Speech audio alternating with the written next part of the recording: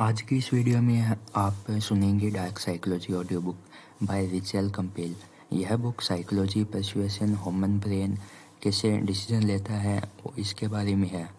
आप चैनल को विज़िट करके अन्य बुक भी लिसन कर सकते हैं, जैसे psychology of money the law of success atomic habit और भी बहुत सारी जो बुकें हैं, वो आपको चैनल के ऊपर मिल जाएगी। और अपनी राय आप कमेंट में करें जिससे हमें वीडियो को बेहतर बनाने के लिए ओपिनियन मिल सके। Okay bye keep listening dark psychology secrets dark psychology secrets लोगों के दिमाग को नियंत्रित करने और जीवन में आप जो चाहते हैं उसे प्राप्त करने के लिए शक्तिशाली हेरफेर तकनीक सीखें। यह समझना कि ब्रेन वॉशिंग सम्मोहन, अनुनय और धोखे कैसे काम करते हैं और इससे अपना बचाव कैसे करें। सर्वाधिकार कॉपीराइट कॉपीराइट 2019 सर्वाधिकार सुरक्षित। इस पुस्तक में निहित सामग्री को लेखक या प्रकाशक की सीधी लिखित अनुमति के बिना पुनः प्रस्तुत डुप्लीकेट या प्रेषित नहीं किया जा सकता है। किसी भी परिस्थिति में इस पुस्तक में निहित जानकारी के कारण किसी भी क्षति, क्षतिपूर्ति या मौद्रिक नुकसान के लिए प्रकाशक या लेखक के खिलाफ कोई दोष या कानूनी ज़िम्मेदारी नहीं ली जाएगी। या तो प्रत्यक्ष या परोक्ष रूप से। कानूनी नोटिस। यह पुस्तक कॉपीराइट सुरक्षित है। यह पुस्तक केवल व्यक्तिगत उपयोग के लिए है। आप लेखक या प्रकाशक की सहमति के बिना इस पुस्तक के किसी भी भाग या सामग्री में संशोधन, वितरण, बिक्री, उपयोग, उद्धरण या व्याख्या नहीं कर सकते। अस्वीकरण सूचना। कृपया ध्यान दें कि इस दस्तावेज़ में निहित जानकारी केवल शैक्षिकी और मनोरंजन उद्देश्यों के लिए है। सटीक, अद्यतन और विश्वसनीय, संपूर्ण जानकारी प्रस्तुत करने के लिए सभी प्रयास किए गए हैं। किसी भी प्रकार की कोई वार्टी घोषित या निहित नहीं है।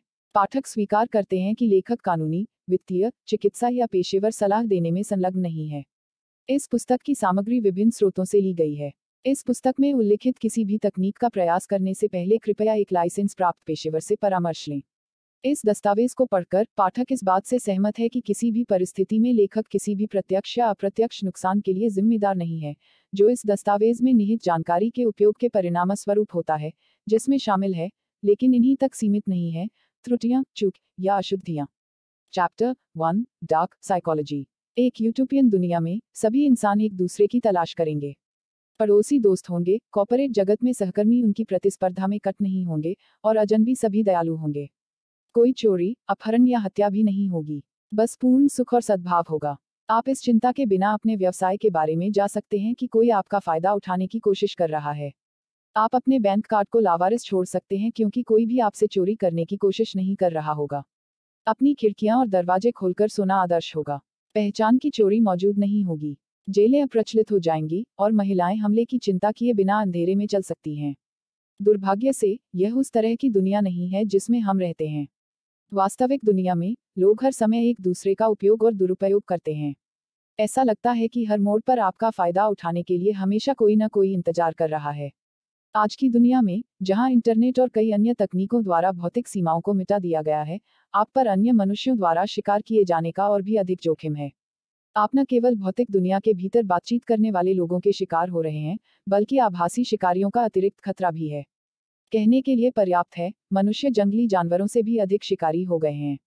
अधिकांश लोग तब तक विश्वास करेंगे जब तक कि अन्यथा सिद्ध न हो जाए। इसके बारे में सोचो। जब आप किसी नए व्यक्ति से मिलते हैं तो क्या आप अक्सर उन्हें एक अच्छे व्यक्ति या बुरे व्यक्ति के रूप में सोचते हैं? उच्च संभावना है, आप आशा करना चाहते हैं कि हर किसी का दिल आपके जैसा दयालु हो। कि वे कभी भी आपको या किसी अन्य को नुकसान पहुँचाने के लिए कुछ नहीं करेंगे। यदि आप यह मानते हुए जीवन से गुजरते हैं कि हर कोई आपके जैसा ही अच्छा है, यह मानते हुए कि आप वास्तव में एक अच्छे व्यक्ति हैं तो आपको हेरफेर करने और इसका फ़ायदा उठाने का बहुत अधिक जोखिम है। आइए थोड़ा बैकअप लें।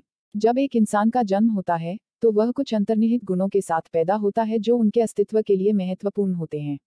उदाहरण के लिए, एक बच्चा किसी अन्य व्यक्ति द्वारा अपनी जरूरतों को पूरा करने के लिए रोने की क्षमता के साथ पैदा होता है। इसका कारण यह है कि बच्चे को, वास्तव में उनकी जरूरतों को पूरा करने के लिए किसी अन्य व्यक्ति की आवश्यकता होती है क्योंकि वे अपने दम पर कुछ भी करने के लिए बहुत कम होते हैं। जैसे, एक बच्चा रोएगा जब उसे खिलाने की ज़रूरत होगी, जब उसे सोने की ज़रूरत होगी तो रोएगा, जब उसे आराम की ज़रूरत होगी तो रोएगा। किसी भी चीज़ के लिए रोएगा। इस बच्चे को रोने के लिए किसी ने प्रशिक्षित नहीं किया, यह एक जीवित उपकरण है जो सीधे गर्भ से आया है। यदि इस बच्चे के माता पिता बच्चे के अनुरोधों का जवाब देने के लिए विशेष सीमाएँ निर्धारित नहीं करते हैं तो बच्चा सीखता है कि वह रोते हुए कुछ भी प्राप्त कर सकता है। इस तरह हेरफेर शुरू होता है। इसका मतलब यह नहीं है कि जोड़तोड़ के प्रजनन के लिए माता पिता पूरी तरह से जिम्मेदार हैं, जबकि माता पिता आनुवंशिकी के आधार पर जोड़ तोड़ व्यवहार के विकास में योगदान करते हैं और संतानों को प्रदान किए जाने वाले पोषण या इसकी कमी के कारण खेल में अन्य कारक भी होते हैं। हमारे अस्तित्व के मूल में हम स्वार्थी प्राणी हैं। हम पहले अपने लिए और दूसरों के लिए बाद में सर्वश्रेष्ठ चाहते हैं। कुछ लोगों के लिए एक रेखा होती है कि वे अपने लिए सर्वश्रेष्ठ पाने के लिए किस हद तक जाने को तैयार हैं। दूसरों के लिए रेखा धुंधली होती है और कभी कभी अस्तित्वहीन भी होती है। जहाँ रेखा धुंधली है या मौजूद नहीं है, वहीं से डार्क साइकोलॉजी शुरू होती है। सबसे सरल शब्दों में डार्क मनोविज्ञान शिकारी मानव व्यवहार का अध्ययन है। दूसरे शब्दों में, डार्क साइकोलॉजी इंसानों की खोज करती है क्योंकि वे अपने फ़ायदे के लिए दूसरे इंसानों का शिकार करते हैं। यह मानव चेतना के बहुत गहरे पक्ष में गोता लगाता है, जहाँ विवेक, सहानुभूति और निस्वार्थता अनसुनी है। डार्क साइकोलॉजी यह समझने की कोशिश करती है कि क्यों कुछ इंसानों को दूसरों को नुकसान पहुँचाने के बारे में तब तक कोई दिक्कत नहीं होती जब तक वे इससे कुछ हासिल करने के लिए खड़े होते हैं। डार्क मनोविज्ञान स्वीकार करता है कि हर कोई एक अच्छा व्यक्ति नहीं है, चाहे आप ऐसा सोचने के इच्छुक हों और फिर जवाब देने का प्रयास करते हैं कि ऐसा क्यों हो सकता है। मानव हिंसक व्यवहार कुछ ऐसा है जो आदिकाल से अस्तित्व में रहा है। मनुष्य हमेशा एक दूसरे का शिकार रहा है। यह एक निरंतर तथ्य है, केवल शिकार करने के तरीके बदलते हैं। आमतौर पर, मनुष्य अपनी भविष्यवाणी में दो मुख्य चैनलों का उपयोग करता है, इंट्राग्रुप और इंटरग्रुप, जो क्रमशः आंतरिक और बाहरी चैनल हैं। इंट्राग्रुप बनाम इंटरग्रुप भविष्यवाणी, समाज, समुदाय काउंटी या क्षेत्र जैसे लोगों के किसी भी समूह में, जहाँ साझा समानताएँ होती हैं, वहाँ आमतौर पर श्रेष्ठ और निम्न पक्ष होते हैं। श्रेष्ठता या हीनता अक्सर इस बात से निर्धारित होती है कि लोगों का समूह उसी के मानदंड के रूप में क्या परिभाषित करता है। उदाहरण के लिए, यह आर्थिक शक्ति या सामाजिक वर्ग आदि हो सकता है। अक्सर आप पाएँगे कि श्रेष्ठ पक्ष अपनी उन्नति के लिए निम्नतर दलों का शिकार करते हैं। जब ऐसा होता है तो इंट्राग्रुप परभक्षण चलन में होता है। गरीब निवासियों के कब्जे वाले आवासीय क्षेत्र में उद्योग स्थापित करने वाले निगमों का एक समूह इंटरग्रुप परभक्षण का एक उदाहरण है। इस उदाहरण में, समाज के अमीर वर्ग को एक और कम भाग्यशाली वर्ग को नुकसान पहुँचाने के बारे में कोई आपत्ति नहीं है जो कमज़ोर और आसान शिकार है। यदि कोई समूह स्वयं को दूसरे समूह से श्रेष्ठ मानता है और उनका बाहरी रूप से शिकार करता है तो इसे अंतरसमूह परभक्षण कहा जाता है। यह दो या दो से अधिक विभिन्न समूहों के बीच परभक्षण है। यह अनिवार्य रूप से उपनिवेशवाद के दौरान हुआ था जहाँ यूरोपीय देशों ने अपने फ़ायदे के लिए अन्य देशों पर आक्रमण किया था, जिन्हें वे हीन और असभ्य मानते थे। अपने दैनिक जीवन में, हो सकता है कि आप सचेत रूप से अपने बीच में परभक्षियों को नोटिस न करें। मानव शिकारी शेष आबादी के साथ खुलने मिलने में अत्यधिक कुशल हैं। वे अपेक्षाकृत सामान्य जीवन जीने वाले सामान्य लोगों की तरह दिखते हैं। जब भी किसी समुदाय में कोई हत्या या कोई अन्य आपराधिक घटना होती है तो आपने अक्सर समुदाय के एक सदस्य को अपराधी के बारे में कहते सुना होगा। वह इतना अच्छा आदमी था, जिसे शहर में हर कोई पसंद करता था। हमें कभी भी संदेह नहीं होगा कि वह इस तरह के एक बुरे काम में सक्षम था। इस मामले की सच्चाई यह है कि संदिग्ध व्यक्ति वास्तव में अच्छा आदमी नहीं था। अधिक बार नहीं, वह सिर्फ़ एक अच्छे आदमी के वेश में एक बुरा आदमी था। बेशक, बुरे और अच्छे शब्द जटिल और अक्सर भ्रमित करने वाले तत्वों को समझाने में कोई न्याय नहीं करते हैं जो एक शिकारी बनने के लिए चुनने में एक भूमिका निभाते हैं। जबकि आपके जीवन में राक्षस हमेशा स्पष्ट नहीं हो सकते हैं, एक शिकारी की पहचान करने के कुछ सरल तरीके हैं। यदि आप उन लोगों के प्रति चौकस हैं जिनसे आप संबंधित हैं तो आपको अच्छे लोगों को बुरे लोगों से अलग करने में आसानी होगी। यह विशेष रूप से सच है यदि आप बात करने से ज़्यादा सुनते हैं। आप तब और सीखते हैं जब आप सिर्फ़ सुन रहे होते हैं और देख रहे होते हैं। तो मानव शिकारी के विशिष्ट चिन्ह क्या हैं? मानव शिकारी की पहचान। काम पर आपका पसंदीदा सहकर्मी कोई ऐसा व्यक्ति हो सकता है जिसका आप वास्तव में साथ देते हैं या कोई ऐसा व्यक्ति जो अपने फ़ायदे के लिए आपके साथ आने का दिखावा करता है। आप अंतर किस तरह बताएँगे? वे अविश्वसनीय रूप से आकर्षक हैं। सबसे कुशल शिकारी भी बेहद आकर्षक होते हैं। वे जानते हैं कि कैसे करना है और सही बातें कैसे कहते हैं ताकि वे दूसरों के लिए आकर्षक के रूप में सामने आ सकें। वे कुछ अच्छी तरह से रखी गई तारीफों और मुस्कुराहट के आधार पर किसी की अच्छी किताबों में आने की उनकी क्षमता के आधार पर अत्यधिक पसंद किए जाते हैं। जब आप ऐसे आकर्षक व्यक्ति से मिलते हैं तो वे आपको विश्वास दिलाएँगे कि आप उनके ब्रह्मांड के केंद्र हैं। वे आपको ध्यान देंगे, आपको विशेष महसूस कराएँगे और प्रभावित करने के लिए सभी पड़ावों को खींचेंगे। कई आकर्षक लोगों के लिए, यह एक सीखा कला रूप है। मिस्टर चामिंग एक्ट को पूर्ण करने के लिए उनके पास वर्षों का अभ्यास है। जब बिना किसी छिपे हुए एजेंडा वाले दो सामान्य लोग मिलते हैं तो होने वाली बातचीत स्वाभाविक कभी कभी अजीब और अक्सर सती होती है। यानी गहरी हार्दिक बातचीत के बजाय खामोशियों को भरने के लिए बहुत सारी छोटी छोटी बातें होने की संभावना है। बाद की बातचीत तब होती है जब आप एक दूसरे को थोड़ा बेहतर तरीके से जान लेते हैं। ऐसे किसी भी व्यक्ति से सावधान रहें जो किसी भी अनावश्यक जानकारी को आकर्षक रूप से प्रकट करने की कोशिश करता है, जो उन्हें एक आदर्श इंसान के रूप में चित्रित करता है, जो गलत कदम उठाने में असमर्थ है। किसी ऐसे व्यक्ति से सावधान रहें जिसके पास हमेशा सभी प्रश्नों का सही उत्तर हो। अंत में, किसी ऐसे व्यक्ति से सावधान रहें, जो सामाजिक अंतक्रियाओं के माध्यम से सहजता से तैरता हुआ प्रतीत होता है। इस तरह के व्यक्ति भले ही एक अच्छे सामाजिक अर्थ वाले व्यक्ति हो सकते हैं लेकिन एक मौका यह भी है कि वे एक ऐसा शो दिखा रहे हैं जिसके लिए आपको बहुत अधिक कीमत चुकानी पड़ेगी। एंटाइटलमेंट दिन का क्रम है। क्या आप कभी किसी ऐसे व्यक्ति से मिले हैं जो ऐसा व्यवहार करता है जैसे कि दुनिया उन पर कुछ बकाया है? इस तरह के व्यक्ति के पास वह होना चाहिए जो वह चाहता है, चाहे वह किसी भी कीमत पर हो। यदि वे नहीं करते हैं तो वे एक नखरे फेंक देंगे और सभी को इसके लिए भुगतान करेंगे। मानव शिकारी अक्सर हकदार लोग होते हैं। यही कारण है कि उन्हें अक्सर किसी भी कीमत पर जो कुछ भी चाहिए उसे पाने में कोई समस्या नहीं होती है, भले ही इसका मतलब दूसरों को चोट पहुंचाना हो। आखिरकार, दुनिया उनके कर्ज में है, और इस कर्ज को चुकाना होगा, भले ही रास्ते में कुछ या कई पैर की उंगलियों पर कदम रखा जाए।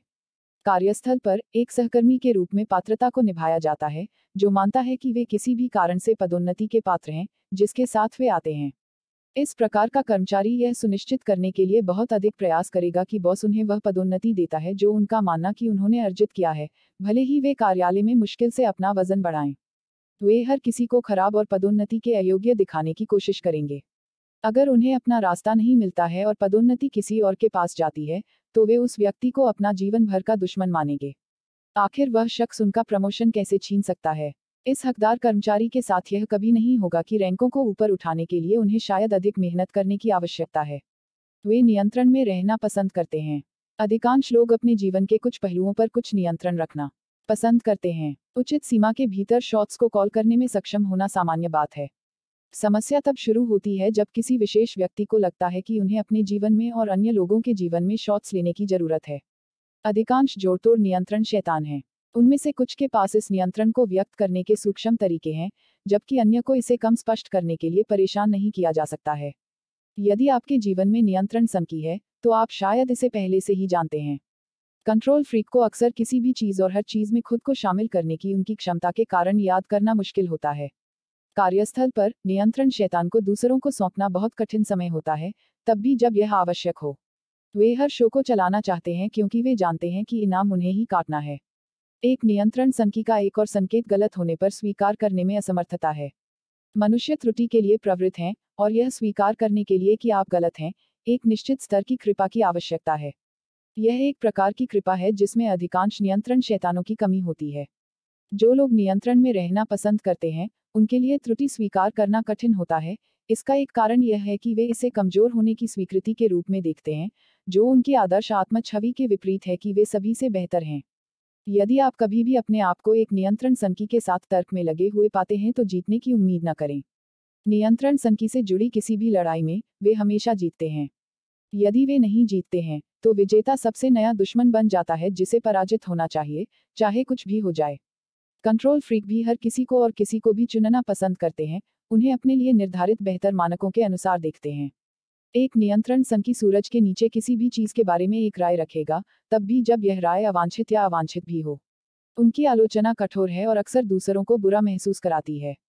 यह उनके लिए नियंत्रण पाने का एक तरीका है, यदि आप किसी को अपर्याप्त और छोटा महसूस कराते हैं तो आपके पास उनसे अपनी मांगों को पूरा करने का एक बेहतर मौका है, चाहे ये कुछ भी हो।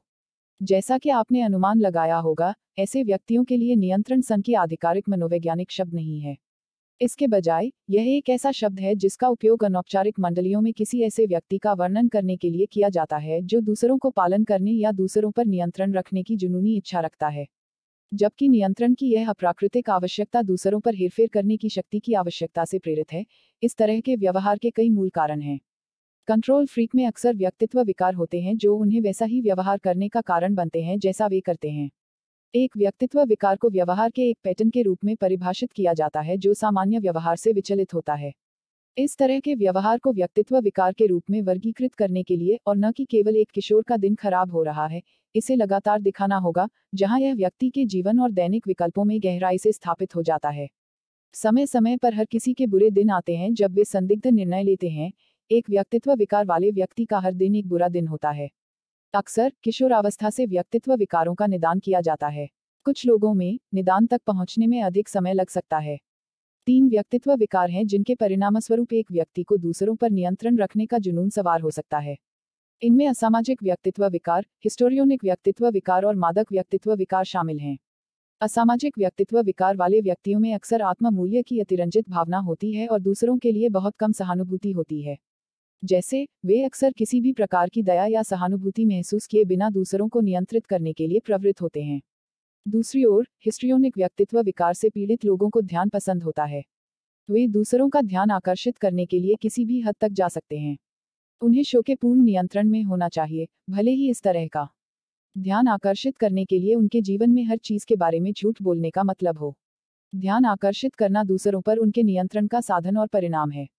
संक्षेप में, ध्यान एक ऐसा गीत है जिस पर वे हमेशा के लिए नृत्य कर सकते हैं। नार्सिसिस्ट्स नियंत्रण से प्यार करते हैं क्योंकि उनका मानना कि वे किसी और से बेहतर हैं और वे इस नियंत्रण के हकदार हैं। एक नार्सिसिस्ट के साथ बस अपना रास्ता नहीं मिल रहा है। यदि आप एक नार्सिसिस्ट के साथ शामिल हैं, चाहे वह काम पर हो या व्यक्तिगत संबंध में, केवल एक ही उत्तर आपको कभी भी बोलने की अनुमति दी जाएगी हाँ। नार्सिसिस्ट्स नियंत्रण पर पनपते हैं क्योंकि यह हर कमरे में सबसे बड़ा सौदा होने की उनकी अंतहीन इच्छा को खिलाता है। उनकी भावनाएँ प्रामाणिक नहीं हैं। क्या आप कभी किसी ऐसे व्यक्ति से मिले हैं जो बहुत दयालु और उदार लग रहा था, लेकिन आपकी प्रवृत्ति ने आपको उन पर भरोसा न करने के लिए कहा था? यह शायद इसलिए है क्योंकि आपकी छठी इंद्रिय यह पता लगा सकती है कि वह सभी दयालुता और उदारता प्रामाणिक नहीं थी। जबकि दिल और दिमाग को मूर्ख बनाना संभव है, छठी इंद्रिय लगभग हमेशा झूठ को सच से बाहर निकालने में सक्षम है। मानव शिकारियों को पता है कि कुछ भावनाएँ और व्यवहार हैं जो रिश्तों में फ़ायदेमंद होते हैं। वे जानते हैं कि दयालु लोगों को खूब पसंद किया जाता है, और उदारता का अर्थ यह है कि एक व्यक्ति दिल का अच्छा होता है।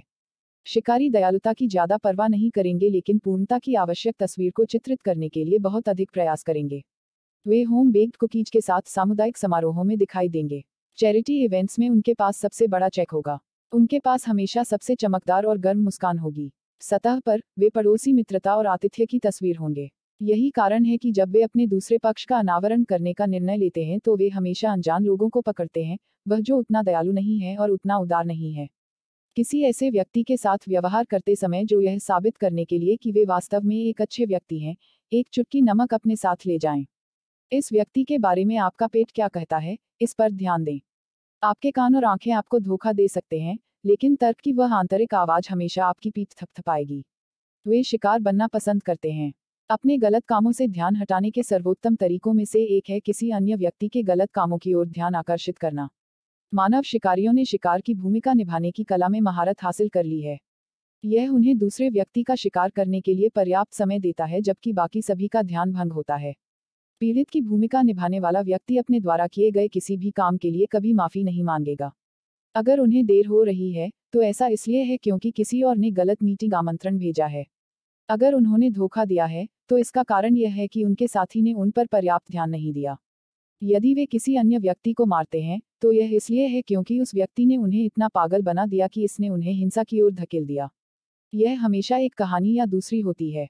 इस मामले की सच्चाई यह है कि शिकारी कभी शिकार नहीं होता।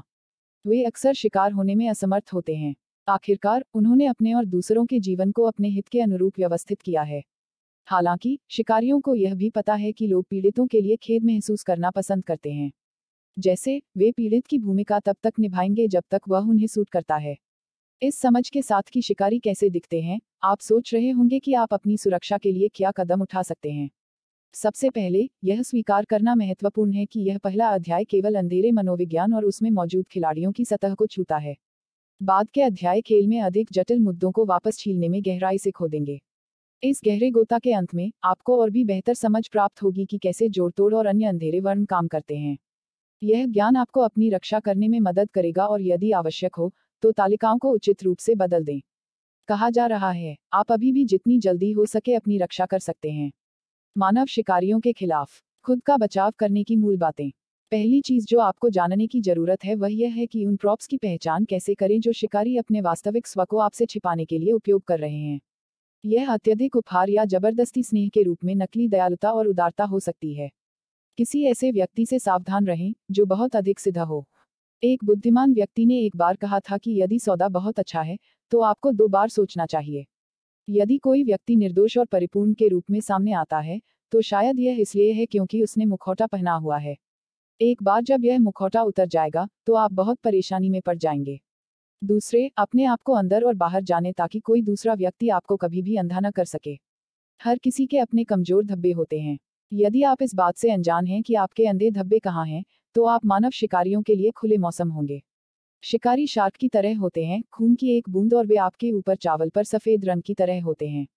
पता करें कि आपको कहाँ से खून बह रहा है और इस ज्ञान को अपने अंदर तब तक छुपा कर रखें जब तक कि आप शत प्रतिशत आश्वस्त न हो जाएँ कि इस जानकारी से किसी व्यक्ति पर भरोसा किया जा सकता है। शिकारियों के खिलाफ अपना बचाव करने का तीसरा तरीका है अपने लाभ के लिए समय का उपयोग करना। विश्व बैंक द्वारा जारी आंकड़ों के अनुसार 2018 में अमेरिका में औसत जीवन प्रत्याशा अठहत्तर थी जबकि कनाडा में यह आंकड़ा 80 था। इसका मतलब है कि यदि आप इनमें से किसी भी स्थान पर रहते हैं तो आपके पास अतीत जीने का एक बहुत अच्छा मौका है। सत्तर वर्ष की आयु तो हर कोई इतनी जल्दी में क्यों है? दुर्भाग्य से, हम एक ऐसी दुनिया में रहते हैं जहाँ हर किसी को कहीं जाने या कुछ पाने की जल्दी होती है। इन सभी हड़बड़ी के बीच शिकारी शिकारियों का शिकार कर रहे हैं जो पकड़ने के लिए बेताब हैं। यदि आप चीज़ों में जल्दबाजी करते हैं तो आप पीछे मुड़कर देखेंगे और उन सभी गलतियों पर आश्चर्य करेंगे जो आपने की थी जिनसे आप बच सकते थे। अपने लाभ के लिए समय का उपयोग करें जब किसी को जानने की बात आती है, या जब निवेश को समझने की बात आती है। शिकारी यह सोचकर अपने शिकार में डर पैदा करना पसंद करते हैं कि वे समय से बाहर भाग रहे हैं। आपका समय समाप्त नहीं हो रहा है। समय आपके पक्ष में है। समझदारी से इस्तेमाल करो। यदि आप हर बार किसी निर्णय के सामने आने पर प्रतिबिंबित करने के लिए रुकते हैं तो आप अपने आप को बहुत बेहतर निर्णय लेते हुए पाएँगे और अपने चारों ओर चक्कर लगाने वाले शिकारियों द्वारा आपके लिए बिछाए गए कई जालों से बचेंगे। Chapter two a deep dive into the dark triad अध्याय दो डार्क ट्रॉयड में एक गहरा गोता। मनोविज्ञान के क्षेत्र में एक घटना है जिसे डार्क ट्रॉयड कहा जाता है। डार्क ट्रॉयड तीन व्यक्तित्व लक्षणों का एक समूह है जैसे कि संकीर्णता, मैक्यावेलियनवाद और मनोरोगी। इन लक्षणों से जुड़े आमतौर पर घातक व्यवहार के कारण तीन के इस सेट को अंधेरा कहा जाता है। डार्क ट्रॉयड का सबसे बड़ा कंट्रास्ट लाइट ट्रॉयड है, जो अपने आप में एक अन्य पुस्तक के लिए एक विषय और चर्चा है। जबकि डार्क ट्रॉयड पर दर्शाए गए तीन लक्षण अपने स्वयं के अध्ययन पर अलग हैं, यह दर्शाता है कि वास्तव में वे अक्सर ओवरलैप होते हैं। इसका मतलब यह है कि जो व्यक्ति डार्क ट्रॉयड टेस्ट में उच्च स्कोर करता है, उसमें ये सभी लक्षण धुंधली सीमाओं के साथ मौजूद होंगे। उदाहरण के लिए, यह बताना मुश्किल हो सकता है कि नशा कहाँ रुकता है और मनोरोगी कहाँ से शुरू होता है। डार्क ट्रॉयड की अवधारणा के बारे में चर्चा शुरू में उन्नीस सौ अट्ठानबे में तीन मनोविज्ञान विशेषज्ञों, शामिल किए जाने वाले नामों, द्वारा शुरू की गई थी, जिन्होंने तर्क दिया था कि सामान्य नमूनों में संकीर्णता, मैक्यावेलियनवाद और मनोरोगी एक अतिव्यापी तरीके से हुए थे। बाद में 2002 में, पॉलहस और विलियम्स के नाम से दो मनोवैज्ञानिकों ने इस अवधारणा के लिए एक नाम गढ़ा डार्क डार्क ट्रॉयड के व्यक्तित्व को समझने की कोशिश में प्रकृति और प्रकृति द्वारा निभाई गई भूमिका के बारे में अक्सर चर्चा और बहस होती है। इसे सीधे शब्दों में कहें तो व्यवहार वैज्ञानिक, मनोवैज्ञानिक और शोधकर्ता यह समझने के लिए उत्सुक रहे हैं कि क्या डार्क ट्रॉयड व्यक्ति पैदा होते हैं या पैदा होते हैं। क्या हम जन्म से दुष्ट और चालाक हैं, या हम बड़े होने के साथ साथ जिन चीज़ों के संपर्क में आते हैं, उनके परिणाम स्वरूप हम ऐसा हो जाते हैं। किए गए कई शोधों के अनुसार, यह नोट किया गया है कि डार्कट्रॉयड में एक महत्वपूर्ण आनुवंशिक घटक होता है। यही है, कुछ लोग डार्कट्रॉयड लक्षणों के लिए एक प्रवृत्ति के साथ पैदा होते हैं। हालाँकि, जहाँ तक आनुवांशिकता का संबंध है, नशावाद और मनोरोगी मैक्यावेलियनवाद की तुलना में उच्च रैंक रखते हैं। यही है, एक मनोरोगी माता पिता के माता पिता की तुलना में उनकी संतानों को विशेषता स्थानांतरित करने की अधिक संभावना होती है, जो मैक्यावेलियनवाद पैमाने पर उच्च रैंक करते हैं। समाचारों में, जो किसी नौकरी पेशा व्यक्ति के लिए बहुत सुखद नहीं हो सकता है, ऊपरी स्तर के प्रबंधन में डार्क ट्रॉयडिक लक्षणों का अच्छी तरह से प्रतिनिधित्व किया गया है। नीचे के अनुभागों में डार्क ट्रॉयड के घटकों के अनपैकिंग के दौरान, यह स्पष्ट हो जाएगा कि यह प्रतिनिधित्व ऐसा क्यों हो सकता है। आखिरकार, बहुत कम सीओ यदि कोई हो अच्छा खेलकर जहाँ वे हैं, वहाँ पहुँचे। डार्क ट्रॉयड को खोलना नार्सिसिज्म ग्रीक पौराणिक कथाओं में नार्सिसस नामक एक युवक की कहानी बताई गई है। नासिसस एक शिकारी था जो अपने आकर्षक दिखने के लिए प्रसिद्ध था। अपने प्रशंसकों से मिली प्रशंसा के बावजूद, नार्सिसस के पास उनके लिए दिन का समय नहीं था और यहाँ तक कुछ लोगों को अपने प्यार को साबित करने के लिए खुद की जान लेने के लिए प्रेरित किया। जबकि नार्सिसस की कहानी के विभिन्न संस्करण हैं, वे सभी उसे अविश्वसनीय रूप से आत्मा अवशोषित होने की ओर इशारा करते हैं, जो अंततः उसके लिए एक मौत मर रहा था जो उसके स्वार्थी तरीके से सजा थी। इस युवक की कहानी के लिए धन्यवाद। नार्सिसिज्म शब्द सबसे पहले सिगमंड फ्रॉयड द्वारा गढ़ा गया था। फ्रॉयड ने अपने प्रसिद्ध 1914 के निबंध में नार्सिसिज्म पर उपयुक्त शीर्षक दिया। सरल शब्दों में, संकीर्णता अत्यधिक और जुनूनी आत्म प्रशंसा है जो एक व्यक्ति की अपनी और अपनी शारीरिक बनावट के प्रति होती है। एक संकीर्णतावादी को अक्सर पहचानना आसान होता है क्योंकि उनके कार्य और विश्वास उन्हें आसानी से दूर कर देते हैं। आश्चर्य है कि क्या आपके जीवन में एक नासिसिस्ट है। यहाँ क्या देखना है? नासिसिस्ट श्रेष्ठ महसूस करना पसंद करते हैं और अक्सर हकदार होते हैं। सामान्य, स्वस्थ संबंधों में उचित मात्रा में देना और लेना शामिल होता है, चाहे वे काम हो, व्यक्तिगत या व्यावसायिक संबंध हो। नासिसिस्ट इस तर्क की सदस्यता नहीं लेते हैं। वे सब कुछ लेना पसंद करते हैं जबकि कोई और सब कुछ देना पसंद करता है। उन्हें लगता है कि उन चीज़ों का बकाया है जो वे मांगते हैं, भले ही ऐसा न हो। नासिसिस्ट हमेशा सही और हमेशा ध्यान के केंद्र में रहने के अपने प्रयास में अथक होते हैं। कार्यस्थल पर एक नासिसिस्ट एक टीम में गलत होने वाली किसी भी चीज़ की ज़िम्मेदारी कभी नहीं लेगा। जब भी कोई मुद्दा उठता है तो नासिसिस्ट खुद से दोष हटाकर दूसरी पार्टी पर डाल देगा। आखिरकार, वे खुद को श्रेष्ठ मानते हैं और गलत काम करने में असमर्थ हैं। यदि आप एक नासिसिस्ट को डेट कर रहे हैं तो वे कोशिश करेंगे और यह सब अपने बारे में करेंगे। आपको वही खाना चाहिए जहाँ वे चाहते हैं, वे चीज़ें करें जो वे चाहते हैं और उन्हें खुश करने के लिए अपने जीवन को रोक कर रखें। उन्हें इन सभी कामों को करने में कोई दिक्कत नहीं होगी, जिन पर सामान्य लोग भौंकते हैं क्योंकि उनके दिमाग में वे वास्तव में आपको डेट करके आप पर एहसान कर रहे हैं। यदि आप किसी व्यक्ति में अत्यधिक आत्मकेंद्रितता के इन लक्षणों को देखते हैं तो आप एक नासिसिस्ट के साथ व्यवहार करने की संभावना रखते हैं। नासिसिस्ट अक्सर टाइप परफेक्शनिस्ट होते हैं। कई लोगों के लिए खामियाँ और खामियाँ जीवन का एक सामान्य हिस्सा हैं। यदि कोई पार्टी योजना के अनुसार ठीक से नहीं चलती है तो अधिकांश लोगों को वापस लात मारने और इसका आनंद लेने में कोई समस्या नहीं है। नशा करने वालों के लिए ऐसा नहीं है। एक नासिसिस्ट के लिए अगर कुछ सही नहीं है तो यह मायने नहीं रखता। नासिसिस्ट जो कुछ भी करते हैं उसमें पूर्णता चाहते हैं क्योंकि उनका मानना कि वे परिपूर्ण हैं और इसलिए केवल पूर्णता के योग्य हैं। यदि आप एक नशा करने वाले को डेट कर रहे हैं तो वे आपसे पूर्णता की मांग करेंगे कि आप कैसे कपड़े पहनते हैं। जिस तरह से आप बात करते हैं, आप किस तरह के दोस्त रखते हैं, आप जिस पड़ोस में रहते हैं और बस कुछ भी। यह एक कभी न खत्म होने वाली विजय होगी जिसके हारने की सबसे अधिक संभावना है। यह देखते हुए कि रोज़मर्रा की ज़िंदगी में पूर्णता अक्सर इतनी कठिन होती है नासिसिस्ट अक्सर दुखी और निराश हो जाते हैं। नासिसिस्ट में नियंत्रण के लिए एक निर्विवाद प्यास है। बुलाए जाने पर कार्यभार संभालने के लिए हमेशा तैयार रहना महत्वपूर्ण है। यह सभी महान नेताओं की निशानी है। आपके अपने जीवन में यह विभिन्न पहलुओं पर नियंत्रण की स्वस्थ भावना रखने में मदद करता है। आखिरकार, आप बिना किसी उद्देश्य या दिशा के इधर उधर बहते हुए जीवन से नहीं गुजर सकते। नरसंहारियों के लिए, हालाँकि, नियंत्रण की आवश्यकता अधिकांत है, उन्हें नियंत्रण में होना चाहिए जो भी हो सकता है। पूर्णता के लिए उनकी महान आवश्यकता याद है। खैर नासिसिस्ट महसूस करते हैं कि उन्हें नियंत्रण में होना चाहिए ताकि वे इस पूर्णता को प्राप्त कर सकें। वे बस अन्य छोटे प्राणियों पर नियंत्रण रखने पर भरोसा नहीं कर सकते क्योंकि तब वे सब कुछ गड़बड़ कर देंगे। एक अहंकारी साथी यह तय करना चाहेगा कि आपके पास कौन से दोस्त हो सकते हैं, आपके पास नौकरी होनी चाहिए या नहीं, आपके दोस्त आपके घर आ सकते हैं या नहीं और आपके जीवन के हर विवरण के बारे में। एक नासिसिस्ट के साथ एक रिश्ते की शुरुआत में आपको लगता है कि आप गलती कर सकते हैं कि अमर प्रेम और भक्ति के लिए नियंत्रण की आवश्यकता है। हालाँकि, बाद में, आप अविश्वास और घुटन महसूस करने लगेंगे और यह अंत की शुरुआत को चिन्हित करेगा। कार्यस्थल में नासिसिस्ट अपने कर्मचारियों के काम के हर पहलू का प्रबंधन करना पसंद करते हैं। एक नासिसिस्टिक पर्यवेक्षक अपने जूनियर्स को सांस लेने के लिए कोई जगह नहीं देगा और यह सुनिश्चित करने के लिए हर संभव प्रयास करेगा कि वह सभी शॉट्स को बुला रहा है। नासिसिस्ट्स को सीमाओं की कोई समझ नहीं है। आपकी सीमाएँ वे दिशा निर्देश हैं जिन्हें आपने यह निर्धारित करने के लिए निर्धारित किया है कि आपकी व्यक्तिगत बातचीत कैसी होगी। सीमाएँ तय करती हैं कि आपके जीवन में क्या स्वीकार्य है और क्या नहीं। कई लोगों के लिए सीमाएँ दूसरी प्रकृति हैं। उदाहरण के लिए, ज़्यादातर लोग लेते समय अपमान नहीं करेंगे। उनके लिए इस तरह से अनादर करना स्वीकार्य नहीं है। सामान्य लोग अपने दैनिक जीवन में सीमाओं को स्वीकार करने में सक्षम होते हैं। दूसरी ओर नासिसिस्ट्स के पास इस तरह की तुच्छ बातों के लिए समय नहीं है। एक नासिसिस्ट को आपके व्यक्तिगत स्थान में घुसपैठ करने में कोई समस्या नहीं होगी क्योंकि उनका मानना कि उन्हें वहाँ रहने का अधिकार है।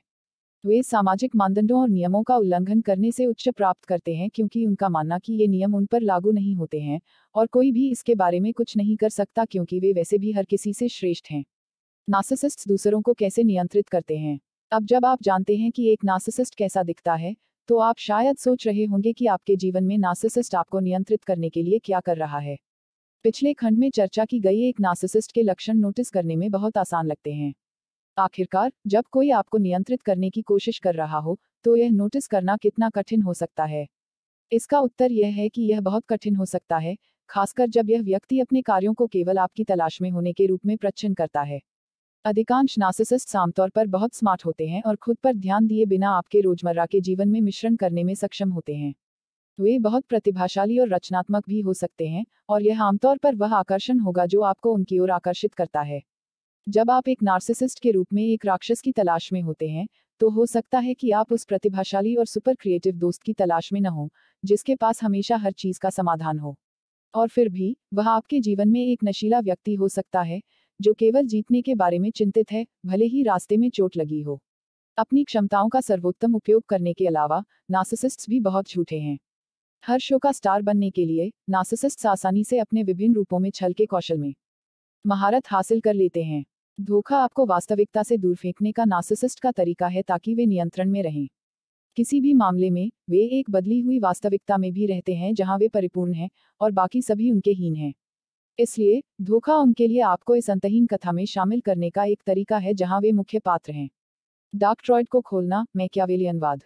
निकोलो मैक्यावेली, जिन्हें अक्सर आधुनिक राजनीति विज्ञान के पिता के रूप में जाना जाता है, पुनर्जागरण काल एक इतालवी थे जिन्होंने कई टोपी पहनी थी। मैक्यावेली एक राजनेता, इतिहासकार, मानवतावादी, कवि, लेखक और राजनयिक थे। 1513 में मैक्यावेली ने अपनी सबसे प्रसिद्ध पुस्तक द प्रिंस लिखी। इस पुस्तक में मैक्यावेली ने राजनीतिक सत्ता हासिल करने और बनाए रखने के लिए बेईमान साधनों के उपयोग का वर्णन और समर्थन किया। इस काम और उनके समर्थन से मैक्यावेलियनवाद शब्द उत्पन्न हुआ, जिसका उपयोग मैक्यावेली ने अपनी पुस्तक में वर्णित राजनीतिक नेताओं और रणनीति के प्रकार को संदर्भित करने के लिए किया था। इस शब्द को बाद में मनोविज्ञान विशेषज्ञों द्वारा एक व्यक्तित्व विशेषता का वर्णन करने के लिए उधार लिया गया था, जो कि भावनाओं की कमी और दूसरों की कीमत पर हासिल करने की इच्छा है। चाहे वह धोखे, हेरफेर या शालीनता और नैतिकता के सामान्य नियमों के उल्लंघन के माध्यम से हो। सरल शब्दों में, एक व्यक्ति जो मैक्यावेलियनवाद का प्रदर्शन करता है, वह इसके बारे में कुछ भी करने को तैयार है यदि इसका मतलब जीतना है। मैक्यावेली यही कारण है कि अंत का अर्थ साधन मौजूद है।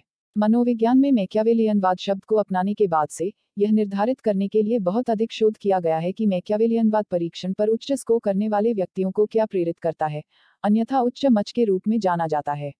यह पाया गया है कि उच्च मच शक्ति, धन और प्रतिस्पर्धा को हर चीज़ से ऊपर महत्व देते हैं। हाईमैक्स सामुदायिक भवन, परिवार और यहाँ तक प्यार जैसी चीज़ों पर बहुत कम प्रीमियम देते हैं। मैक्यावेलियनवाद पैमाने पर कम स्कोर करने वालों के लिए विपरीत सच है, अन्यथा कम मच के रूप में जाना जाता है। उच्च मच के लक्षण। हाई मच, हमारे चारों तरफ़ हैं।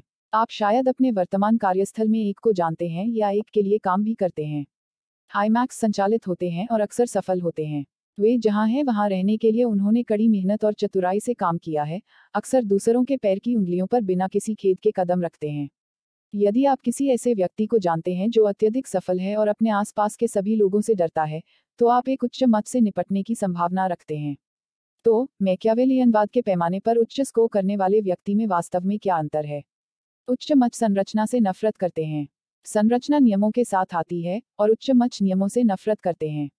एगो, हाई मचेस को संरचना से भी नफरत है। हाई माच को अपने स्वयं के नियम बनाने के लिए अकेला छोड़ दिया जाएगा क्योंकि वे जाते हैं। वे किसी और के कहने के कारण कुछ करने से घृणा करते हैं। नियम उनके लिए मायने नहीं रखते और संरचना कैद है। इसलिए हाई मच ऐसे वातावरण में पनपते हैं जहाँ वे असीम हैं और जितना चाहें उतना रचनात्मक होने के लिए स्वतंत्र हैं। जहाँ तक व्यवसायों की बात है, उच्च माच व्यावसायिक वातावरण को प्राथमिकता देते हैं जबकि किसी भी ऐसे पेशे से दूर रहते हैं जिसमें अन्य लोगों की मदद करना शामिल है। उदाहरण के लिए हाई इस तथ्य की गिनती के द्वारा बहुत प्रभावी सेल्समैन बनाता है कि वे किसी उत्पाद को बेचने के लिए झूठ बोलने को तैयार हैं यदि यह उन्हें कमीशन देता है। मैक्यावेलियनवाद के पैमाने पर कम स्को करने वाला व्यक्ति उपभोक्ता को गर्म हवा बेचने के लिए दोषी महसूस कर सकता है। एक उच्च मच के लिए ऐसा नहीं है। जब तक एक मोटा बोनस और कमीशन का लाभ उसका इंतज़ार कर रहा है, एक उच्च मच यह सुनिश्चित करेगा कि ग्राहक जो कुछ भी बेच रहा है उसके बदले में उन्हें अपना पैसा दे। दूसरे शब्दों में, अंत हमेशा एक उच्च मच के साधनों को सही ठहराएगा। उच्च मच अत्यधिक अवसरवादी हैं। जबकि अन्य लोग जीवन के माध्यम से फूलों को सूंघते हैं और अन्य क्लिच चीज़ें करते हैं जो सामान्य लोगों को खुश करते हैं, उच्च मच जीवन को एक खेल के रूप में देखते हैं जहाँ उन्हें जीतना चाहिए। वे जीवन को एक विशाल शतरंज बोर्ड के रूप में सोचते हैं जहाँ हर कदम आपको जीत के करीब ले जाना चाहिए। जैसे हाई मच अत्यधिक अवसरवादी हैं और आगे बढ़ने के लिए हर मौके पर छलांग लगाएँगे। उन्हें शतरंज की बिसात पर दूसरों की कोई चिंता नहीं है क्योंकि उनका मानना कि केवल एक ही राजा हो सकता है, जबकि बाकी सत्ता और स्थिति की प्राप्ति के लिए उपकरणों के रूप में उपयोग किए जाने के लिए मोहरे के रूप में बने रहते हैं। हाईमैक भावनात्मक रूप से अलग हो जाते हैं।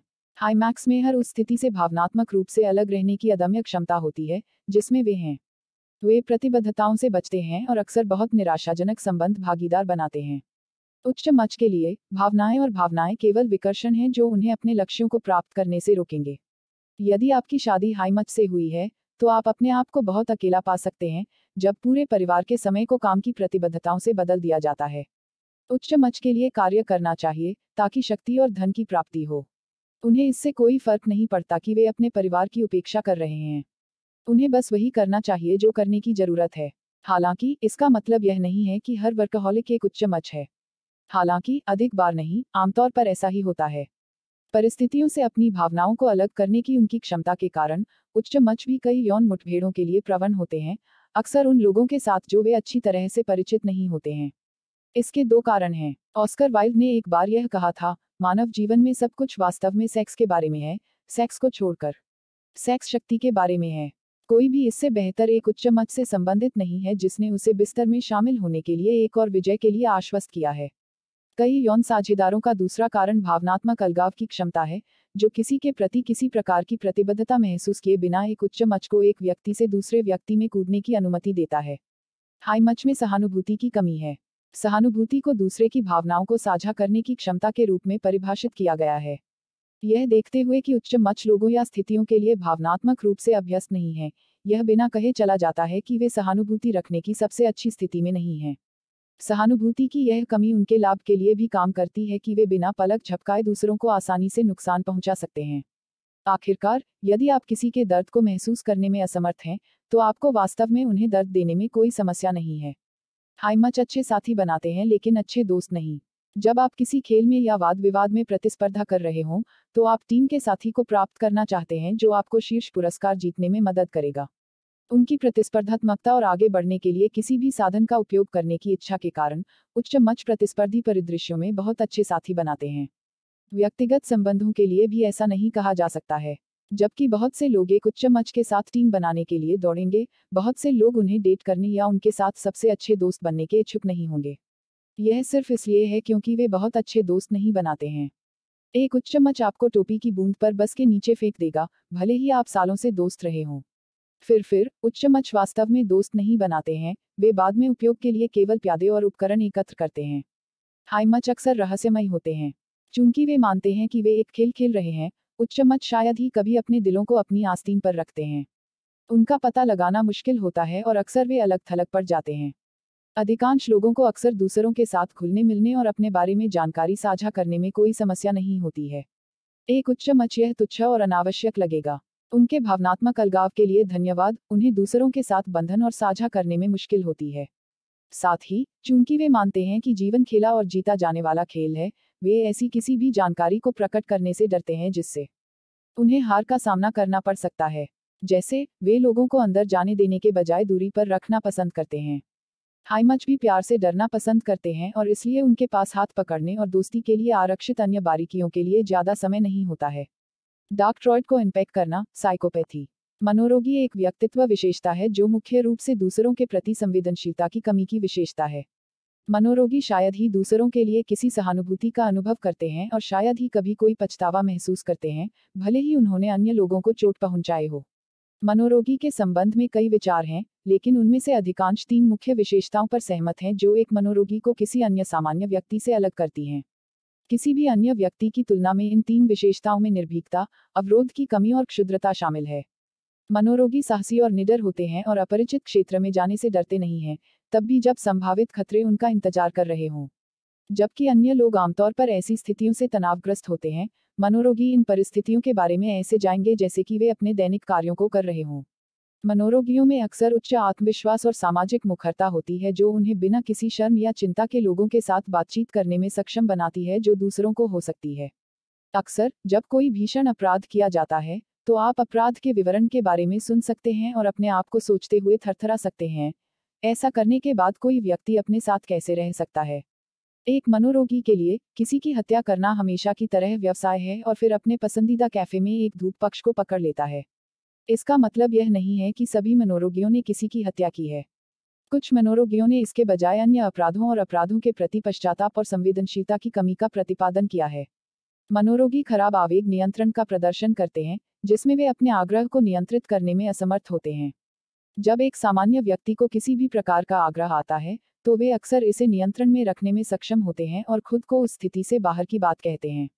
उदाहरण के लिए, यदि आप एक कष्टप्रद सहकर्मी के साथ व्यवहार कर रहे हैं, जो अपने आगामी ब्राइडल शावर के बारे में चुप नहीं रहेगा तो आप संभवतः उनके चेहरे पर मुक्का मारने की इच्छा से लड़ने में सक्षम होंगे। दूसरी ओर, एक मनोरोगी अक्सर आवेग से दूर हो जाता है और दो बार बिना सोचे समझे प्रतिक्रिया करता है कि उनके निर्णय की कीमत क्या होगी। सरल शब्दों में, मनोरोगी तड़क भड़क के शिकार होते हैं।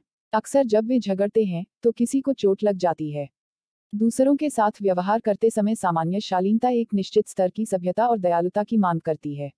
यह ऐसी चीज़ नहीं है जिसकी मनोरोगी परवाह करते हैं, जबकि बाकी आबादी देखभाल और दया की चिंता करती है। एक मनोरोगी को कमरे में सबसे मतलबी व्यक्ति होने में कोई समस्या नहीं होगी। परिस्थितियों के आधार पर वे इसके बारे में सूक्ष्म या प्रत्यक्ष हो सकते हैं। उनके व्यक्तित्व में समानता के इन तीन मुख्य क्षेत्रों के अलावा, मनोरोगी में अन्य विशिष्ट विशेषताएँ भी होती हैं। वे जोखिम लेने वाले हैं। यह उनकी बोल्डनेस और डर की कमी से जुड़ा है। जबकि बाकी सभी को अपनी सुरक्षा का डर है, मनोरोगी अपनी या किसी और की सुरक्षा की चिंता में दो सेकंड भी नहीं बिताते हैं। यह गुण एक लाभ है यदि इसका उपयोग अच्छे उद्देश्यों के लिए किया जाता है। दूसरी तरफ़, भारी जोखिम उठाना महँगा हो सकता है, खासकर अगर जोखिम का बोझ किसी और द्वारा वहन किया जाता है। इसलिए, यह कोई आश्चर्य की बात नहीं है कि स्थिर वातावरण में पले बड़े मनोरोगी सफल व्यवसाय और राजनेता बन जाते हैं।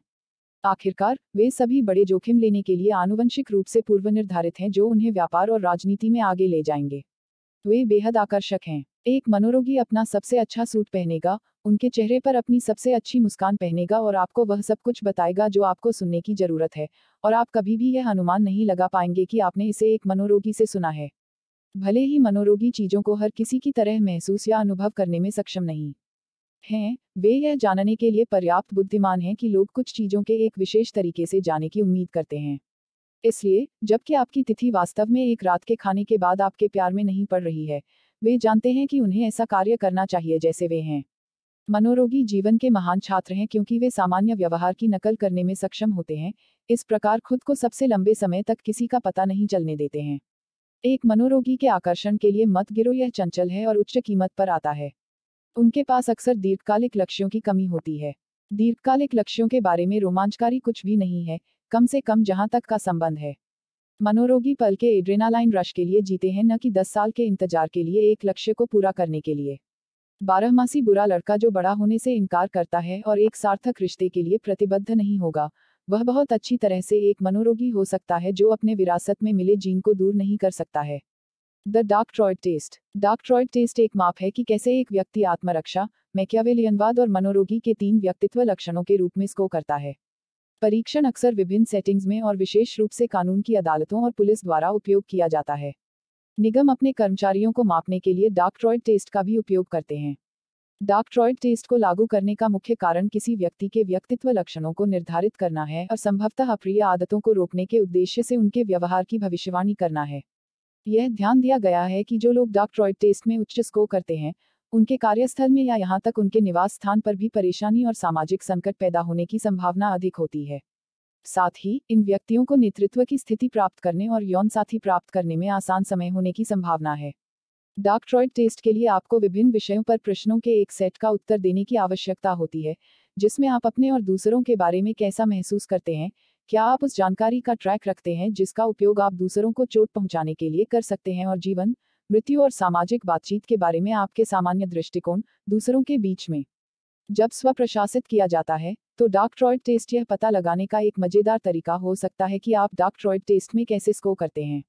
जब कानून और पुलिस की अदालतों द्वारा प्रशासित किया जाता है तो डार्क ट्रॉयड टेस्ट बहुत सटीक नहीं हो सकता है क्योंकि प्रतिवादी जानबूझकर अपने उत्तरों को बदल सकता है ताकि वे वास्तव में अपने से बेहतर दिख सकें। यह डार्क ट्रॉयड टेस्ट की एक प्रमुख सीमा है। यदि आप डार्क ट्रॉयड टेस्ट लेने में रुचि रखते हैं तो ऑनलाइन कई साइटें हैं जहाँ आप मिनटों में एक टेस्ट पूरा कर सकते हैं। परीक्षण के परिणामों को व्यक्तिगत रूप से लेने के बारे में भी सावधान रहें। कभी कभी आप जो उत्तर देते हैं, वह आपके दिन के प्रकार पर आधारित होता है, न कि आप किस तरह के व्यक्ति पर आधारित होते हैं। किसी भी मामले में, यदि आप अपने आप को एक सभ्य इंसान मानते हैं जो हमेशा दूसरों के साथ सम्मान से पेश आता है और कभी दूसरों को नुकसान नहीं पहुंचाता है तो आपको इस बारे में ज़्यादा चिंता नहीं करनी चाहिए कि एक परीक्षा आपके बारे में क्या कहती है। दूसरी ओर, यदि आप हमेशा संघर्षों और तर्कों में भागते दिखते हैं और आपको लगातार दूसरों को नुकसान पहुँचाने के लिए खुद से बात करनी पड़ती है तो डॉक्ट्रॉइड टेस्ट में एक उच्च स्कोर वह स्पष्टीकरण हो सकता है जिसका आप लंबे समय से इंतज़ार कर रहे थे। डॉक्ट्रॉइड पर्सनैलिटी से निपटना हो सकता है कि उन्होंने परीक्षा नहीं दी हो और आपके लिए परिणाम लाए हों लेकिन आप शायद अपने जीवन में कुछ डॉक्ट्रॉइड व्यक्तित्वों को जानते हैं। ये आसानी से पता चल जाते हैं। चैप्टर वे हैं। The A B C s of brain washing अध्याय तीन ब्रेन वॉश करने की एबीसीएस ब्रेन वॉश करना शायद सामाजिक प्रभाव के सबसे तीव्र रूपों में से एक है जिसमें ब्रेन वॉश और पीड़ित से पूरी प्रतिबद्धता की आवश्यकता होती है। ब्रेन वॉशिंग जिसे माइंड कंट्रोल विचार सुधार या ज़बरदस्ती अनुनय के रूप में भी जाना जाता है एक ऐसी तकनीक नहीं है जिसे परिणामों के साथ एक बार के आधार पर लागू किया जा सकता है। इसके लिए मैनिपुलेटर से लगातार इनपुट की आवश्यकता होती है, जब तक कि वे पीड़ित को उनके वांछित परिणामों तक तोड़ने में सक्षम न हों। सबसे अधिक संभावना है, आपने किसी को ब्रेन वॉश के रूप में वर्णित सुना है। आपने स्वयं भी इस शब्द का उपयोग किसी ऐसे व्यक्ति को संदर्भित करने के लिए किया होगा जिसने ऐसी राय व्यक्त की जो सच होने के लिए बहुत बेशर्म लग रही थी, जो स्पष्ट रूप से उनका अपना नहीं है। जबकि बहुत से लोग रोज़मर्रा की बातचीत में अक्सर इस शब्द का प्रयोग शिथिल रूप से करते हैं। इस हेरफेर पद्धति की पूरी सीमा कुछ ऐसी है, जिसे इसके बारे में सभी तथ्यों को स्वीकार करने के बाद ही समझा जा सकता है। सबसे पहले चीज़ें, यदि आप चाहें तो कई हेरफेर के तरीके या सामाजिक प्रभाव के तरीके इच्छित परिणाम प्राप्त करने के लिए विशेष दृष्टिकोणों पर भरोसा करते हैं। अनुपालन का दृष्टिकोण है, जहाँ आप किसी विषय को उनके अंतर्निहित विचारों या विश्वासों की परवाह किए बिना कुछ करते हैं। फिर अनुनय दृष्टिकोण है जो किसी को अपने विश्वासों या दृष्टिकोणों को लक्षित करके कुछ करने के लिए लगता है। उदाहरण के लिए, एक जोड़तोड़ करने वाला आपको यह बताने की कोशिश कर सकता है कि कुछ करने से आपको बेहतर महसूस करने या अधिक सफल बनने में मदद मिलेगी। दूसरे शब्दों में, वे आपको अपने या अपने जीवन के बारे में एक अलग दृष्टिकोण अपनाने के लिए मनाने की कोशिश कर रहे हैं। अंत में, एक दृष्टिकोण है जिसे आप चाहें तो प्रचार पद्धति या शिक्षा पद्धति के रूप में संदर्भित किया जाता है। इस दृष्टिकोण का उद्देश्य उन्हें अपने पिछले तरीकों की त्रुटि दिखाकर और उन्हें बेहतर तरीकों और विश्वासों से परिचित कराना है। यह किसी के पास चलने और उन्हें यह दिखाने के समान है कि उस बिंदु तक उन्होंने जो कुछ भी विश्वास किया है वह झूठ है, जबकि उन्हें लगता है कि आप परम सत्य के एकमात्र वाहक हैं। ब्रेन वॉश करना इतना शक्तिशाली और पूर्ववत करना कठिन होने का कारण यह है कि यह तीनों दृष्टिकोणों को जोड़ती है। अक्सर किसी ऐसे व्यक्ति को समझाना लगभग असंभव होता है जिसका ब्रेन वॉश किया गया है कि वह वास्तव में ब्रेन वॉश किया गया है। आधुनिक दुनिया में ब्रेन वॉश करना एक दैनिक मामला है। जहाँ तक करने की बात है तो मीडिया विशेष रूप से बुरा अपराधी है। अनादिकाल से, या कम से कम समाचार पत्र और टेलीविज़न के आविष्कार के बाद से, मीडिया घरानों को अपने विवेक पर सूचना प्रसारित करने का प्रभारी रहा है। मीडिया तय करता है कि बोर्ड भर में विभिन्न सामाजिक, राजनीतिक और आर्थिक विषयों के लिए कौन सा स्वर सेट करना है। टेलीविज़न शो, टीवी हस्तियों, मार्केटिंग विभागों और चमकदार फ़ैशन पत्रिकाओं ने बार बार परिभाषित किया है कि कौन से सौंदर्य मानक स्वीकार्य हैं और कौन से नहीं। नतीजतन, समाज का एक बड़ा वर्ग यह महसूस कर रहा है कि वे सुंदर या पर्याप्त योग्य नहीं है क्योंकि मीडिया ने ऐसा कहा है। जहाँ तक करने की बात है तो राजनेता और धार्मिक नेता दो अन्य महत्वपूर्ण अपराधी हैं। कई राजनेता स्वयं सेवक हैं और राजनीति की दुनिया में आगे बढ़ने के लिए कुछ भी कर सकते हैं। उन्हें अपने पीछे आने के लिए लोगों का ब्रेन वॉश करने की कला में महारत हासिल है क्योंकि उनके जितने अधिक ब्रेन वॉश समर्थक होंगे, उनके आगे बढ़ने की संभावना उतनी ही अधिक होगी। ब्रेन वॉश करने वाले समर्थक भी अपने नेताओं से ज़्यादा जवाबदेही नहीं मानते। यह ब्रेन वॉश करने के लिए धन्यवाद है कि बहुत सारे राजनीतिक नेताओं ने अपने अनुयायियों को बेहुदा अपराध करने के लिए प्रेरित किया है जो सामान्य विचार और विवेक का एक समझदार व्यक्ति नहीं करेगा। दूसरी ओर, धार्मिक नेता जो अपने अनुयायियों का ब्रेन वॉश करते हैं वे अपने आप को ऐसे लोगों से घेरने के इच्छुक हैं जिन्हें आसानी से नियंत्रित किया जा सकता है और जो स्वयं नेताओं के समान ही विश्वास करते हैं। इसके बारे में सोचें, यदि आप स्वयं एक स्वयं सेवक छडम धार्मिक नेता थे तो आप एक अधीनस्थ मंडली बनाना चाहेंगे जो जैसा बताया गया था वैसा ही किया। आखिरी चीज़ जो आप चाहते हैं वह लोगों की एक मुखर भीड़ है जो आपके द्वारा दिए गए प्रत्येक उपदेश पर सवाल उठाती है। यह कुछ ऐसा है जिसे कई संदिग्ध धार्मिक नेताओं ने नोट किया है, जो उनके अनुयायियों की हानि के लिए बहुत अधिक है। शायद धार्मिक क्षेत्रों में ब्रेन वॉश करने के प्रभावों के कुछ सबसे कठोर अनुस्मारक कई सामूहिक आत्महत्याएँ हैं, क्योंकि मंडली अपने धार्मिक नेताओं के निर्देश पर बाद के जीवन तक पहुँचने की कोशिश करते हैं। ऐसा ही एक उदाहरण हेवंस गेट धार्मिक समूह के अनुयायियों की सामूहिक आत्महत्या है। मार्शल एप्लोवाइट के नेतृत्व में, हेवंस गेट समूह का मानना कि उनकी मृत्यु से उन्हें एक अंतरिक्ष यान पर चढ़ने में मदद मिलेगी जो उन्हें दूसरी दुनिया में ले जाएगा। यह विश्वास एक ऐसे व्यक्ति द्वारा वर्षों से किए गए ब्रेनवाशिंग द्वारा लाया गया था जो खुद को पृथ्वी पर मसीह का प्रतिनिधि मानता था। स्वर्ग के द्वार के अलावा, ऐसी कई अन्य घटनाएँ हुई हैं जहाँ लोगों के समूहों को एक धार्मिक विश्वास या किसी अन्य के कारण अपनी जान लेने के लिए मना लिया गया है। यहाँ तक जब वे मंडलियों को अपनी जान लेने के लिए मना नहीं कर रहे हैं तो कुछ धार्मिक नेता अपने अनुयायियों को अन्य हानिकारक तरीकों से ब्रेन वॉश कर सकते हैं। इतिहास में इस तरह की घटनाओं के बारे में सुनते ही आपके मन में शायद एक प्रश्न आता है एक व्यक्ति इतना भोला और दूसरे व्यक्ति पर इतना भरोसा कैसे कर सकता है कि वे उसका अंधाधुंध अनुसरण करते हैं? इसका उत्तर सरल है ब्रेन वॉश करने से आपकी पहचान खत्म हो जाती है और आप निर्विवाद रूप से दूसरे की इच्छा के अनुरूप हो जाते हैं।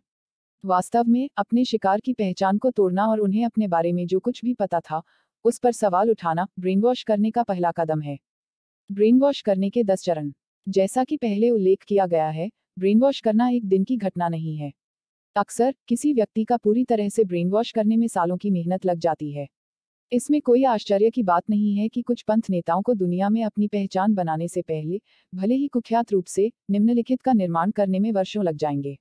हालाँकि वे समय समय पर ओवरलैप हो सकते हैं ब्रेन वॉश करने के चरण अक्सर अलग होते हैं और इन्हें मोटे तौर पर तीन चरणों में वर्गीकृत किया जा सकता है।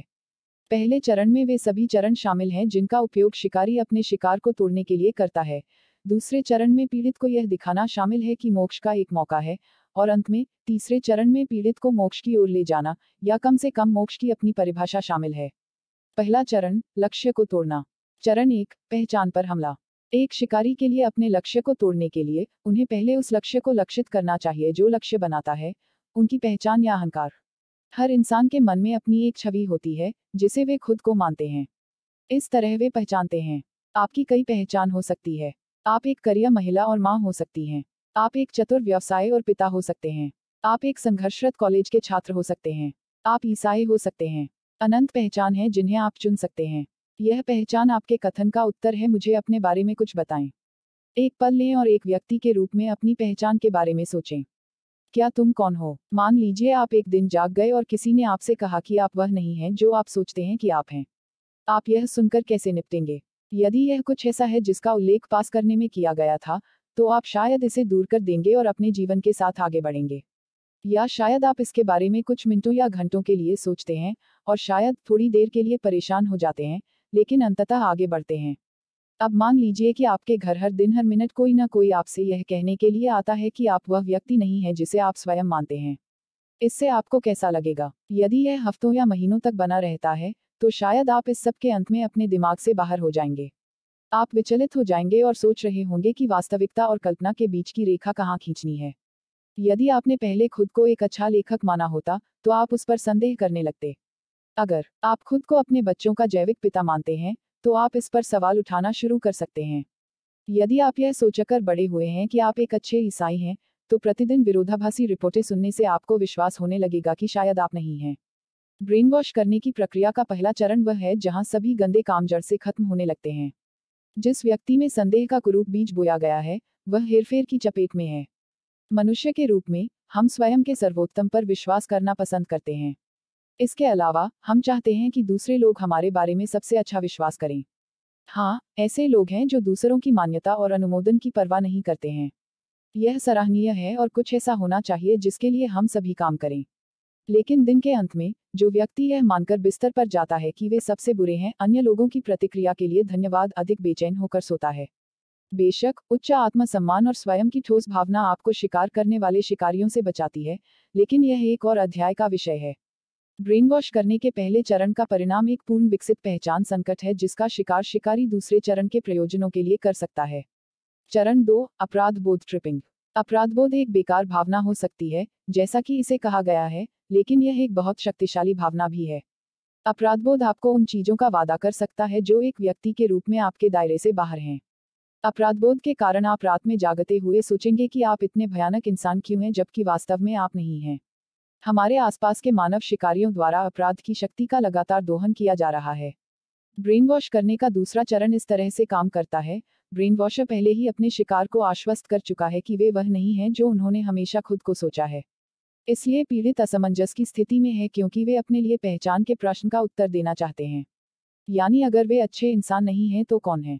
इस बिंदु पर, शिकारी झपट्टा मारता है और उन्हें अपने जीवन की सभी अपराध यात्रा के लिए ले जाना शुरू कर देता है। जब आप सुनिश्चित नहीं होते कि आप कौन हैं तो आपके द्वारा अपने बारे में खिलाए गए प्रत्येक झूठ पर विश्वास करना बहुत आसान हो सकता है। एक ब्रेन वॉशर ऐसे बयान देगा जो उनके शिकार को विश्वास दिलाते हैं कि वे अनिवार्य रूप से एक बुरे व्यक्ति हैं इस संदर्भ के बावजूद कि इस विशेषण का उपयोग किया जाता है। उदाहरण के लिए, एक ब्रेन वॉशर एक युवा माँ को समझाने की कोशिश कर सकता है कि वे एक बुरे व्यक्ति और एक बुरी माँ हैं क्योंकि वे अपने बच्चों को टीका लगाने के लिए सहमत हो गए हैं या बोतल को स्तन पसंद करते हैं। एक शिकारी पीड़ित को यह याद दिलाने के लिए हर अवसर का उपयोग करेगा कि उनके पास एक विशिष्ट क्षेत्र या उनके जीवन के सभी क्षेत्रों में कमी है और यह कि छुटकारे का एकमात्र तरीका यह है कि शिकारी की पेशकश को सुनना और स्वीकार करना है। शिकार पर अपने हमले में शिकारी निर्दयी है क्योंकि अंतिम लक्ष्य पीड़ित को उस बिंदु तक तोड़ना है जहाँ वे असहाय हैं और अपनी प्रामाणिक आत्म छवि और पहचान से पूरी तरह मुक्त हैं। चरण तीन और चार, आत्मविश्वासघात और ब्रेकिंग पॉइंट ज़्यादातर लोग खुद के प्रति बेहद वफादार होते हैं। वे अपना और अपने कार्यों का बचाव करेंगे और अपनी आवाज़ सुनने के लिए संघर्ष करेंगे। यहाँ तक वे लोग भी जो दूसरों के लिए खड़े होने में असमर्थ हैं, वे अक्सर अपने लिए खड़े होने में सक्षम होते हैं। ब्रेन वॉश करने वाला व्यक्ति इसके बिल्कुल विपरीत होता है।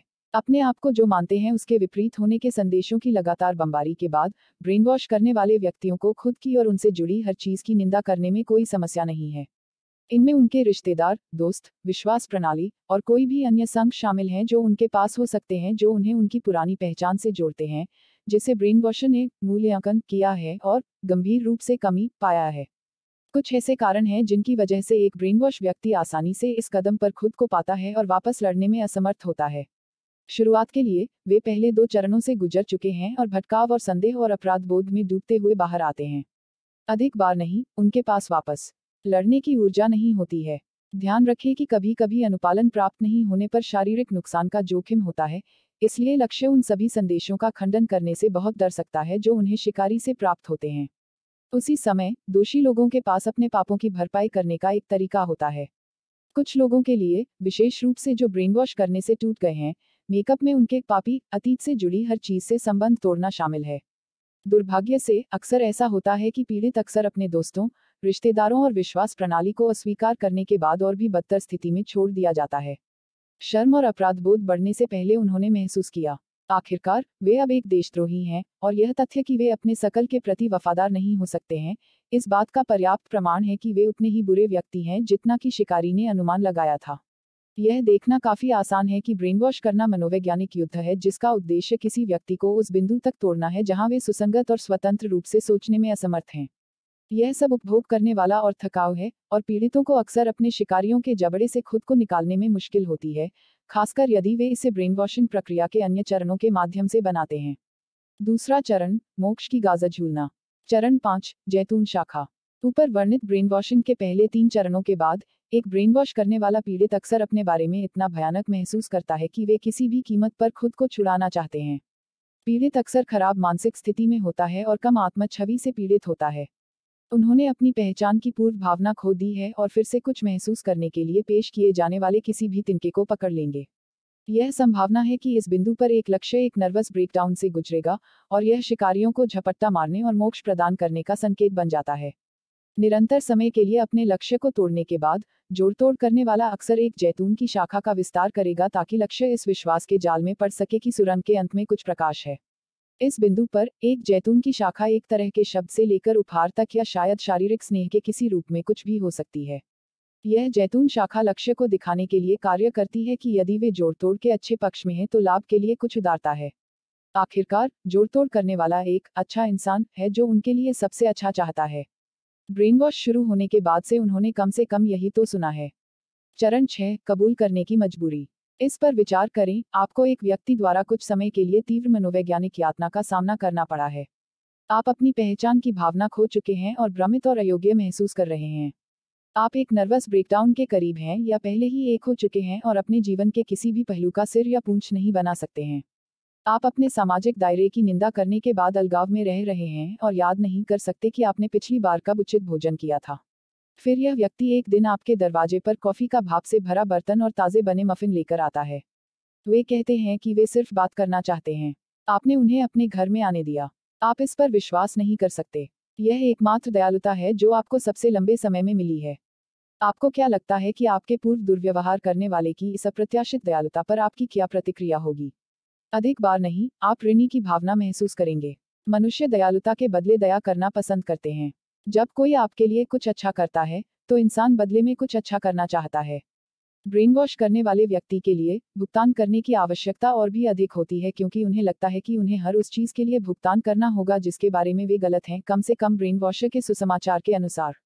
जैसे ब्रेन वॉश करने वाली पार्टी किसी प्रकार की दयालुता को वापस देने के लिए उत्सुक होगी। उनके उत्पीड़ित मनों में यह दया अक्सर स्वीकारोक्ति के रूप में होगी। आमतौर पर, शिकारी वापस भुगतान पाने के तरीके के रूप में स्वीकारोक्ति के विकल्प की पेशकश करेगा। चरण सात, गिल्ट चैनलिंग। हफ्तों और महीनों के बाद कहा जाता है कि वे हर चीज़ के बारे में गलत हैं।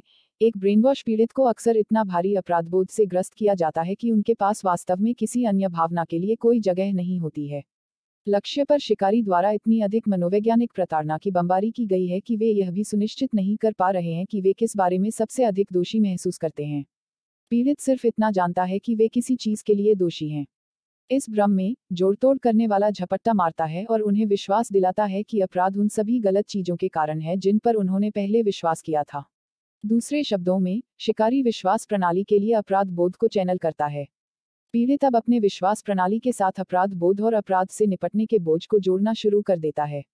शिकारी, संक्षेप में, अपने शिकार को अपने अतीत के साथ सभी बुरी भावनाओं को जोड़ना सीखता है, साथ ही साथ उन्हें यह विश्वास दिलाता है कि यदि वे वैकल्पिक विश्वासों को चुनते हैं तो उन्हें छुड़ाया जा सकता है और बेहतर महसूस किया जा सकता है। चरण आठ, अपराध बोध से मुक्ति।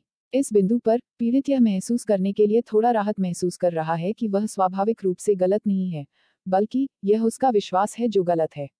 अपने विश्वासों से खुद को अलग करके, वह फिर से सही हो सकता है। वह अपने सबसे करीबी लोगों सहित, अपने गलत विश्वासों से जुड़ी हर चीज़ और हर चीज़ को त्याग कर अपने अपराध को छोड़ देता है। वह अपने पिछले तरीकों की त्रुटियों को स्वीकार करता है और ब्रेन द्वारा पेश की गई नई विश्वास प्रणाली को अपनाने के लिए तैयार है। तीसरा चरण, the rebuilding of the brain self. चरण नौ, प्रगति और सद्भाव। इस बिंदु पर ब्रेन वॉश करने की प्रक्रिया में लक्ष्य खुद को भुनाने के लिए उत्सुक होता है और ब्रेन वॉश की आँखों में अच्छा दिखता है। जैसे, वे एक नई पहचान का पुनर्निर्माण करना शुरू कर देंगे जो जोड़तोड़ द्वारा पेश किए गए विश्वास प्रणाली पर आधारित है। ब्रेन वॉश करने के पहले चरणों की पीड़ा और यातना से गुजरने के बाद, पीड़ित को विश्वास हो जाता है कि उनकी पुरानी विश्वास प्रणाली उन्हें केवल दर्द और अपराध बोध दिलाएगी। वे पुराने स्व से छुटकारा पाकर खुश हैं और इसे एक नए स्व के साथ बदल देते हैं, जो कि उनके सभी अतीत और वर्तमान दुखों से सुरक्षित आश्रय है। चरण दस, अंतिम स्वीकारोक्ति और पुनर्जन्म। नई विश्वास प्रणाली को स्वीकार करने के बाद, पीड़ित अक्सर अपने अतीत और सभी संबंधित पीड़ाओं के साथ राहत की भावना महसूस करता है। वे डूबते जहाज़ पर आखिरी बेड़ा की तरह अपनी नई पहचान से चिपके रहेंगे क्योंकि यह एकमात्र शांति है जिसे वे लंबे समय से जानते हैं। इस बिंदु पर, ब्रेनवॉश सफलतापूर्वक एक धर्मांतरित होने में कामयाब रहा है और पवित्र आंतरिक सकल में नए परिवर्तित का स्वागत करने के लिए एक समारोह भी आयोजित कर सकता है। अधिकांश पीड़ितों के लिए इस समय अपने परिवारों से पूरी तरह से अलग होना आम बात है। उनके दिमाग में यह बात आ गई होगी कि वे अब अलग अलग लोग हैं जिन्हें अपने अतीत की बुरी चीज़ों से नहीं जुड़ना चाहिए। आमतौर पर एक ब्रेन वॉश किए गए रिश्तेदार को यह समझाना असंभव है जो इन दस चरणों से गुजरा है कि उनका ब्रेन वॉश किया गया है। इस बिंदु पर जो नुकसान हुआ है, वह इतना अधिक है कि एक डू ओवर एक चढ़ाई है। किसी प्रियजन को बचाने के लिए पेशेवर मदद मांगी जा सकती है जिसका ब्रेन वॉश किया गया है लेकिन यह कभी भी सफलता की गारंटी नहीं है। ब्रेन वॉश करने की प्रक्रिया कैसे काम करती है, इसका वर्णन करने का एक सरल तरीका नीचे दी गई तालिका में दिखाया गया है। धुलाई चरण एक आप वह नहीं हैं जो आप कहते हैं कि आप आत्मसंदेह हैं। चरण दो आप एक बुरे व्यक्ति हैं, अपराध बोध। चरण तीन आपको मुझसे सहमत होने की आवश्यकता है कि आप बुरे हैं, धमकी और अपराध। चरण चार आप पूरी तरह से अनजान हैं कि आप क्या हैं, भ्रम और भटकाव। चरण पाँच में आपको ब्रेन वॉशर के प्रति वफादारी बचा सकता हूँ। चरण छह आप अपने आप को बचा सकते हैं अनुपालन। चरण सात यही कारण है कि आप विश्वास प्रणाली को दोष दे रहे हैं। चरण आठ यह तुम नहीं हो, यह वही है जो आप क्षमादान में विश्वास करते हैं। चरण नौ यदि आप बेहतर महसूस करना चाहते हैं और बेहतर बनना चाहते हैं तो अच्छी तरह से शिक्षा चुनें। चरण दस अब आप अच्छे हैं। स्वीकृति और राहत। चित्र एक ब्रेन वॉश करने के दस चरणों को दर्शाने वाली तालिका, स्रोत, Robert J Lifton. Brain wash करने के दस चरणों का श्रेय रॉबर्ट जे लिफ्टन को दिया जाता है, जो एक अमेरिकी मनोचिकित्सक और विचार सुधार अध्ययन के अग्रणी थे। लिफ्टन ने युद्धबंदियों का साक्षात्कार लिया और उन अनुभवों के मनोवैज्ञानिक प्रभावों के बारे में लिखा, जिनसे वे गुजरे थे। क्या एक व्यक्ति को ब्रेन वॉश करने के लिए अतिसंवेदनशील बनाता है? क्या एक व्यक्ति को अगले व्यक्ति की तुलना में ब्रेन वॉश करने के लिए अधिक संवेदनशील बनाता है? क्या आपने कभी सोचा है कि क्यों कुछ लोग दूसरों की तुलना में अधिक आसानी से कट्टरपंथी पंथों में भर्ती हो जाते हैं? इसके कारण हैं। कुछ लोग ऐसे होते हैं जो किसी न किसी कारण से पहचान की कमज़ोर भावना रखते हैं। एक व्यक्ति एक पहचान के साथ पैदा नहीं होता है। आत्म पहचान एक ऐसी चीज़ है जो समय के साथ विकसित होती है क्योंकि बच्चा बचपन और वयस्कता में बढ़ता है। आत्म पहचान उन संघों द्वारा गढ़ी जाती है जो एक व्यक्ति के पास होते हैं जो चीज़ें वे करते हैं और यहाँ तक उनके द्वारा किए गए विकल्प भी। यदि कोई व्यक्ति यह परिभाषित करने में असमर्थ है कि वे कौन हैं, तो उन्हें ब्रेन वॉश करने का अधिक खतरा होता है। ऐसा इसलिए है क्योंकि उनके पास पहली जगह में खुद को बचाने के लिए कोई पहचान नहीं है। पहचान की एक मज़बूत, ठोस भावना एक ब्रेन वॉशर के लिए आपको तोड़ना कठिन बना देती है। उदाहरण के लिए, यदि आप दृढ़ता से मानते हैं कि आप एक मज़बूत, आत्मविश्वासी, सक्षम और देखभाल करने वाले व्यक्ति हैं जो एक आस्तिक और एक अच्छी बहन और माँ हैं तो किसी और के लिए आपको अन्यथा मनाना लगभग असंभव है। लेकिन एक संघर्षरत किशोर जो खुद को एक हारे हुए व्यक्ति के रूप में सोचता है वह आसानी से उस गलत सूचना पर विश्वास कर लेगा जो उसे ब्रेन वॉश खिलाती है। आखिरकार, उसके पास पहले से ही खुद के बारे में बेहद खराब धारणा है और सबसे अधिक संभावना है कि वह अपनी आत्मा लगाई गई मनोवैज्ञानिक जेल से बाहर निकलने का रास्ता तलाश रहा है। एक अन्य कारक जो किसी व्यक्ति को ब्रेन वॉश करने के लिए अधिक संवेदनशील बनाता है, वह है सपोर्ट सिस्टम का अभाव। आप कभी भी सहायक मित्रों और परिवार के समुदाय द्वारा निभाई गई महत्वपूर्ण भूमिका को कम नहीं आंक सकते हैं जो मुसीबत के समय में आपके आसपास रैली करते हैं। दुर्भाग्य से कुछ लोगों के लिए यह समर्थन प्रणाली अनुपस्थित है। आपकी तलाश करने वाले लोगों के एक मज़बूत सकल की अनुपस्थिति में एक शिकारी झपट्टा मार सकता है और आपको वह समुदाय दे सकता है जिसके लिए आप बहुत तरसते हैं। ब्रेन वॉश करने वाले स्पोर्ट सिस्टम के महत्व को समझते हैं। यही कारण है कि वे अपने शिकार को उन लोगों से अलग करने के लिए बहुत अधिक प्रयास करेंगे जो उनकी परवाह करते हैं। यह वास्तव में सच है कि संख्या में ताकत है, और इस तरह की ताकत ठीक वही है जो एक ब्रेन वॉश करने वाला एजेंट नहीं चाहता कि उसका लक्ष्य हो। ऐसा लगता है कि कुछ लोगों के पास वह कौशल नहीं है जो जीवन को सफलतापूर्वक पूरा करने के लिए आवश्यक हैं। एक बच्चे के रूप में, आप अपने माता पिता या अभिभावकों पर पूरी तरह से निर्भर होते हैं, ताकि आप कम से कम उनकी क्षमता के अनुसार जीवित रह सकें।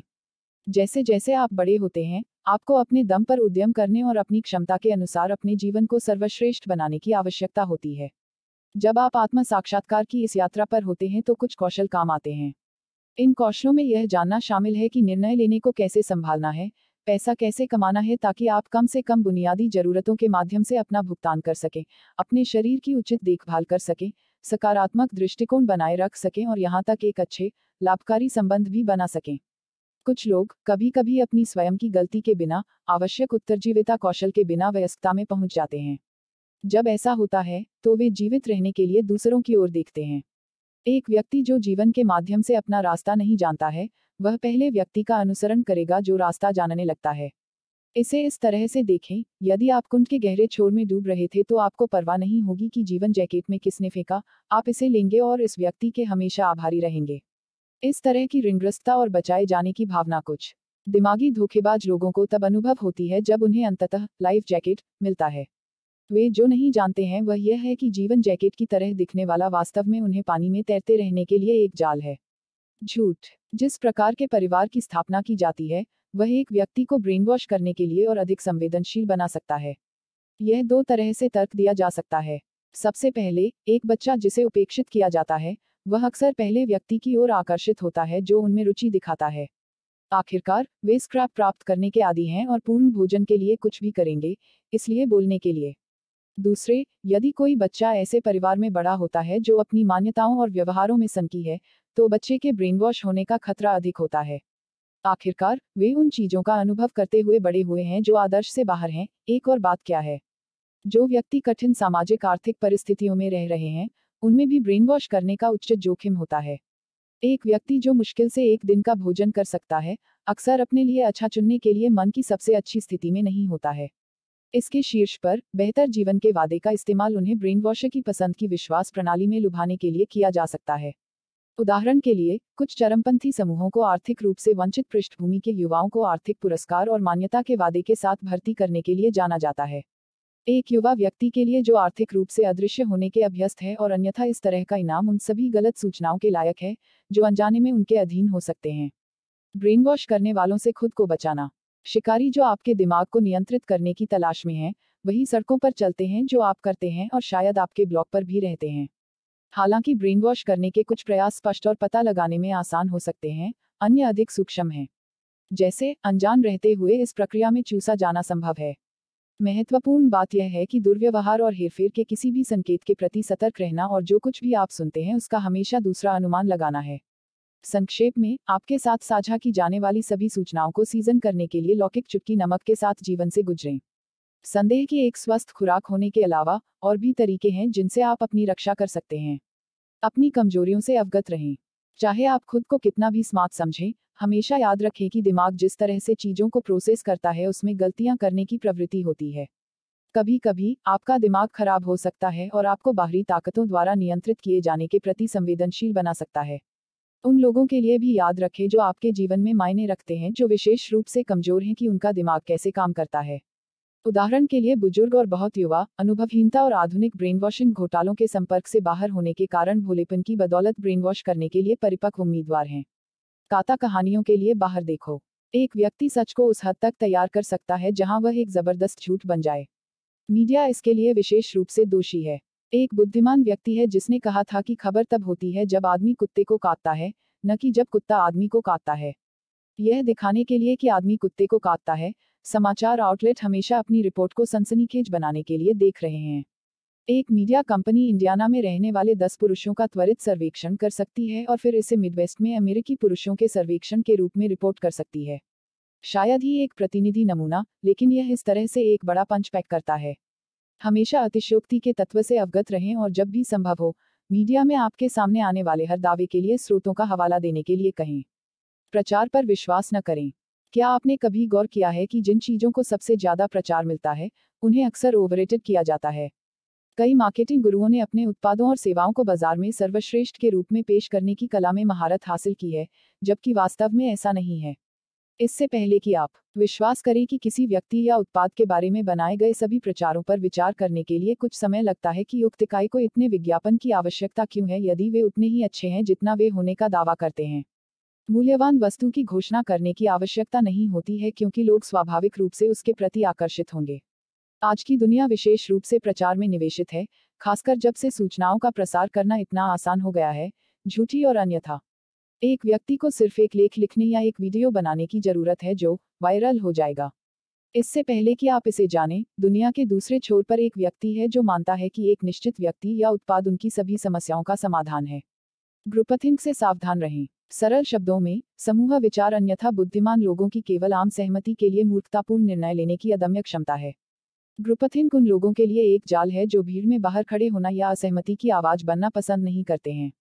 ब्रेन वॉश करने वाले ग्रुपथिंग के अस्तित्व के बारे में विशेष रूप से खुश हैं क्योंकि अधिक बार नहीं, वे अपने लक्ष्यों पर सवाल उठाना पसंद नहीं करते हैं। ग्रुपथिंग यही कारण है कि एक संदिग्ध धार्मिक व्यक्ति के सैकड़ों अनुयायी ऐसे निर्णय लेंगे जो हर किसी के लिए सामान्य नहीं लगते हैं। जब भी आप अपने आप को दूसरों के साथ एक कमरे में पाते हैं जहाँ निर्णय लेने की आवश्यकता होती है तो उस तर्क की आवाज़ बनने से न डरें जिसकी कमरे को इतनी सख्त ज़रूरत है। आप बस अपने आप को और कुछ अन्य लोगों को ब्रेन वॉश होने से बचा सकते हैं। प्रवृत्तियों पर कालातीत चुने। आपके पास कौन सा फ़ोन है? आपके पास जो आखिरी फ़ोन था उसका क्या हुआ? क्या यह अपनी उपयोगिता से अधिक जीवित रहा? या आपने खरीदा क्योंकि आपको लगा कि आपको अपग्रेड करना है? क्या आप ज़रूरत पड़ने पर चीज़ें खरीदते हैं या क्योंकि आप उन्हें लेने के लिए दबाव महसूस करते हैं? आपने इन सवालों के जवाब कैसे दिए हैं? इस पर निर्भर करते हुए आप अपनी पसंद में एक आदत देखना शुरू कर सकते हैं। आप या तो व्यवहारिक प्रकार हैं जो कार्यक्षमता के लिए खरीदता है या ट्रेंड जन की जिसे आईफोन के हर नए संस्करण का अनावरण होने पर प्राप्त करना पड़ता है। किसी भी चीज़ के सबसे नए मॉडल के मालिक होने में कुछ भी गलत नहीं है।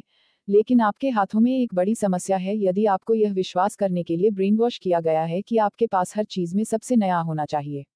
आप हमेशा प्रवृत्तियों पर कालातीतता चुनकर ढलान के नीचे और नीचे उतरने से अपनी रक्षा कर सकते हैं। अधिक बार नहीं, अधिकांश अपग्रेड अपग्रेड भी नहीं होते हैं। एक निर्माता दावा कर सकता है कि कुछ नया और बेहतर है जब वास्तव में उन्होंने केवल पैकेजिंग को बदल दिया है। ऐसा निर्माता केवल चमकदार नई वस्तुओं की आपकी इच्छा का शिकार होता है। आप निर्माता को दोष नहीं दे सकते, इस तरह वे व्यवसाय में बने रहते हैं। आप केवल यह सुनिश्चित कर सकते हैं कि आप उनकी चाल में न पड़ें। अपनी आंत की भावना पर ध्यान दें।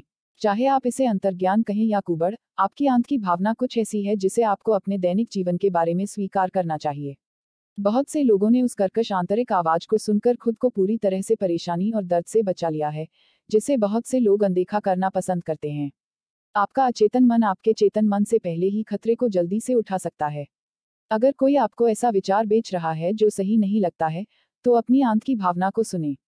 आपके अचेतन मन ने पहले ही संकेतों को पकड़ लिया है जो सही नहीं बैठते हैं और आपको अपने संरक्षण के लिए लाल झंडे भेज रहे हैं। Chapter four the truth about hypnosis अध्याय चार, सम्मोहन के बारे में सच्चाई। सम्मोहन शब्द सुनते ही आपके दिमाग में सबसे पहले क्या आता है? कई लोगों के लिए इसका उत्तर यह है एक हॉलीवुड फ़िल्म जिसमें एक सम्मोहित व्यक्ति और उसकी पौराणिक झूलती घड़ी के साथ एक भयानक रूप से निष्पादित दृश्य है। सम्मोहनकर्ता के पार वह गरीब व्यक्ति है जो उनके दिमाग में किसी ऐसी जगह भेजा जाने वाला है, जहाँ उन्हें 20 वर्षों से अधिक समय तक आना बाकी है। सच तो यह है कि वास्तविक दुनिया में सम्मोहन कम नाटकीय होता है। सरल शब्दों में, सम्मोहन हेरफेर का एक रूप है जिसमें किसी व्यक्ति की अपने बाहरी परिवेश के बारे में जागरूकता को कम करना और अपने आंतरिक ध्यान को बढ़ाना शामिल है। जब कोई व्यक्ति सम्मोहन में होता है तो वे सुझावों का अधिक अनुकूल तरीके से जवाब देते हैं क्योंकि उनकी आलोचनात्मक सोच खराब होती है। यही कारण है कि फ़िल्में एक सम्मोहनकर्ता के आदेशों का निर्विवाद रूप से जवाब देने वाले विषय को दिखाएँगी। सम्मोहन के पीछे कुछ विज्ञान है, और इसमें यह समझना शामिल है कि मानव मन कैसे काम करता है। मानव मस्तिष्क को इस तरह से संरचित किया जाता है कि चेतन मन होता है जो महत्वपूर्ण सोच और अवचेतन मन को नियंत्रित करता है जहाँ यादें संग्रहित होती हैं। आलोचनात्मक दिमाग वह है जो आपको बताता है कि व्यस्त सड़क को बिना देखे पार करना खतरनाक और मूर्खता है, जबकि अवचेतन मन आपको यह बताने की संभावना रखता है कि वज़न कम करना मुश्किल है क्योंकि पिछली बार जब आपने असफल वज़न कम करने की कोशिश की थी तो यादें उसमें जमा हो जाती हैं। सम्मोहन कुछ चीज़ों के बारे में आपके अवचेतन विचारों को बदलने और उन्हें बेहतर और अधिक लाभकारी विचारों के साथ बदलने का काम करता है।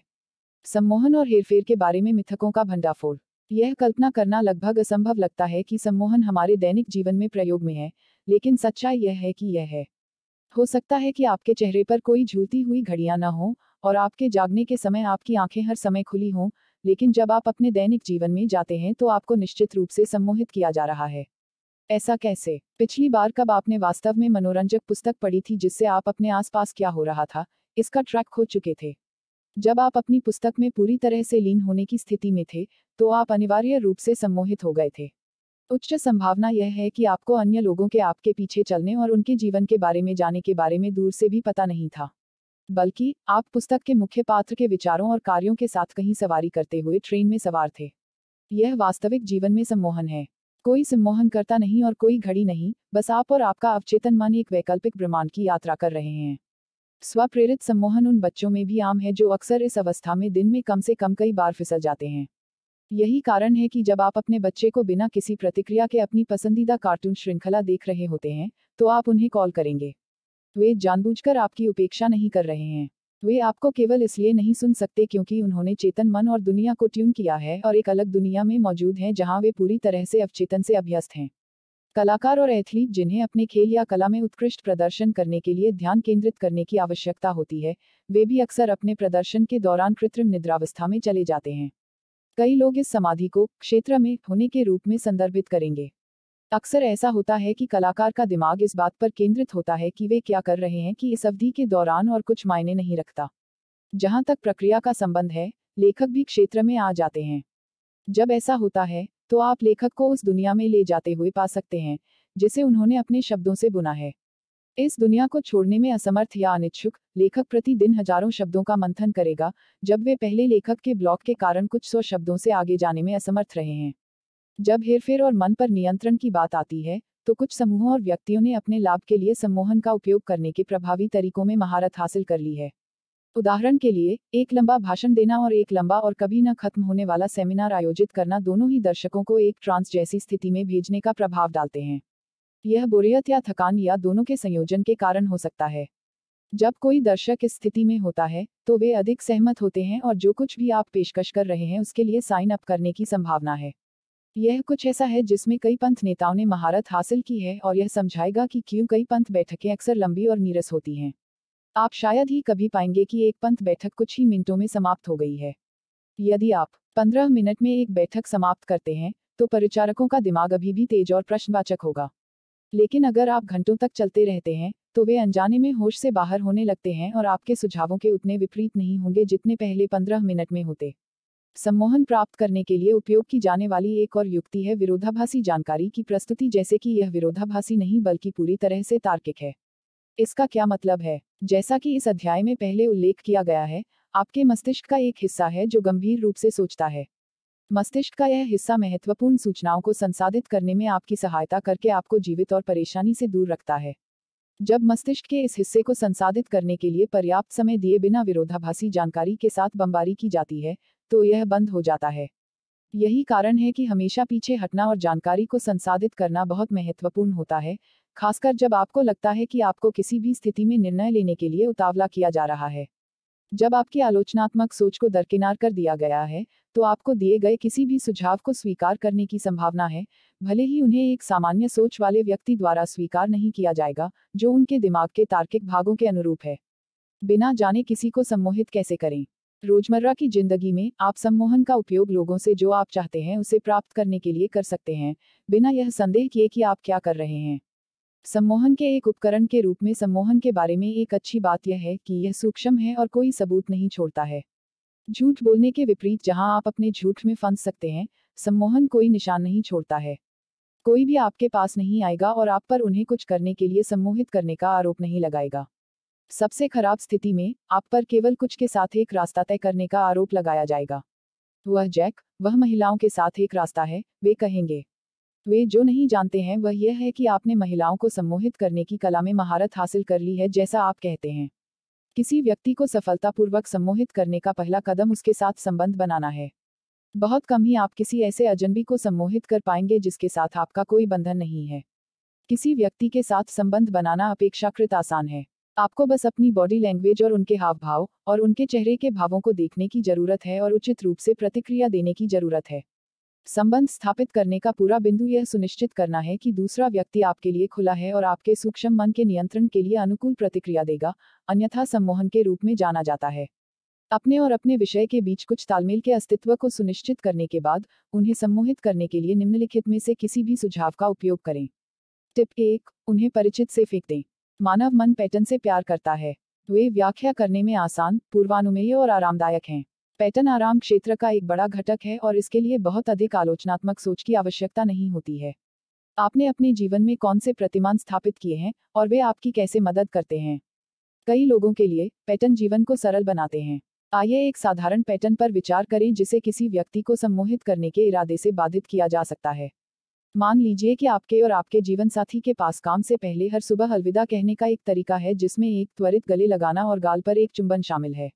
एक सुबह, आप विशेष रूप से परोपकारी महसूस कर रहे हैं और अपने पैटर्न को कसकर गले लगाने और होठों पर एक पूर्ण चुंबन के साथ बदलने का निर्णय लेते हैं। आपके जीवनसाथी का मन अस्त व्यस्त हो जाएगा, क्योंकि मन को इसकी आदत नहीं है। आपके जीवनसाथी के मन में आने वाले पाँच सेकंड के भ्रम में, आपके पास एक सम्मोहक आदेश के लिए एक संकीर्ण खिड़की होगी। क्या आप आज लिसगना बना सकते हैं? ज़रूर, आपका जीवनसाथी तुरंत जवाब देता है। किसी अन्य दिन, वे वापस बैठ जाते और लसगना बनाने में शामिल काम पर विचार करते और शायद एक विकल्प सुझाते।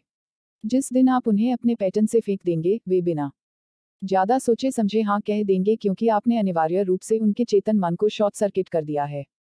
टिप दो, जिगानिक प्रभाव का उपयोग करें।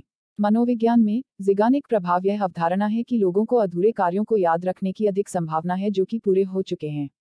इसके बारे में सोचें, यदि आप अपने कपड़े धोने का इरादा रखते हैं तो आपके दिमाग में यह विचार तब तक रहने की संभावना है जब तक कि आप वास्तव में अपने सभी गंदे कपड़े धोकर उन्हें दूर नहीं कर देते।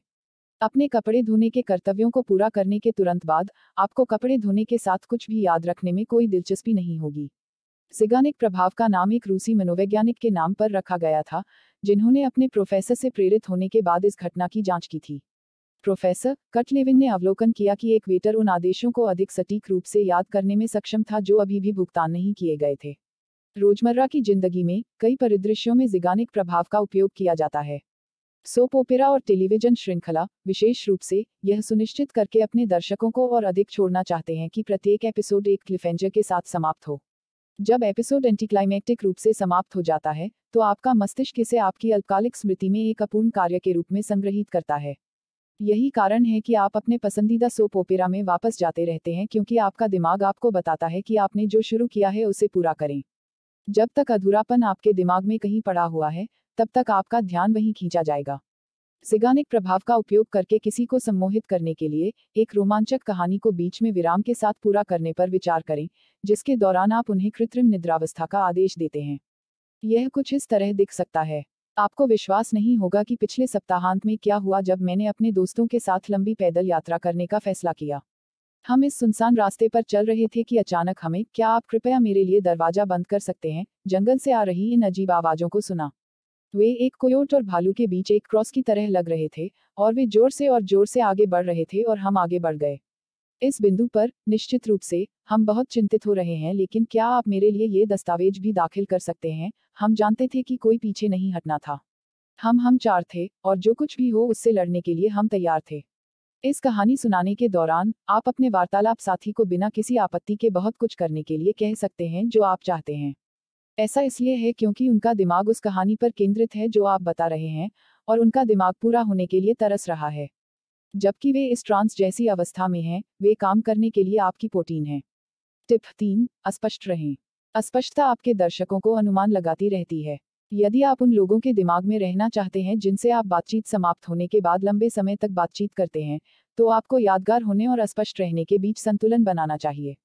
अस्पष्टता मन को हैरान करती रहती है, जब उसने यह या वह कहा तो उसका वास्तव में क्या मतलब था। जब तक उनका दिमाग सोच रहा है, आप दूसरे व्यक्ति के नियंत्रण में हैं। अस्पष्टता और अस्पष्टता चेतन मन को भ्रमित करती है। ऐसी चीज़ें हैं जिन्हें चेतन मन द्वारा संसाधित नहीं किया जा सकता है, और अस्पष्टता का रहस्य उनमें से एक है। डेटिंग और रिश्तों की दुनिया में, अस्पष्टता दूसरों को आपके साथ बाहर जाने या डेट करने के लिए मनाने में विशेष रूप से महत्वपूर्ण भूमिका निभा सकती है। कई संबंध विशेषज्ञ इस बात से सहमत होंगे कि एक छोटा रहस्य चीज़ों को रोमांचक बनाए रखने के लिए एक लंबा रास्ता तय करता है। जो सबसे ज़्यादा स्पष्ट नहीं है, वह क्यों है? रहस्य इतना रोमांचक क्यों है? इसका कारण यह है कि जब तक आप किसी व्यक्ति के चेतन मन द्वारा पूरी तरह से संसाधित और समझ में नहीं आते हैं, तब तक आप हमेशा उनके दिमाग में बने रहेंगे। आप अपने साथी या प्रेमी को हमेशा यह सुनिश्चित करके सम्मोहित कर सकते हैं कि आप एक या दो चीज़ों के बारे में स्पष्ट और रहस्यमय हैं। युक्ति चार, नकारात्मक शब्दों का अधिक प्रभाव। पड़ता है, अक्सर यह माना जाता है कि अवचेतन मन नकारात्मक बातें नहीं सुन सकता। इसके बजाय, अवचेतन मन को संप्रेषित किसी भी नकारात्मक को सकारात्मक के रूप में व्याख्यात किया जाता है। उदाहरण के लिए, यदि आप किसी से कहते हैं, मेरे दूर होने पर मेरे कमरे में झांकने मत जाओ तो वह व्यक्ति अवचेतन रूप से इसकी व्याख्या कर सकता है जैसे कि जब मैं दूर होता हूँ तो मेरे कमरे में झांकता हूँ। शायद यही कारण है कि बच्चों के इतने हताश माता पिता हैं जो उन्हें जो नहीं करने के लिए कहा जाता है, उसके ठीक विपरीत करते हैं। जैसे, यदि आप किसी को इसके बारे में बहुत अधिक प्रत्यक्ष किए बिना कुछ करने के लिए देख रहे हैं तो आप नकारात्मक शब्दों का उपयोग करके उनके अवचेतन मन को सम्मोहित कर सकते हैं। अपने दोस्त को बताने के बजाय, कृपया मेरे पास आएँ और मेरे आगामी स्थानांतरण के लिए पैकअप करने में मेरी सहायता करें। इस पर विचार करो। मुझे पैक करने में मदद करने के लिए आपको आने की ज़रूरत नहीं है। अपने पूरे दिन के दौरान, आपके मित्र का अवचेतन मस्तिष्क उसे बता रहा होगा कि उसे आपकी चाल के लिए पैक करने में आपकी सहायता करने की आवश्यकता है क्योंकि इस तरह मन ने आपके कथन की व्याख्या की। बेशक, आपका दोस्त वास्तव में आता है या नहीं, यह एक सवाल है कि वह आपकी दोस्ती पर कितना प्रीमियम रखता है। युक्ति पाँच, प्रभावी खोज शब्द क्या आपने देखा है कि कैसे बिक्री प्रति या विज्ञापनों में अक्सर यह वर्णनात्मक शब्द होता है जो आपको किसी विशेष उत्पाद या सेवा द्वारा प्रस्तुत सभी संभावनाओं की कल्पना करता है? जब लोगों को सम्मोहित करने की बात आती है तो कुछ शब्द एक विशेष आकर्षण रखते हैं। उदाहरण के लिए, जब आप किसी व्यक्ति को कुछ कल्पना करने के लिए कहते हैं तो आप उन्हें पहले से ही एक कृत्रिम निद्रावस्था में भेज रहे होते हैं, जहाँ वे अपने अवचेतन मन से अभ्यस्त हो जाते हैं। जब वे इस स्थिति में होते हैं तो वे अधिक विचारोत्तेजक होते हैं और संभवतः वही करेंगे जो आप उनसे पूछेंगे। अगर आपको इस पर विश्वास नहीं है तो जाए और किसी भी ट्रेवल डेस्टिनेशन का विज्ञापन देखिए और सुनिए। इसके अंत में, आप संभवतः उस गंतव्य के लिए अपनी अगली छुट्टी बुक करने के बारे में सोच रहे होंगे। जब तक अवचेतन मन किसी चीज़ की कल्पना कर रहा होता है, तब तक वह उस विशेष चीज़ से क्रमादेशित होता रहता है। यह बताता है कि क्यों कुछ लोग अंधेरे से डरते हैं। उन्होंने कल्पना की है कि अंधेरे में बुरी चीज़ें हैं और जब तक वह कल्पना सक्रिय है, तब तक डर वास्तविक और मौजूद रहता है। यह भी बताता है कि क्यों बहुत से लोग डरावनी फ़िल्मों से डरते हैं। इसके बारे में सोचो, डरावनी फ़िल्मों के बारे में कुछ भी डरावना नहीं है। वे नकली दृश्यों का अभिनय करने वाले सामान्य लोगों का एक समूह हैं तो आपको इतना डर लगता है। क्योंकि तुम्हारे मन ने कल्पना की है कि सब कुछ वास्तविक है, इसलिए। सम्मोहन के खिलाफ खुद की रक्षा करना। एक मनोरम पुस्तक या फ़िल्म के रूप में सामयिक आत्मा सम्मोहन का हमेशा स्वागत है। कभी कभी यह रोज़मर्रा की ज़िंदगी की कठोर वास्तविकता से बचने में मदद करता है। हालाँकि, जो इतना स्वागत योग्य नहीं हो सकता है, वह है अन्य स्रोतों द्वारा लाया गया सम्मोहन जिससे आप बहुत सहज नहीं हैं। आप अपने दैनिक जीवन में मौजूद सम्मोहन से अपनी रक्षा कैसे करते हैं? शुरुआत के लिए, यह स्वीकार करना महत्वपूर्ण है कि आप वास्तव में अपने जीवन में मौजूद सभी सम्मोहन से बचने में सक्षम नहीं हो सकते हैं। युद्ध करना बहुत बड़ी बात होगी।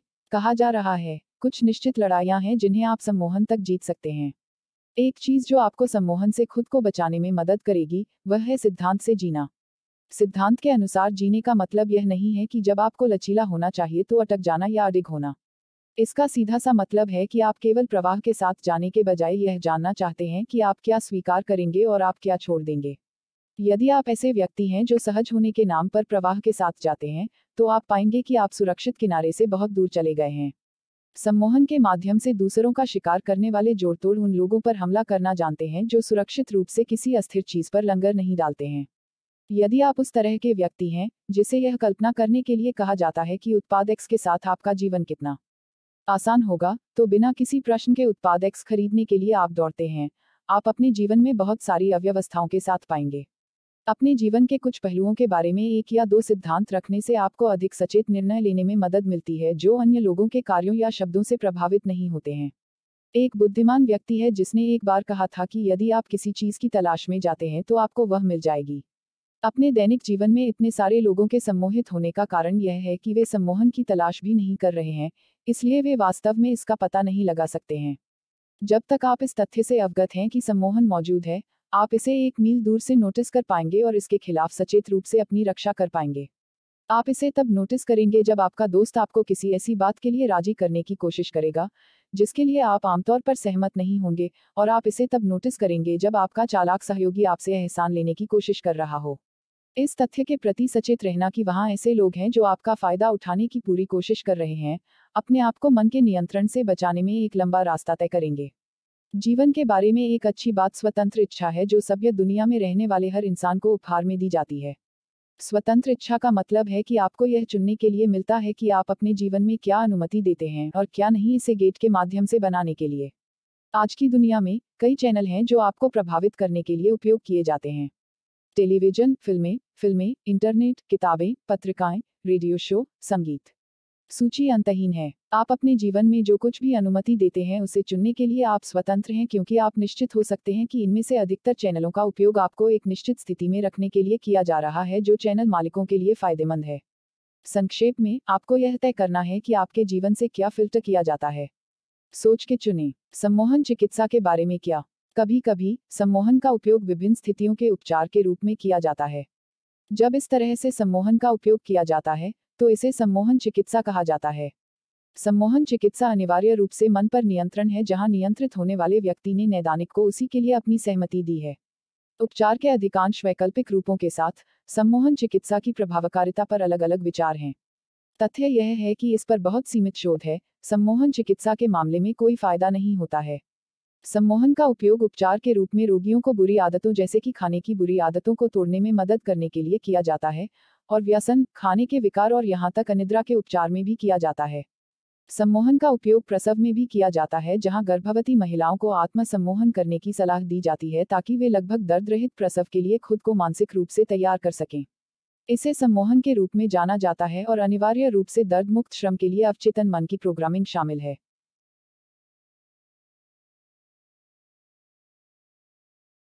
Chapter five the art of persuasion and deception अध्याय पाँच, अनुनय और धोखे की कला। मरियम वेबस्टर अनुनय को समझाने की क्षमता के रूप में परिभाषित करता है, जबकि राज़ी को आगे तर्क, विनती या किसी विश्वास, स्थिति या कार्रवाई के पाठ्यक्रम के लिए आगे बढ़ने के रूप में परिभाषित किया जाता है। कम शब्दों में किसी को मनाने के लिए किसी को कुछ करने के लिए मनाना है। अनुनय एक कला रूप है जिसमें किसी को भी महारत हासिल करनी चाहिए जो लोगों से कुछ करना चाहता है। यह एक अविश्वसनीय उपकरण है, खासकर यदि आप लगातार ऐसे लोगों से घिरे रहते हैं, जिन्हें समय समय पर थोड़ी उत्तेजना की आवश्यकता होती है। दूसरी ओर, धोखे को किसी व्यक्ति को यह विश्वास दिलाने के कार्य के रूप में परिभाषित किया जाता है कि जो कुछ गलत या अमान्य है, वह वास्तव में सत्य और मान्य है। धोखा अपने आप में हेरफेर का एक रूप है और एक उपकरण भी है जिसके माध्यम से आप अपने अनुनय लक्ष्यों को प्राप्त कर सकते हैं। शायद यही वह जगह है जहाँ अनुनय विनय के रूप में चीज़ें धुंधली हो जाती हैं। सबसे लंबे समय से हेरफेर और अनुनय के बीच की पतली रेखा के बारे में बहस चल रही है। ऐसे शिविर हैं जो पूरी तरह से अनुनय के द्वेष के बारे में आश्वस्त हैं, जबकि अन्य मानते हैं कि अनुनय लोगों से आप जो चाहते हैं उसे प्राप्त करने का एक पूरी तरह से हानिरहित तरीका है। हेरफेर का विषय अपने आप में बहुत से लोगों के लिए एक ग्रे क्षेत्र है। नैतिकता व्यक्तिपरक है जो विभिन्न समाजों और संस्कृतियों द्वारा लगाए गए मैट्रिक्स पर निर्भर करती है।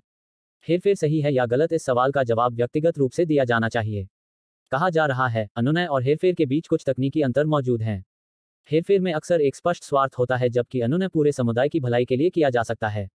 एक कार्यकर्ता के मामले पर विचार करें जो लोगों को पर्यावरण की भलाई के लिए पेड़ लगाने के लिए प्रेरित करता है। वृक्षारोपण के अभ्यास को सफल बनाने के लिए संख्या प्राप्त करने से पहले उन्हें धक्का मुक्की करनी पड़ सकती है। कुछ लोग इसे हेरफेर के रूप में देख सकते हैं, लेकिन दिन के अंत में उनके प्रयासों के परिणाम से पूरे समुदाय को लाभ होता है।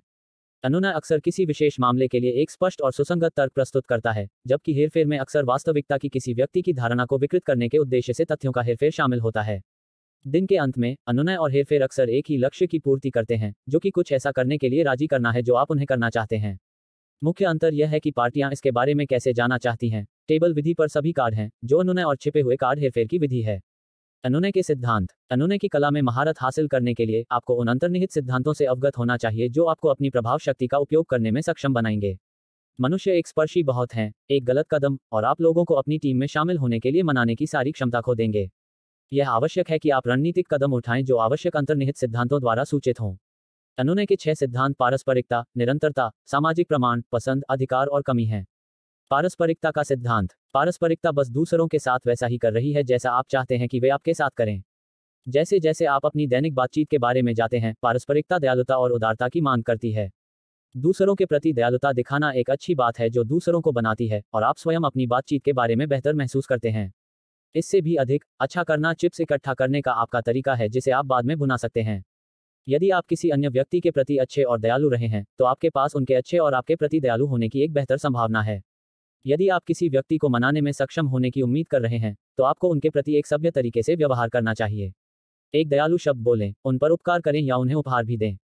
बाद में, जब आपको उन्हें कुछ करने के लिए मनाने की आवश्यकता होगी तो वे अधिक सहमत होंगे।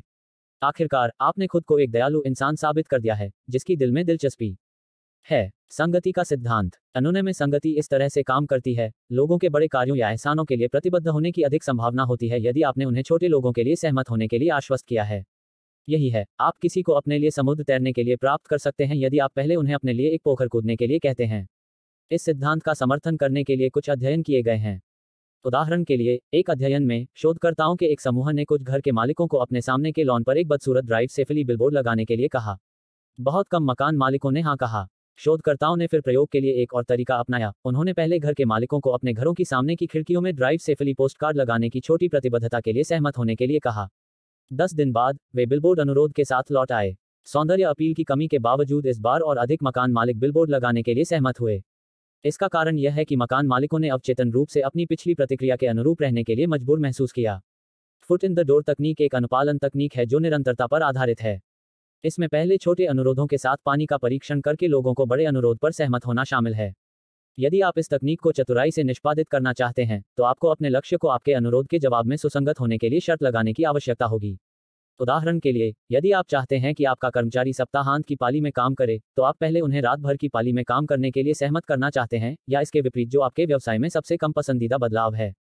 पसंद करने का सिद्धांत, यदि कोई व्यक्ति आपको पसंद करता है तो वे आपकी मांगों को पूरा करने की अधिक संभावना रखते हैं, चाहे वह कुछ भी हो। एक व्यक्ति जिसे पसंद नहीं किया जाता है और जो नापसंद भी है, वह उस व्यक्ति की तुलना में अधिक बार नहीं सुनेगा जिसे पसंद किया जाता है।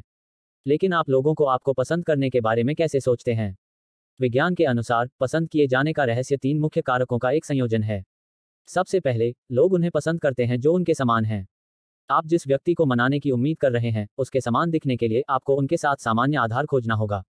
उदाहरण के लिए, कई विदेशियों ने सीखा है कि अधिक पसंद करने योग्य बनने का सबसे सरल तरीका स्थानीय भाषा सीखना और बोलना है। दूसरी बात जो आपको खुद को और अधिक पसंद करने योग्य बनाते समय जागरूक होने की आवश्यकता है, वह है चापलूसी। अगर आप इसका अच्छी तरह से इस्तेमाल करेंगे तो चापलूसी आपके लिए कई दरवाजे खोल देगी। लोग उन लोगों को पसंद करते हैं जो उनकी तारीफ़ करते हैं। अगर आप किसी को आपके लिए कुछ करने के लिए कहना चाहते हैं तो पहले उन्हें सच्ची तारीफ़ देकर शुरुआत करें। सिर्फ़ इसलिए कि इसे चापलूसी कहा जाता है, इसका मतलब यह नहीं है कि आपको इसके बारे में भावुक होना चाहिए। वास्तव में, आपकी प्रशंसा में अत्यधिक होना आपकी पसंद किए जाने की आवश्यकता के प्रतिकूल होगा। अंतिम लेकिन कम से कम, उस तरह के व्यक्ति बने जो पारस्परिक लक्ष्यों की उपलब्धि के लिए आमतौर पर सहमत और सहयोगी हो, और आप पसंद करने योग्य होने के करीब एक कदम होंगे। यदि आप जो चाहते हैं उसे पाने के लिए आप हमेशा दूसरे लोगों के पैर की उंगलियों पर कदम रखते हैं तो आपके बहुत कम दोस्त होंगे, और यह आपके मामले में मदद नहीं करेगा जब आपको भविष्य में किसी को मनाने की आवश्यकता होगी। याद रखें, सहमत और सहयोगी होने का मतलब डोरमेट होना नहीं है। कभी कभी इसका मतलब केवल कुछ छोटे प्रयास करना होता है जो किसी व्यक्ति को एक ऐसे लक्ष्य को प्राप्त करने में मदद करता है जो उनके लिए महत्वपूर्ण है। उदाहरण के लिए, यदि कोई सहकर्मी नियत रिपोर्ट के साथ संघर्ष कर रहा है तो उसे छपाई और मेल करने में सहायता करने की पेशकश करें। यह बहुत सारा काम नहीं है, लेकिन आप असंबद्ध गैर वर्णनात्मक सहकर्मी से उस योग्य सहकर्मी के पास जाएँगे जो दयालु और मददगार है। बाद में, आप इस चिप को अपनी इच्छानुसार कैश कर सकते हैं।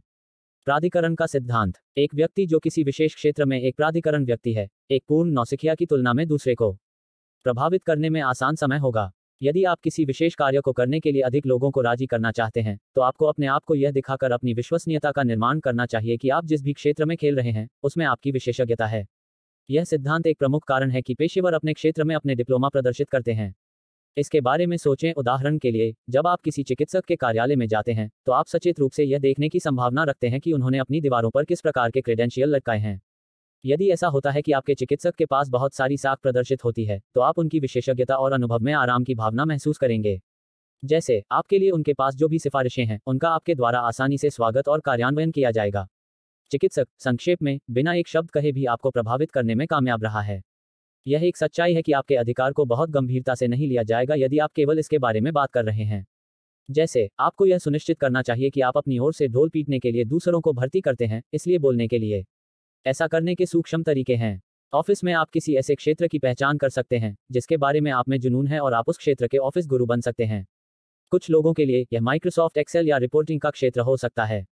जिस व्यक्ति को ऑफ़िस एक्सेल गुरु के रूप में जाना जाता है, उसे लोगों से चीज़ें प्राप्त करने में आसानी होगी क्योंकि वे पहले से ही जानते हैं कि वह जानता है कि वह किस बारे में बात कर रहा है। उन्होंने अपनी सभी एक्सेल समस्याओं को हल करके खुद को पसंद करने योग्य और उपयोगी साबित किया है और उनके सहयोगी उन्हें किसी भी तरह वापस भुगतान करना चाहेंगे। दुनिया में अपनी पहचान बनाने के लिए आपको एक्सेल सीखने की ज़रूरत नहीं है। ऐसे कई अन्य क्षेत्र हैं जिनमें आप उत्कृष्टता प्राप्त कर सकते हैं और खुद को एक प्राधिकरण व्यक्ति के रूप में प्रस्तुत कर सकते हैं। कमी का सिद्धांत, अर्थशास्त्र में, मांग और आपूर्ति के नियम सरल और सीधे हैं। जब आपूर्ति कम होती है और मांग अधिक होती है तो कीमतें बढ़ जाती हैं। इसका अनुवाद करने के लिए कमी मूल्य का निर्माण करती है।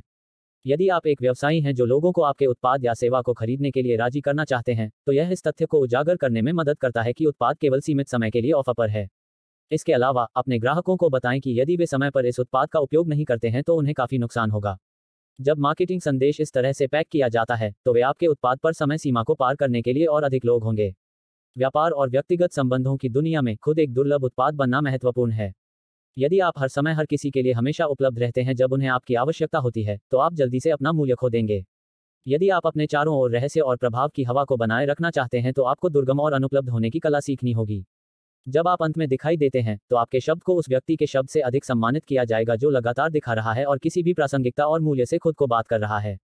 आम सहमति का सिद्धांत, रोज़मर्रा की बातचीत में, लोग दूसरों को देखते हैं कि क्या करना है या क्या कहना है। एक व्यक्ति जो एक अच्छा प्रभावशाली व्यक्ति होता है, वह समझता है कि केवल एक व्यक्ति को अपने विचार को खरीदने की ज़रूरत है और पूरी भीड़ को इसकी आवश्यकता होगी। ऐसे कई तरीके हैं जिनसे आप अपने लाभ के लिए आम सहमति के सिद्धांत को लागू कर सकते हैं। उदाहरण के लिए, एक कार्यालय सेटिंग में आप कर्मचारियों के एक वर्ग को एक कारण और चैंपियन के लिए सहमत होने के लिए प्राप्त कर सकते हैं जो उनके सहयोगियों का कारण बनता है।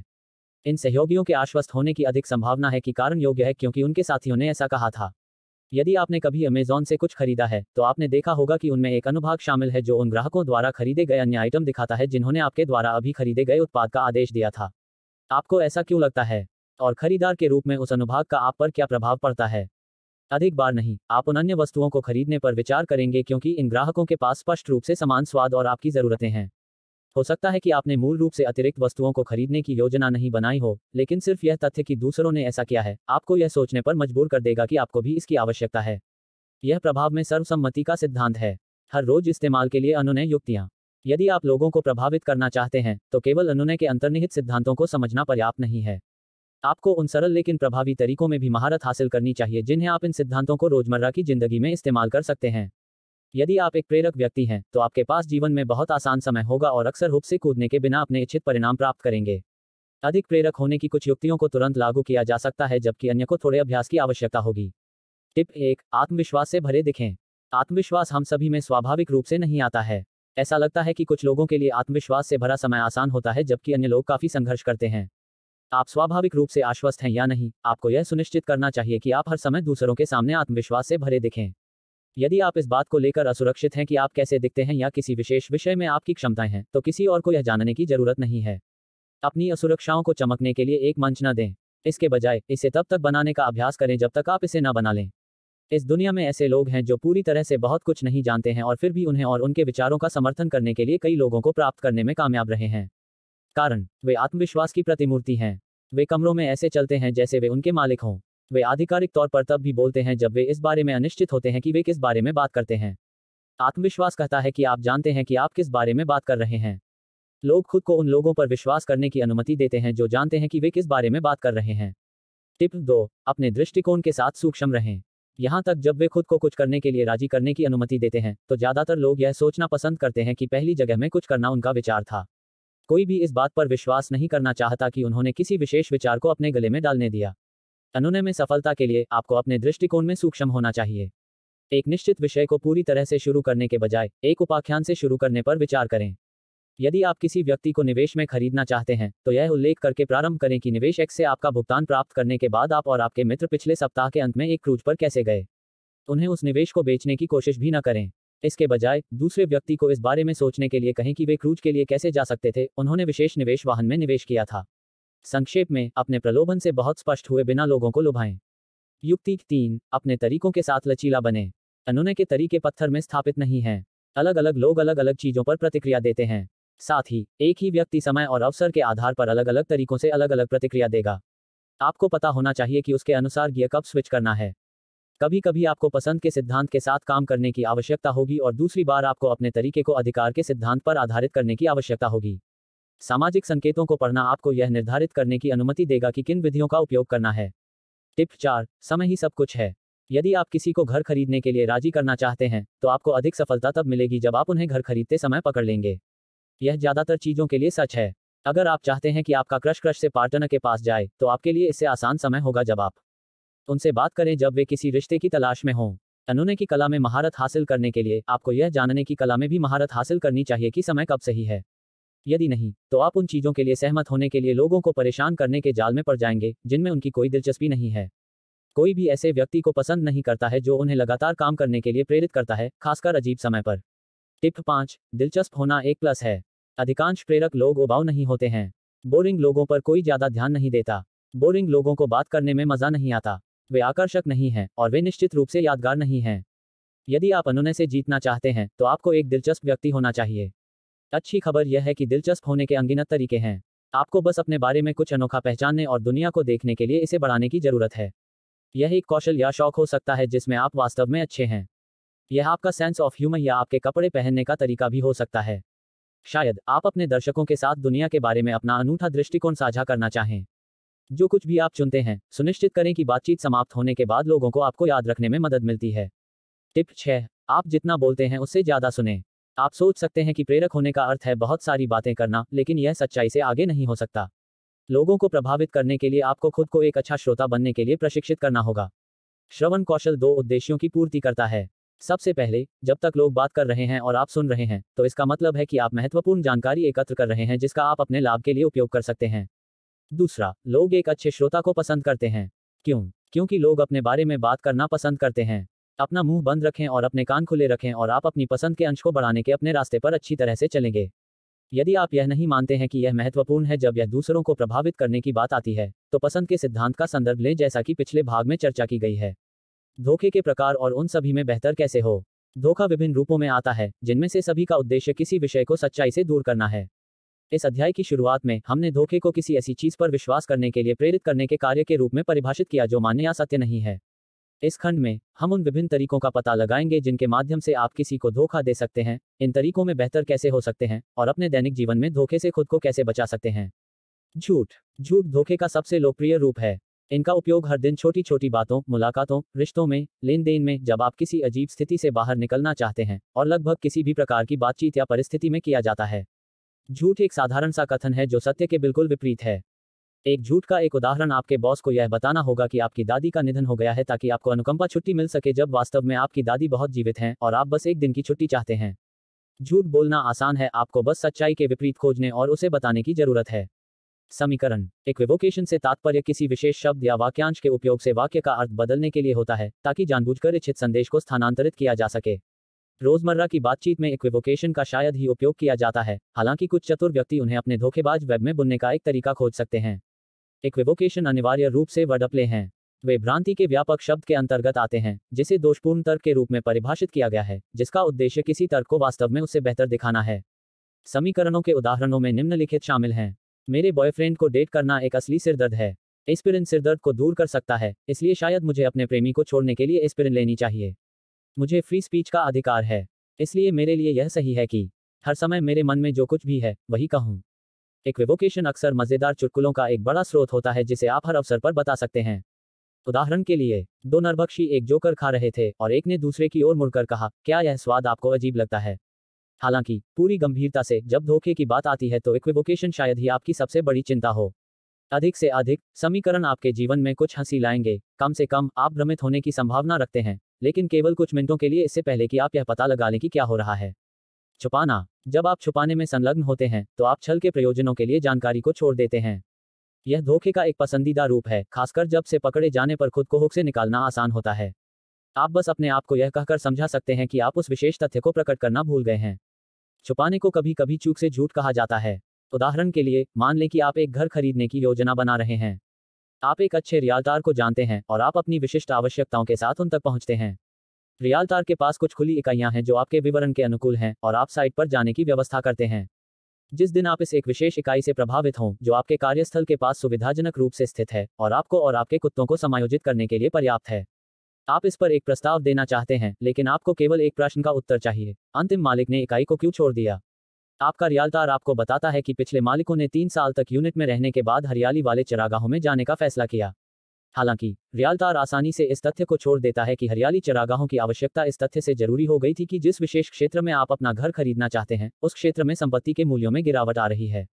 इस महत्वपूर्ण तथ्य को छोड़कर आपका रियालदार आपको खरीदने के लिए आश्वस्त करता है मकान। उन्होंने एक मुश्त झूठ नहीं कहा, उन्होंने पूरी सच्चाई बताने से इनकार कर दिया। छुपाने के पीछे यह अवधारणा है। अतिशयोक्ति अतिरंजना, अतिशयोक्ति सत्य का विस्तार है। कुछ लोग सच को उसके सादे रूप में बताना पसंद नहीं करते क्योंकि यह उस तरह से उबाऊ लगता है। बल्कि, वे इसे इस हद तक अलंकृत करेंगे कि इसे शायद ही पहचाना जा सके। एक अतिशयोक्ति या अतिकथन इस तरह दिखता है, आपका मित्र अपना पैसा एक छोटे आकार के निवेश में लगाता है जो उन्हें प्रति सप्ताह सौ डॉलर का रिटर्न दे रहा है। आपके मित्र द्वारा उनके रिटर्न पर सटीक रूप से रिपोर्ट करने के बजाय, वह सभी को बताता है कि वह अपने निवेश से बहुत सारा पैसा कमा रहा है। आप जिस अर्थव्यवस्था में रहते हैं, उसके आधार पर 100 डॉलर कई कप कॉफ़ी और एक अच्छा भोजन या महीने के किराए का एक चौथाई हो सकता है, लेकिन यह शायद ही छुट्टी भुगतान, तैयार से सेवानिवृत्त भाग्य है, जिसे आपका मित्र से दिखाना चाहता है। हाँ वह पैसा कमा रहा है, लेकिन हाँ वह सच्चाई को भी बढ़ा रहा है। शायद आपको जलन करने के लिए। खामोशी। अंडरस्टेटमेंट ओवरस्टेटमेंट के सीधे विपरीत हैं। अंडरस्टेटमेंट को सत्य के न्यूनीकरण के रूप में भी जाना जाता है और इसमें एक सच्चाई को कम करना शामिल है ताकि यह उतना बुरा न लगे जितना कि यह वास्तव में है। अंडरस्टेटमेंट अक्सर उन लोगों द्वारा उपयोग किया जाता है जो किसी चीज़ के बारे में इनकार करते हैं, या जो एक अन्यथा तर्कहीन निर्णय को तर्कसंगत बनाना चाहते हैं जो उन्होंने किया है। दुर्व्यवहार करने वाले अपने पीड़ितों द्वारा या उनके बारे में सामना किए जाने पर सच्चाई को कमतर आंक सकते हैं ताकि वे अपने दुर्व्यवहार के लिए कुछ ज़िम्मेदारी से बच सकें। उदाहरण के लिए, मान लीजिए कि एक दंपत्ति, जिनकी शादी को 10 साल हो चुके हैं, आपसी सहमति से पति को घर का खर्च चलाने के लिए कहते हैं। अपनी पत्नी की व्यावसायिक समझ और वित्तीय कौशल में विश्वास रखते हुए, भरोसेमंद पत्नी उनकी निवेश की टीमें लगन से योगदान करती है और पति को सभी निवेश करने देती है।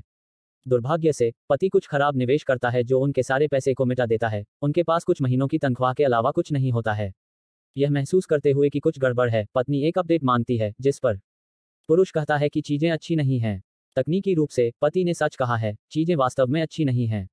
उसने जो किया है वह भी ठीक ठीक यह नहीं कहा गया है कि चीज़ें कितनी बुरी हैं। अगर वह ईमानदार होता तो वह कहता कि चीज़ें भयानक हैं और वे आर्थिक तंगी के कगार पर हैं। इस मामले में, खामोशी के रूप में धोखा हुआ है, और पति को कम से कम एक और रात के लिए सोफे पर सोने से बचना पड़ता है जब तक कि जमा बिल उसके कवर को उड़ा नहीं देता।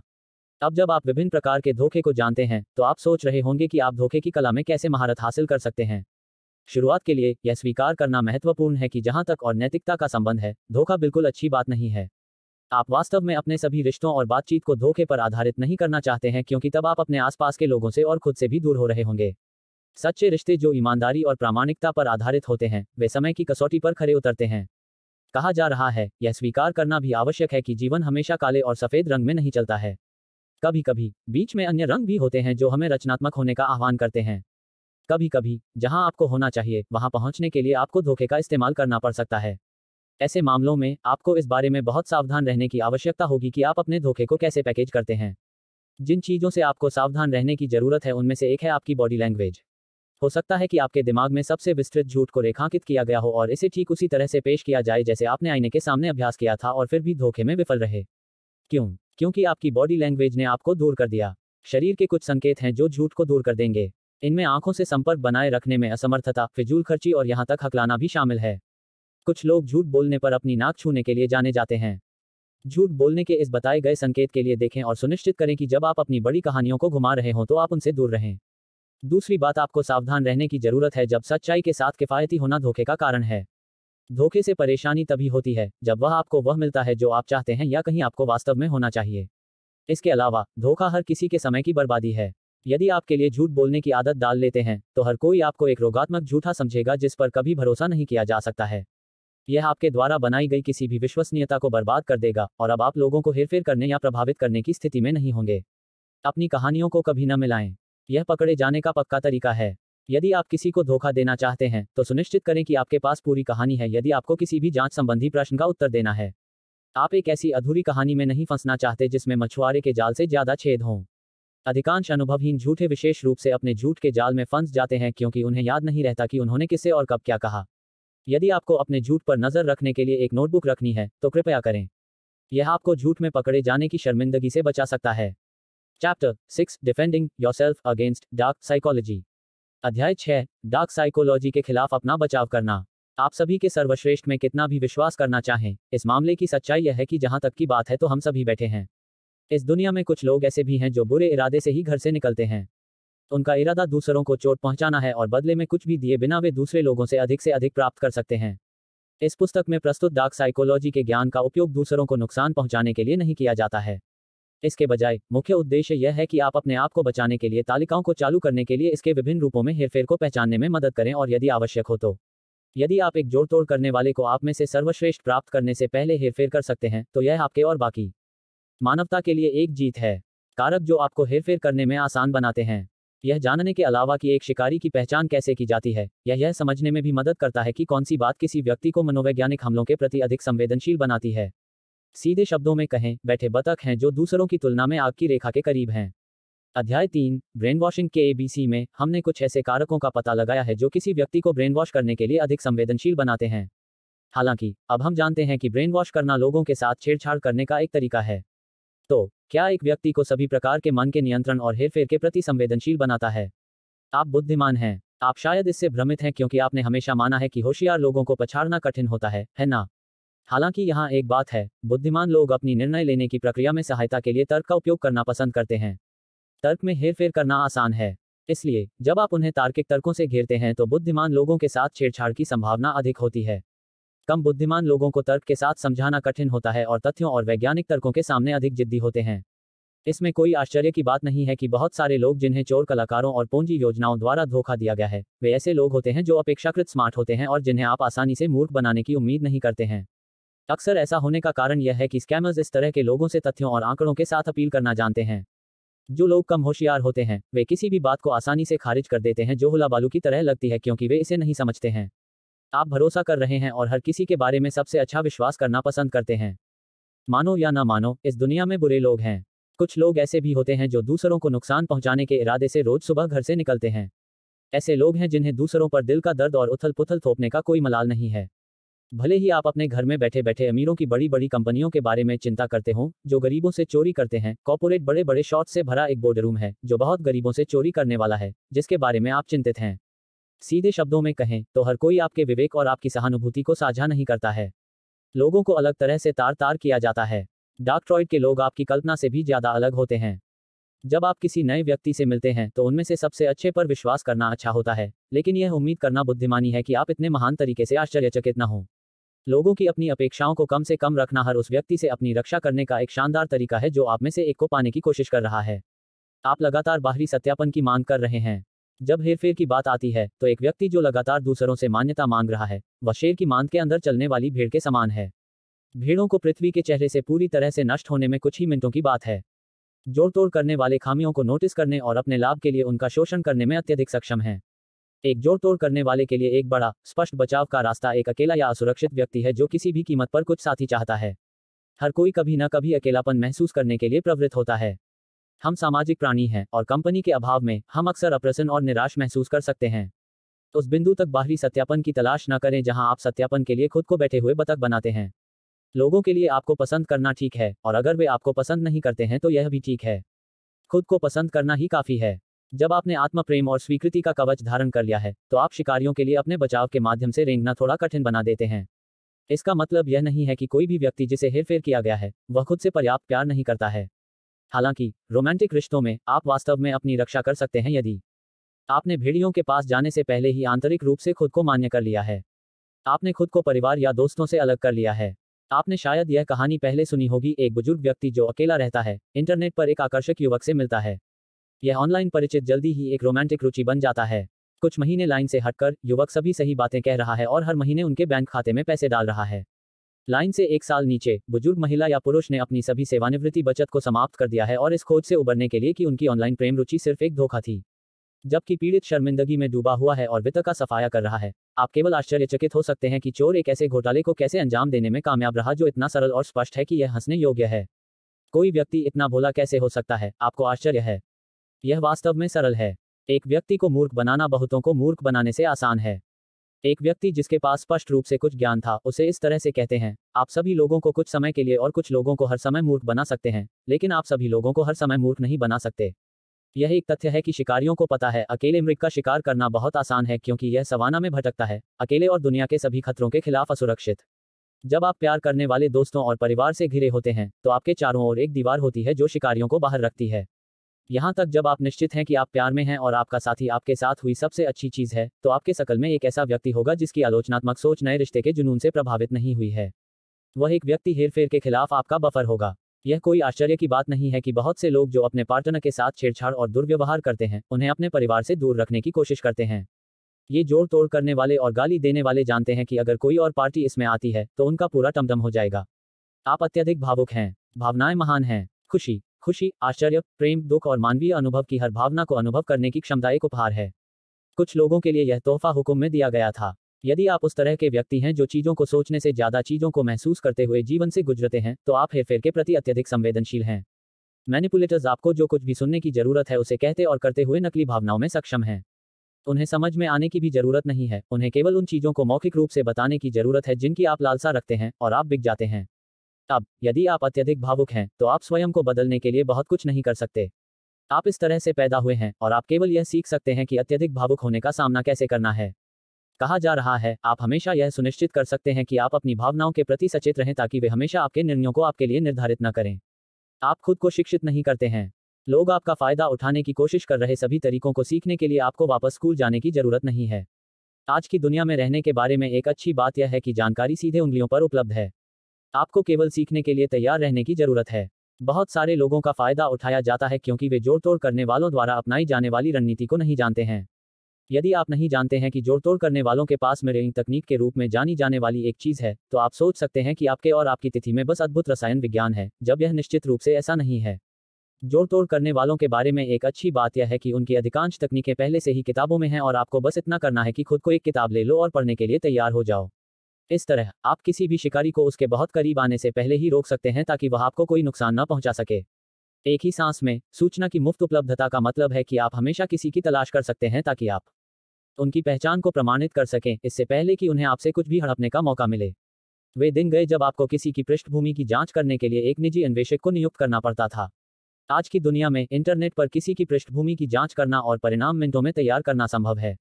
यह या तो पेड बैकग्राउंड चेक हो सकता है या उनके सोशल मीडिया पेजों की त्वरित सरसरी जाँच हो सकती है। सौभाग्य से, आजकल लगभग पूरी दुनिया सोशल मीडिया पर है और हम में से अधिकांश लोग ओवरशेयर करना पसंद करते हैं। सरल रणनीतियाँ जिन्हें आप अपनी सुरक्षा के लिए अपना सकते हैं। चाहे आप खुद को अत्यधिक कमज़ोर या हेरफेर के लिए प्रतिरोधी मानते हो, यह हमेशा खेत के बजाय सुरक्षित रहने में मदद करता है। सौभाग्य से, आपके जीवन में नासिसिस्ट मनोरोगी और उच्च मच को सुरक्षित दूरी पर रखना संभव है।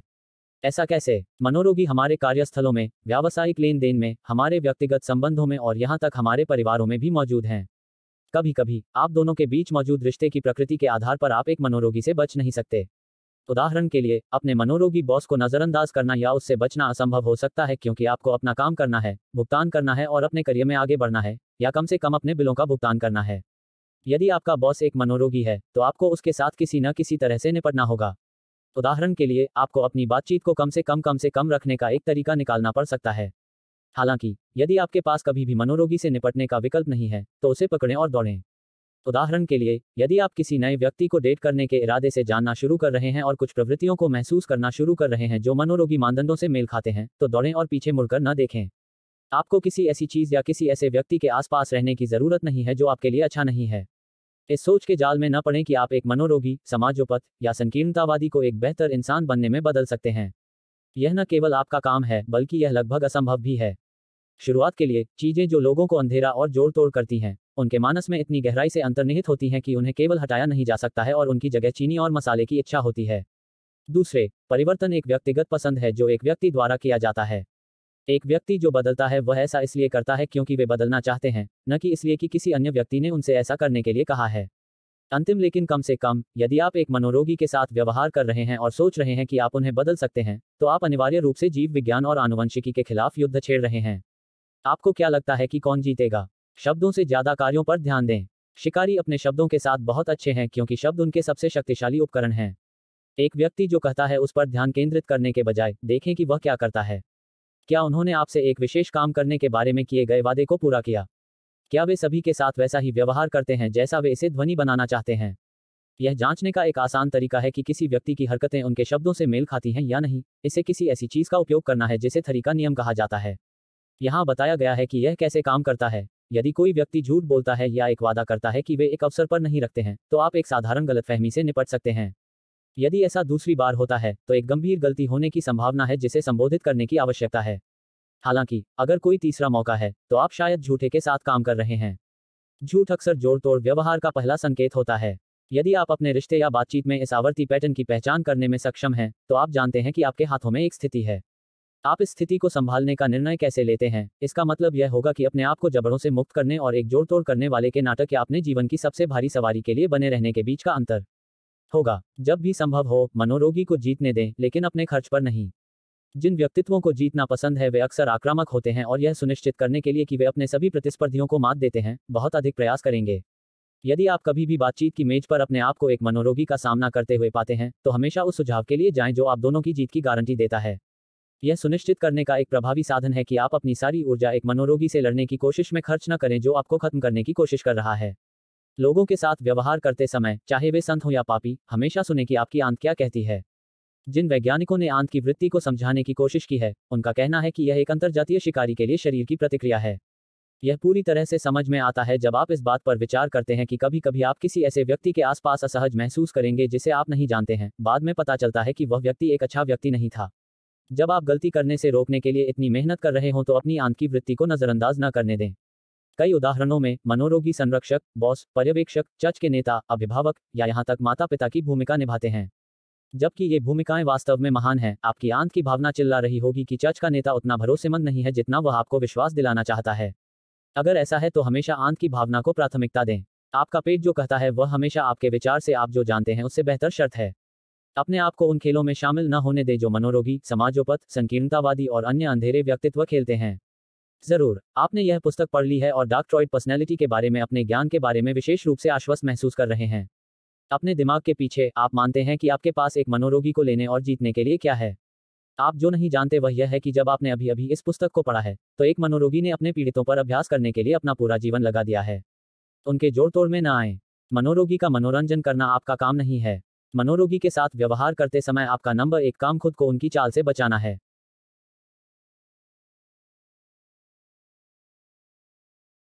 Chapter seven myths and misconceptions about dark psychology अध्याय सात डार्क साइकोलॉजी के बारे में मिथक और भ्रांतियाँ। ऐसे कई विषय हैं जो रात के खाने में बातचीत के लिए सुरक्षित हैं। डार्क साइकोलॉजी उनमें से एक नहीं है। थैंक्स गिविंग के दौरान आप जो आखिरी चीज़ पूछना चाहते हैं, वह यह है कि जहाँ तक मैक्यावेलियनवाद उन्मुखीकरण का संबंध है, अंकल जो उसको कैसे करते हैं। अंधेरे मनोविज्ञान के आसपास के द्वेष के कारण आमतौर पर इस विषय पर बहुत कम खुली चर्चा होती है। उदाहरण के लिए, आइए डार्क ट्रॉइड टेस्ट लें। क्या आप इसे लेने की योजना बना रहे हैं? यदि हाँ तो क्या आप अपने परिणाम किसी के साथ साझा करने की योजना बना रहे हैं? उच्च संभावना यह है कि यदि आपने पहले प्रश्न का उत्तर हाँ में दिया है तो संभवतः आप दूसरे प्रश्न का उत्तर नहीं देने जा रहे हैं। ज़्यादातर इंसान खुद को अच्छा इंसान समझना पसंद करते हैं। क्या अधिक है, वे अन्य लोगों को उनके बारे में अच्छे लोगों के रूप में सोचने के लिए पसंद करते हैं। हर किसी के देखने के लिए अपने डार्क टेस्ट को प्रदर्शन पर रखना शायद इस उद्देश्य की पूर्ति नहीं करता है। अंधेरे मनोविज्ञान के इर्द गिर्द सब के कारण, व्यक्तित्व लक्षणों के बारे में पूरी तरह से गलत धारणाएँ और मिथक हैं जो अंधेरे मनोविज्ञान के लिए महत्वपूर्ण पोत हैं। यह अध्याय इन मिथकों और भ्रांतियों की पड़ताल करता है और उसी पर कुछ प्रकाश डालता है। मिथक एक, मनोरोगी और समाजोपथ एक ही चीज़ हैं। सच्चाई, साइकोपैथी और सोशियोपैथी दो अलग अलग प्रकार के असामाजिक व्यक्तित्व विकार हैं। साइकोपैथ और सोशियोपैथ शब्द का इस्तेमाल रोज़मर्रा की बातचीत में एक दूसरे के लिए किया जाता है। हालाँकि, दोनों लक्षण एक दूसरे से काफ़ी अलग हैं। कहा जा रहा है, ये दो व्यक्तित्व विकार कुछ समानताएँ साझा करते हैं। विशेषज्ञ सोशियोपैथी को मनोरोगी की तुलना में कम गंभीर विकार मानते हैं। नीचे दी गई तालिका कुछ विशेषताओं को दिखाती है जो एक मनोरोगी को एक समाजोपथ से अलग करती है। मनोरोगी समाजोपथ, कोई विवेक नहीं है, एक कमज़ोर विवेक है। आकर्षक होने के कारण मिश्रण करने में सक्षम है और इसलिए स्पॉट करना कठिन है, इसमें सम्मिश्रण करने का कोई इरादा नहीं है और अक्सर स्पॉट करना आसान होता है। मुख्य रूप से खुद में ही दिलचस्पी लेंगे। ठंडे दिल वाले और गणना करने वाले हॉट हेडेड और बिना देखे छलांग। मिथक दो, मनोरोगी बनते हैं और पैदा नहीं होते। सच्चाई, मनोरोगी ऐसे पैदा होते हैं। मनोरोगी एक बहुत ही जटिल व्यक्तित्व विकार है जिसमें मनोरोगी बनने के बजाय अधिक बार पैदा होते हैं। एक मनोरोगी ज़्यादातर लोगों की तुलना में अलग तरह से गर्भ से बाहर निकलता है। नतीजतन, वे सामान्य की स्पर्श रेखा से विचलित हो जाते हैं और कई बार खुद को ऐसी स्थिति में पाते हैं कि कोई अन्य, सामान्य व्यक्ति खुद को ज़रूरी नहीं पाता। किए गए शोध ने वास्तव में दिखाया है कि मनोरोगी के दिमाग की तुलना में अलग तरह से कार्य करता है। अन्य लोगों के दिमाग जिनके पास कोई रिकॉर्डेड व्यक्तित्व विकार नहीं है। तो क्या होता है जब एक मनोरोगी पैदा होता है? मनोरोगी जिस प्रकार के वातावरण में बड़ा होता है, उसके आधार पर मनोरोगी कई चीज़ों में से एक बन जाएगा। यदि एक छोटा बच्चा जो मनोरोगी के लक्षण दिखाता है, एक पोषण के माहौल में बड़ा होता है तो वह संभवतः एक व्यवसायी या राजनीतिक नेता बन जाएगा। यदि बच्चा हिंसक या दर्दनाक वातावरण में बड़ा होता है तो उसके सीरियल किलर या हत्यारे बनने की संभावना होती है। मनोरोगी, जिनका पालन पोषण ऐसे वातावरण में होता है जो पहले दो वातावरणों के बीच में होता है, कानून प्रवर्तन और प्रबंधन जैसे क्षेत्रों में सत्ता की स्थिति में समाप्त हो जाते हैं। मिथक तीन, सोशियोपैथ पैदा होते हैं। सच्चाई, सोशियोपैथ मुख्य रूप से उनके वातावरण का एक उत्पाद है। अधिक बार नहीं, समाजोपथ उस वातावरण के परिणाम स्वरूप होते हैं जिसमें उन्हें लाया जाता है। यह अक्सर समाजोपैथी के लिए एक जैविक या आनुवंशिक स्वभाव से शुरू होता है, जो तब उनके द्वारा प्राप्त पोषण के प्रकार से खराब हो जाता है।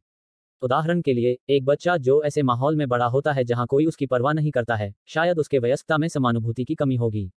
यदि वे ऐसे वयस्कों के साथ पले बड़े, जिनमें सत्यनिष्ठा का कोई बोध नहीं था और उनके पास नैतिक दिशा निर्देश की कमी थी तो परिणाम स्वरूप उनकी अंतरात्मा को बहुत नुकसान होगा। मिथक चार, महिलाएँ मनोरोगी नहीं हो सकती। सच्चाई महिला मनोरोगियों के मामले दर्ज हैं। सबसे अधिक संभावना है, जब आप मनोरोगी शब्द के बारे में सुनते हैं तो आप स्वचालित रूप से एक पुरुष चरित्र के बारे में सोचते हैं।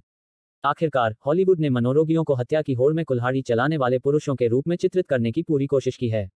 हालाँकि, यह ध्यान रखना महत्वपूर्ण है कि मनोरोगी महिला भी हो सकती है।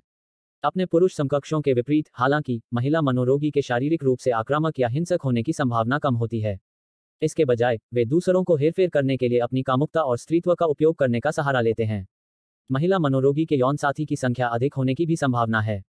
मिथक पाँच, मनोरोगी हत्या से ग्रस्त हैं। सच्चाई मनोरोगी रोमांच चाहने वाले होते हैं। हत्या सिर्फ़ एक तरीका है जिसके माध्यम से मनोरोगी रोमांच की अपनी इच्छा को बुझाते हैं। जब अधिकांश लोग मनोरोगियों के बारे में सोचते हैं तो वे स्वचालित रूप से बाएँ, दाएँ और केंद्र की हत्याओं के बारे में सोचते हैं। हालाँकि, जबकि यह सच है कि एक हत्यारा के मनोरोगी होने की संभावना अधिक होती है, यह भी सच है कि मनोरोगी बाकी आबादी की तुलना में किसी भी अधिक हत्या करने के बारे में नहीं सोच रहे हैं। कई मनोरोगी रोमांच की तलाश में अपने जीवन से गुजरते हैं और वास्तव में कभी किसी को हिंसक नुकसान नहीं पहुंचाते हैं। हाँ वे कुछ दिल तोड़ सकते हैं क्योंकि वे एक यौन साथी से दूसरे में कूदते हैं और कॉपरेट सीढ़ी पर चढ़ने के उद्देश्य से कई लोगों को बस के नीचे फेंक देते हैं, लेकिन उनमें से ज़्यादातर जाते हैं। यदि आप अपने जीवन में एक मनोरोगी की तलाश कर रहे हैं तो यदि आप केवल हिंसा और रक्तपात की तलाश में हैं तो आपको वह नहीं मिलेगा। मिथक छह साइकोपैथी एक मानसिक बीमारी है जिसे ठीक किया जा सकता है। सच्चाई साइकोपैथी एक व्यक्तित्व विकार है जिसका कोई इलाज नहीं है।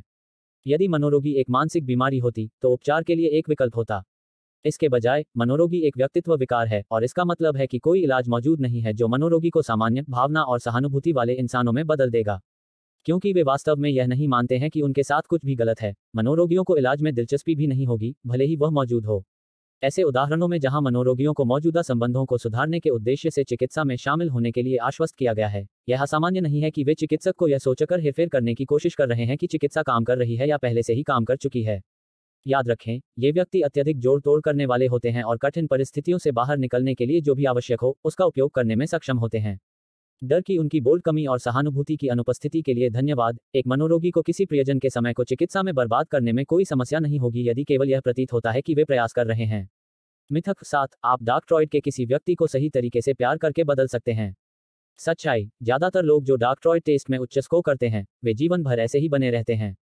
प्यार एक अजीब चीज़ है कि यह लोगों को यह विश्वास दिलाता है कि वे असंभव को भी सक्षम हैं, भले ही सच्चाई उनकी आँखों के सामने रखी गई हो। यदि आप किसी ऐसे व्यक्ति के साथ रिश्ते में हैं, जो डार्क ट्रॉय टेस्ट में उच्च स्कोर करता है तो आपके रिश्ते के पहले कुछ महीने आनंदमय होने की संभावना है। जोड़ तोड़ करने वाले लोगों के पास आपको यह विश्वास दिलाने के लिए प्यार बमबारी करने का एक तरीका है कि वे एकदम सही मैच हैं जिसका आप लंबे समय से इंतज़ार कर रहे हैं। दुर्भाग्य से, यह आमतौर पर आपको एक ऐसे रिश्ते में फंसाने और फंसाने का एक प्रयास है जो सिर्फ़ धुआँ और दर्पण है। एक बार जब आप इस तरह के रिश्ते में बस जाते हैं तो जोड़ तोड़ करने वाले का असली रंग सामने आ जाता है। कई मामलों में, आप एक रिलेशनशिप पार्टनर को इस उम्मीद से चिपके हुए पाएँगे कि चीज़ें बदल जाएँगी। वह प्यार चीज़ों को मोड़ने के लिए काफ़ी होगा। दुर्भाग्य से, ऐसा अक्सर कभी नहीं होता है। शुरुआत के लिए, तथ्य यह है कि मनोरोगी ज़्यादातर आनुवंशिक है, इसका मतलब है कि इसे हराना अविश्वसनीय रूप से कठिन है। सबसे अच्छा मनोरोगी केवल उन लक्ष्यों को प्राप्त करने के प्रति संवेदनशीलता की कमी को दूर कर सकता है, जो समग्र समाज के लिए हानिकारक नहीं है। मैक्यावेलियनवाद और संकीर्णतावाद के लिए ये अक्सर गहरे मनोवैज्ञानिक आघात से उत्पन्न होते हैं, जिन्हें दूर करने के लिए बहुत सारे शस्त्रागार की आवश्यकता हो सकती है। बहुत से लोग रक्षा तंत्र के रूप में मैक्यावेलियनवाद और संकीर्णतावाद की ओर रुख करेंगे। उन्हें इससे बाहर निकालने का कोई भी प्रयास केवल एक हमले के रूप में सामने आएगा, जिससे वे अपना बचाव शुरू कर देंगे। जैसे, प्रेम के रूप में हस्तक्षेप अविश्वसनीय रूप से प्रतिकूल हो सकता है। यह स्वीकार करना भी आवश्यक है कि प्रेम और अन्य चंचल भावनाएँ वास्तव में एक डाक्ट्रॉइड व्यक्ति के लिए चाय का प्याला नहीं है। वे इसे नोटिस भी नहीं कर सकते कि यह क्या है। जैसे, क्या आप अपने आप को किसी ऐसे व्यक्ति के साथ संबंध में पाते हैं जो डार्कट्रॉइड की विशेषताओं को प्रदर्शित करता है तो आप फिर से जांचना चाहेंगे कि आप वास्तव में यही चाहते हैं या नहीं। मिथक आठ, जो लोग डार्कट्रॉइड में उच्च स्कोर करते हैं, वे अधिक आकर्षक होते हैं। सत्य, यह असत्य साबित हुआ है। ऐसा क्यों है कि लोग अक्सर इस दुनिया के नशा करने वालों और मनोरोगियों की ओर रुख करते हैं? क्या ऐसा इसलिए है क्योंकि डार्कट्रॉइड पर्सनैलिटी हम में से बाकी लोगों की तुलना में अधिक आकर्षक हैं? यह निर्धारित करने के लिए कि क्या डार्कट्रॉइड व्यक्तित्व बेहतर दिखने वाले हैं। अकादमिक शोधकर्ताओं ने कई विषयों का अध्ययन किया, जिनके उच्च डार्कट्रॉइड्स को थे। इन अध्ययनों के परिणामों ने सुझाव दिया कि इन विषयों के आकर्षक लगने का कारण यह था कि उन्होंने कपड़े पहने और खुद को शारीरिक रूप से इस तरह से प्रस्तुत किया, जो अच्छी तरह से एक साथ रखा गया था। बोरिंग कपड़े पहने हुए, ये विषय पहले की तरह आकर्षक नहीं लग रहे थे। जैसे, यह मान लेना लगभग सुरक्षित है कि ध्यान और प्रयास जो तैयार होने में जाता है और उसके बाद आत्मविश्वास वही होता है जो एक नार्सिसिस्ट या मनोरोगी को वास्तव में उससे अधिक आकर्षक लगता है। मिथक नौ, बच्चे होने पर मनोरोगी बदल जाते हैं। सच्चाई, मनोरोगी अपने बच्चों के प्रति सहानुभूति या देखभाल करने की भावना नहीं रख पाते हैं। मनोरोगी अपना परिवार शुरू करते हैं और जब ऐसा होता है तो उन्हें आमतौर पर अपनी संतानों का पालन पोषण करने में बहुत कठिन समय लगता है। सामान्य माता पिता के विपरीत, जो डार्कट्रॉइड स्केल पर नहीं है, मनोरोगी को अपने बच्चों को अलग अलग संस्थाओं के रूप में अलग करने में कठिन समय लगता है। बल्कि, वे उन्हें उपकरण या स्वयं का विस्तार मानते हैं जो उनके उपयोग के लिए उपलब्ध हैं जैसा वे चाहते हैं। मनोरोगी अपने बच्चों को ट्राफियों के रूप में देखने की अधिक संभावना रखते हैं, जो उन्हें युवा, प्रभावशाली व्यक्तियों की तुलना में अच्छे लगते हैं, जो जीवन के माध्यम से उनका मार्गदर्शन करने के लिए किसी की तलाश में हैं। जैसे, एक विशिष्ट मनोरोगी अपने बच्चों को किसी ऐसी चीज़ में उत्कृष्टता प्राप्त करने के लिए प्रेरित करेगा, जिसमें उनकी कोई दिलचस्पी नहीं है, भले ही यह बच्चों के मानसिक स्वास्थ्य और कल्याण की कीमत पर हो। उदाहरण के लिए, वे बच्चों को तैराकी कक्षाओं में ज़बरदस्ती नामांकित कर सकते हैं, क्योंकि उनका मानना कि उनका बच्चा एक विशेषज्ञ तैराक और प्रतियोगी बनने से समुदाय में उनकी सामाजिक स्थिति में सुधार होगा। कहने की ज़रूरत नहीं है। मनोरोगी माता पिता को यह देखकर खुश करना बहुत मुश्किल है कि वे खुद को उत्कृष्ट बनाने के आदि हैं और यह नहीं समझ पाएँगे कि उनके बच्चे शीर्ष पर पहुँचने के लिए जो कुछ भी करना चाहते हैं, वह क्यों नहीं करेंगे। मिथक, दस, आप या तो डार्कट्रॉइड पर हैं या नहीं। सच्चाई, डार्कट्रॉइड एक सातत्य है जिस पर कुछ उच्च स्कोर करते हैं जबकि अन्य कम स्कोर करते हैं। संकीर्णता, मनोरोगी और मैक्यावेलियनवाद के लक्षण हम सभी में निहित हैं। अंतर केवल इतना है कि कुछ लोगों में इन लक्षणों को इस हद तक बढ़ा दिया जाता है कि वे अक्सर अपने आसपास के लोगों के लिए विनाशकारी बन जाते हैं। उदाहरण के लिए, संकीर्णतावाद को ही लें। हर किसी के पास अपने बारे में सोचने का एक तरीका होता है। सबसे अधिक संभावना है, आप अपने बारे में अच्छी बातें सोचना पसंद करते हैं। आप यह विश्वास करना पसंद करते हैं कि आप अच्छे दिखने वाले और प्रतिभाशाली और प्यार करने में आसान हैं। एक नार्सिसिस्ट के लिए, यह आत्म छवि उस अनुपात से बाहर उड़ा दी जाती है जहाँ उनका पूरा जीवन घूमता है। उनके लिए अपने बारे में इन बातों पर विश्वास करना ही पर्याप्त नहीं है, वे यह भी चाहते हैं कि बाकी सभी यह माने कि वे सिद्ध और संत हैं और सभी चीज़ें अच्छी हैं।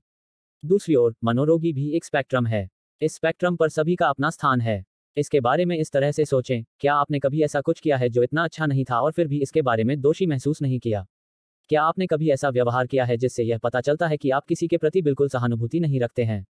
यदि आपने इनमें से किसी भी प्रश्न का उत्तर हाँ में दिया है तो आपने अपने जीवन में कम से कम एक बार मनोरोगी लक्षणों का प्रदर्शन किया है। इसका मतलब यह नहीं है कि आप अपने जीवन में बाद में किसी की हत्या करते रहेंगे। इसका मतलब केवल यह है कि ऐसे उदाहरण हैं जब आप में मनोरोगी बाहर आता है और अन्य उदाहरण है जब आप समय पर खुद को पकड़ने में सक्षम हो सकते हैं। जिस तरह से आपका पालन पोषण हुआ है, उसका प्रभाव इस बात पर पड़ता है कि क्या आप अपने आप को अपने पूर्ण मनोरोगी को बाहर निकालने से रोक पा रहे हैं। मिथक ग्यारह, आपका बॉस एक मनोरोगी है। सच्चाई आपका बॉस मनोरोगी हो भी सकता है और नहीं भी। यह सच है कि कई मनोरोगी जो करियर के अपराधी नहीं बनते हैं, वे व्यवसाय, राजनीति और अन्य क्षेत्रों में अत्यधिक सफल हो जाते हैं। हालाँकि, यह आपके बॉस पर मनोरोगी होने का आरोप लगाने के लिए पर्याप्त कारण नहीं है। कुछ लोग बस प्रेरित और मान कर रहे हैं क्योंकि वे यही जानते हैं और सफलता की आवश्यकता को समझते हैं। किसी भी मामले में, बहुत से लोगों के पास अपने मालिकों के साथ सोने और ब्रंच नहीं होते हैं। बॉस कर्मचारी संबंध से एक निश्चित गतिशीलता की अपेक्षा की जाती है। आपका कठोर बात करने वाला, निर्दयी बॉस पूरी तरह से अलग व्यक्ति हो सकता है जब उन्होंने अपने बॉस की टोपी नहीं पहनी हो। यह मत सोचिए कि अधिकार के पदों पर हर कोई एक समाजोपथ या मनोरोगी है। यह हमेशा उस तरह से काम नहीं करता है। मिथक बारह, आपका पूर्व एक मनोविकार है। सच्चाई, एक रिश्ते का अंत खटास के साथ हुआ। यह आप में से किसी को भी साइको नहीं बनाता है। बहुत से लोग अपने एक्स को साइको के रूप में संदर्भित करने के शौकीन हैं। हर बार एक समय में, एक रिश्ता एक अच्छे नोट पर समाप्त हो जाएगा जहाँ दोनों पक्ष अपने जीवन के बाकी हिस्सों के लिए महान दोस्त बन जाते हैं। दुर्भाग्य से, ऐसा नहीं है कि ज़्यादातर रिश्ते कैसे चलते हैं। कई प्रेमालाप आँसू और आरोपों और नाम पुकार में समाप्त होते हैं। अपने पूर्व को मनोरोगी कहने से पहले इस पुस्तक में वर्णित संकेतों का मूल्यांकन करें और पता करें कि क्या आपके पूर्व का व्यवहार इनमें से किसी से मेल खाता है। बेशक, इससे कोई फ़र्क नहीं पड़ता कि आप रिश्ते के साथ कर रहे हैं, लेकिन यह आपको किसी ऐसे व्यक्ति के साथ डेटिंग के जाल में गिरने से बचने में मदद कर सकता है जो समान लक्षण प्रदर्शित करता है। यदि आप वर्तमान में किसी ऐसे व्यक्ति के साथ शामिल हैं, जो यहाँ चर्चा किए गए किसी भी लक्षण को दिखाता है तो आप उन्हें अपनी सुरक्षा के लिए छोड़ने पर विचार कर सकते हैं। यह स्वीकार करना महत्वपूर्ण है कि एक मनोरोगी या मादक द्रव्य को छोड़ने की प्रक्रिया एक सामान्य व्यक्ति को छोड़ने की प्रक्रिया से भिन्न होती है जो प्रस्थान को अपने ही व्यक्ति के अपमान के रूप में नहीं लेता है। ऐसे कई संसाधन हैं जो उन लोगों के लिए उपलब्ध हैं जो अपमानजनक और जोड़तोड़ वाले रिश्तों को छोड़ना चाहते हैं। इन संसाधनों को एक साधारण ऑनलाइन खोज के माध्यम से पाया जा सकता है। Chapter eight, famous dark triad personalities, अध्याय आठ, प्रसिद्ध डार्कट्रॉइड व्यक्तित्व। उन लक्षणों के बारे में पढ़ना पर्याप्त नहीं है जो डार्कट्रॉइड व्यक्तित्वों में शामिल हैं। यह भी स्वीकार किया जाना चाहिए कि डार्कट्रॉइड व्यक्तियों के नाम हैं और हमारे समय में या उससे पहले हमारे बीच रहे हैं। पूरे इतिहास में ऐसे व्यक्ति हुए हैं जिन्होंने अपने सभी अंधेरे त्रय महिमा में सभी को देखने के लिए इतना अपमानजनक कार्य किया है। यह अध्याय उन व्यक्तियों को समर्पित है जिन्होंने दुनिया में अपनी काली छाप छोड़ दी है या छोड़ना जारी रखा है। सिकंदर महान, मैसेडोन और ओलंपियास के फिलिप द्वितीय के पुत्र, सिकंदर महान प्राचीन ग्रीक साम्राज्य का एक राजा था जिसे मैसेडोन के नाम से जाना जाता था और साथ ही एक उग्र नार्सिसिस्ट भी था। सिकंदर का मानना कि वह महानता के लिए किस्मत में था और उसकी कल्पना के भीतर जो कुछ भी मौजूद था वह वास्तविक जीवन में प्राप्त किया जा सकता था, चाहे खर्च कुछ भी हो। उसकी माँ ने उसके लिए चीज़ों को बेहतर नहीं बनाया, उसके लिए उसकी उच्च महत्वाकांक्षाएँ थीं। उन्होंने अपने पूरे जीवन में इन महत्वाकांक्षाओं को साकार करने की कोशिश की, और इसमें कोई आश्चर्य की बात नहीं है कि एक बेजोड़ सैन्य कमांडर के रूप में उनकी भयंकर उपलब्धि के कारण उन्हें महान नाम दिया गया। शायद सबसे बड़ा संकेत है कि सिकंदर एक संकीर्णतावादी था। यह तथ्य है कि उसने खुद को एक देवता के रूप में सोचा था। दूसरे शब्दों में, वह खुद को भगवान मानता था। फिर से, उसकी माँ ने उसे विश्वास दिलाया था कि वह यूनानी देवताओं के राजा जियूस का पुत्र है। इसके अलावा, सिकंदर को अपने पिता की उपलब्धियों को अपने दोस्तों के सामने कम आंकने का शौक था। उनकी नज़र में ये उपलब्धियाँ कोई मायने नहीं रखती थी और केवल उन्हीं जीतों को गिना जाता था, जिन पर उनका नाम था। वह लगातार चिंतित रहता था कि उसके पिता ने उसे कोई ऐसी विरासत नहीं छोड़ी जो मायने रखती थी। जवाब में, उसने जितनी भी लड़ाइयाँ जीत सकते थे, उसे जीतना अपना व्यवसाय बना लिया। उसने अपनी व्यक्तिगत महिमा की तलाश में अपनी सेना को अंतहीन लड़ाइयों में ले लिया। इससे कोई फ़र्क नहीं पड़ता कि किसने अपनी जान गंवाई या घायल हुए। सिकंदर अपनी विरासत बनाने के मिशन पर था और जो कुछ भी या उसके रास्ते में खड़ा था, वह दुश्मन था। नेपोलियन बोनापार्ट, एक युवा लड़के के रूप में धमकाया गया। बोनापार्ट 24 साल की उम्र में फ्रांसीसी क्रांति में एक जनरल बनने के लिए रैंकों के माध्यम से उठे। दुर्भाग्य से, बोनापार्ट ने अपने धमकाने और कम आत्मसम्मान के प्रभावों को अपने साथ ले लिया, अन्यथा एक हीन भावना के रूप में जाना जाता है। जबकि वह एक ऐसी विरासत हासिल करने में सक्षम था जो उसके समय के कई लोगों ने नहीं की थी। नेपोलियन अपने साथ अपने अतीत के मनोवैज्ञानिक निशान ले गया था। ऐसा माना जाता है कि नेपोलियन ने अपनी कमियों को पूरा करने के लिए आक्रामक तरीके से हमला किया और आक्रामक तरीके से काम किया।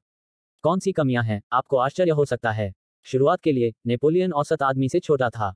पाँच फुट दो इंच की ऊंचाई पर खड़े होकर यह देखना आसान है कि नेपोलियन अपनी ऊंचाई को लेकर असुरक्षित क्यों रहा होगा। उनके कद के बावजूद, नेपोलियन का मानना कि वह कुछ खास थे और उन्होंने इसके बारे में अपनी पुस्तक थॉट्स नाम में भी लिखा था। पुस्तक में, नेपोलियन इस बारे में बात करता है कि कैसे उसे विश्वास हो गया था कि वह विशेष था और वह उन चीज़ों को हासिल करने के लिए आगे बढ़ सकता था जिन्हें वह पहले केवल कल्पना मानता था। दिन के अंत में, नेपोलियन को खुद को खुश करने के लिए, आत्मरक्षा में बदलने के लिए गलती करना शायद अनुचित है। वह शायद केवल अपर्याप्तता की भावनाओं को भरने की कोशिश कर रहा था कि वह अपने सहपाठियों और सहपाठियों से अपने बचपन के ताने के लिए धन्यवाद से परिचित हो गया था। एडोल्फ हिटलर, सबसे आत्मा अवशोषित व्यक्ति कौन है जिसे आप वर्तमान में जानते हैं? उस व्यक्ति के विचारों, व्यवहारों और कार्यों को लें और फिर उन्हें दस लाख गुना बढ़ा दें। आपको क्या मिलेगा? एडोल्फ हिटलर, यही है। एडोल्फ हिटलर 1900 के दशक की शुरुआत में रहता था, इसलिए उसने कुछ बहुत बुरे काम किए होंगे जिनके बारे में आज भी बात की जा सकती है। और वास्तव में, उसने किया। एडोल्फ न केवल यह मानता था कि उसकी दौड़ बाकी सभी से बेहतर है, बल्कि उसे प्रचार मशीन पर भी बाकी सभी को लाना था। नतीजतन, लाखों यहूदियों ने अपनी जान गंवा दी, एक व्यक्ति की गणना और चाल के कारण, जिसकी संकीर्णता और सत्ता की प्यास हाथ से निकल गई। हिटलर की नेतृत्व शैली इस तरह संरचित थी कि वह शीर्ष पर था, और कोई और उससे सवाल नहीं कर सकता था। उनके हीनों को इन आदेशों को निर्विवाद रूप से लेना था क्योंकि उनका मानना कि वह हर किसी से बेहतर जानते थे। जबकि उसके सेनापति बाएँ, दाएँ और मध्य यहूदियों को मार रहे थे, हिटलर को मरने और पीड़ित लोगों के लिए कोई सहानुभूति नहीं। थी वास्तव में, वह चाहता था कि यह हत्याकांड तब तक जारी रहे जब तक यह हो सके, या कम से कम जब तक वह निम्न जाति का सफाया करने में सक्षम न हो जाए। हिटलर को हमेशा के लिए पृथ्वी पर अब तक देखे गए सबसे बड़े युद्धों में से एक के कारण के रूप में याद किया जाएगा, और सभी क्योंकि उनका मानना कि वह और गोरे जर्मन हर किसी से श्रेष्ठ थे। चार्ल्स मैनसन चार्ल्स मैनसन आधुनिक अमेरिकी इतिहास के सबसे प्रसिद्ध पंथ नेताओं में से एक हैं। मैनसन एक बेरोजगार पूर्व दोषी था जिसने खुद को बनाने के लिए मनोरोगी हेरफेर का इस्तेमाल किया, जिसे उसने मैनसन परिवार का नाम दिया। मैनसन में युवाओं को उनकी कमजोरियों का शिकार करके अपने परिवार में शामिल होने के लिए मनाने और उन्हें यह महसूस कराने की क्षमता थी कि वह उनका सुरक्षित स्थान और मसीहा है। उन्हें अंदर खींचने के बाद मैनसन ने फिर उन्हें अपनी ओर से अपराध करने के लिए मना लिया। उदाहरण के लिए, उन्नीस सौ उनहत्तर की गर्मियों में मैनसन के परिवार ने उसके आदेश पर नौ लोगों को मार डाला। गिरफ़्तार होने के बाद भी, मैनसन ने दूसरों को दी गई पीड़ा के लिए कोई पछतावा या अपराध बोध नहीं दिखाया। उनके मन में मानवता की अवहेलना थी, जिसे केवल कठोर कहा जा सकता है। कहा जा रहा है कि, मैनसन भी अत्यधिक आकर्षक था और इससे लोग उसकी ओर आकर्षित हुए। जेल में रहते हुए भी, मैनसन अभी भी महिलाओं को लुभाने के लिए अपने मनोरोगी आकर्षण का उपयोग करने में सक्षम था, यहाँ तक कि एक से सगाई करने की बात भी। एल्बर्ट डी साल्वो, उपनाम the Boston Strangler, Albert DeSalvo एक अपराधी था जिसने बोस्टन क्षेत्र में तेरह महिलाओं को गला घोंटकर मारने की बात कबूल की थी। डिसाल्वो एक विशिष्ट मनोरोगी था। बचपन से ही उन्होंने एक मनोरोगी के लक्षण प्रदर्शित किए। उदाहरण के लिए, उसने जानवरों पर अत्याचार किया। यह एक विशिष्ट चेतावनी संकेत है कि आपके हाथों में एक युवा मनोरोगी हो सकता है। जानवरों पर अत्याचार करने वाले बच्चे अक्सर बाद में अन्य जघन्य अपराध करते हैं। कई हत्यारों और सीरियल किलरों का अपने अतीत में जानवरों के साथ दुर्व्यवहार का इतिहास रहा है। डिसाल्वो की हत्याओं के बारे में सबसे उल्लेखनीय बात यह थी कि हमलों के समय उनके अधिकांश पीड़ित बुज़ुर्ग और अकेले थे। जबकि अधिकांश लोग बुज़ुर्गों पर दया दया और समग्र सहानुभूति दिखाने में सक्षम हैं। डिसाल्वो बिल्कुल विपरीत था। वह जानता था कि यह एक कमज़ोर समूह था जिसे आसानी से अपनी काली इच्छाओं को पूरा करने के लिए वश में किया जा सकता था।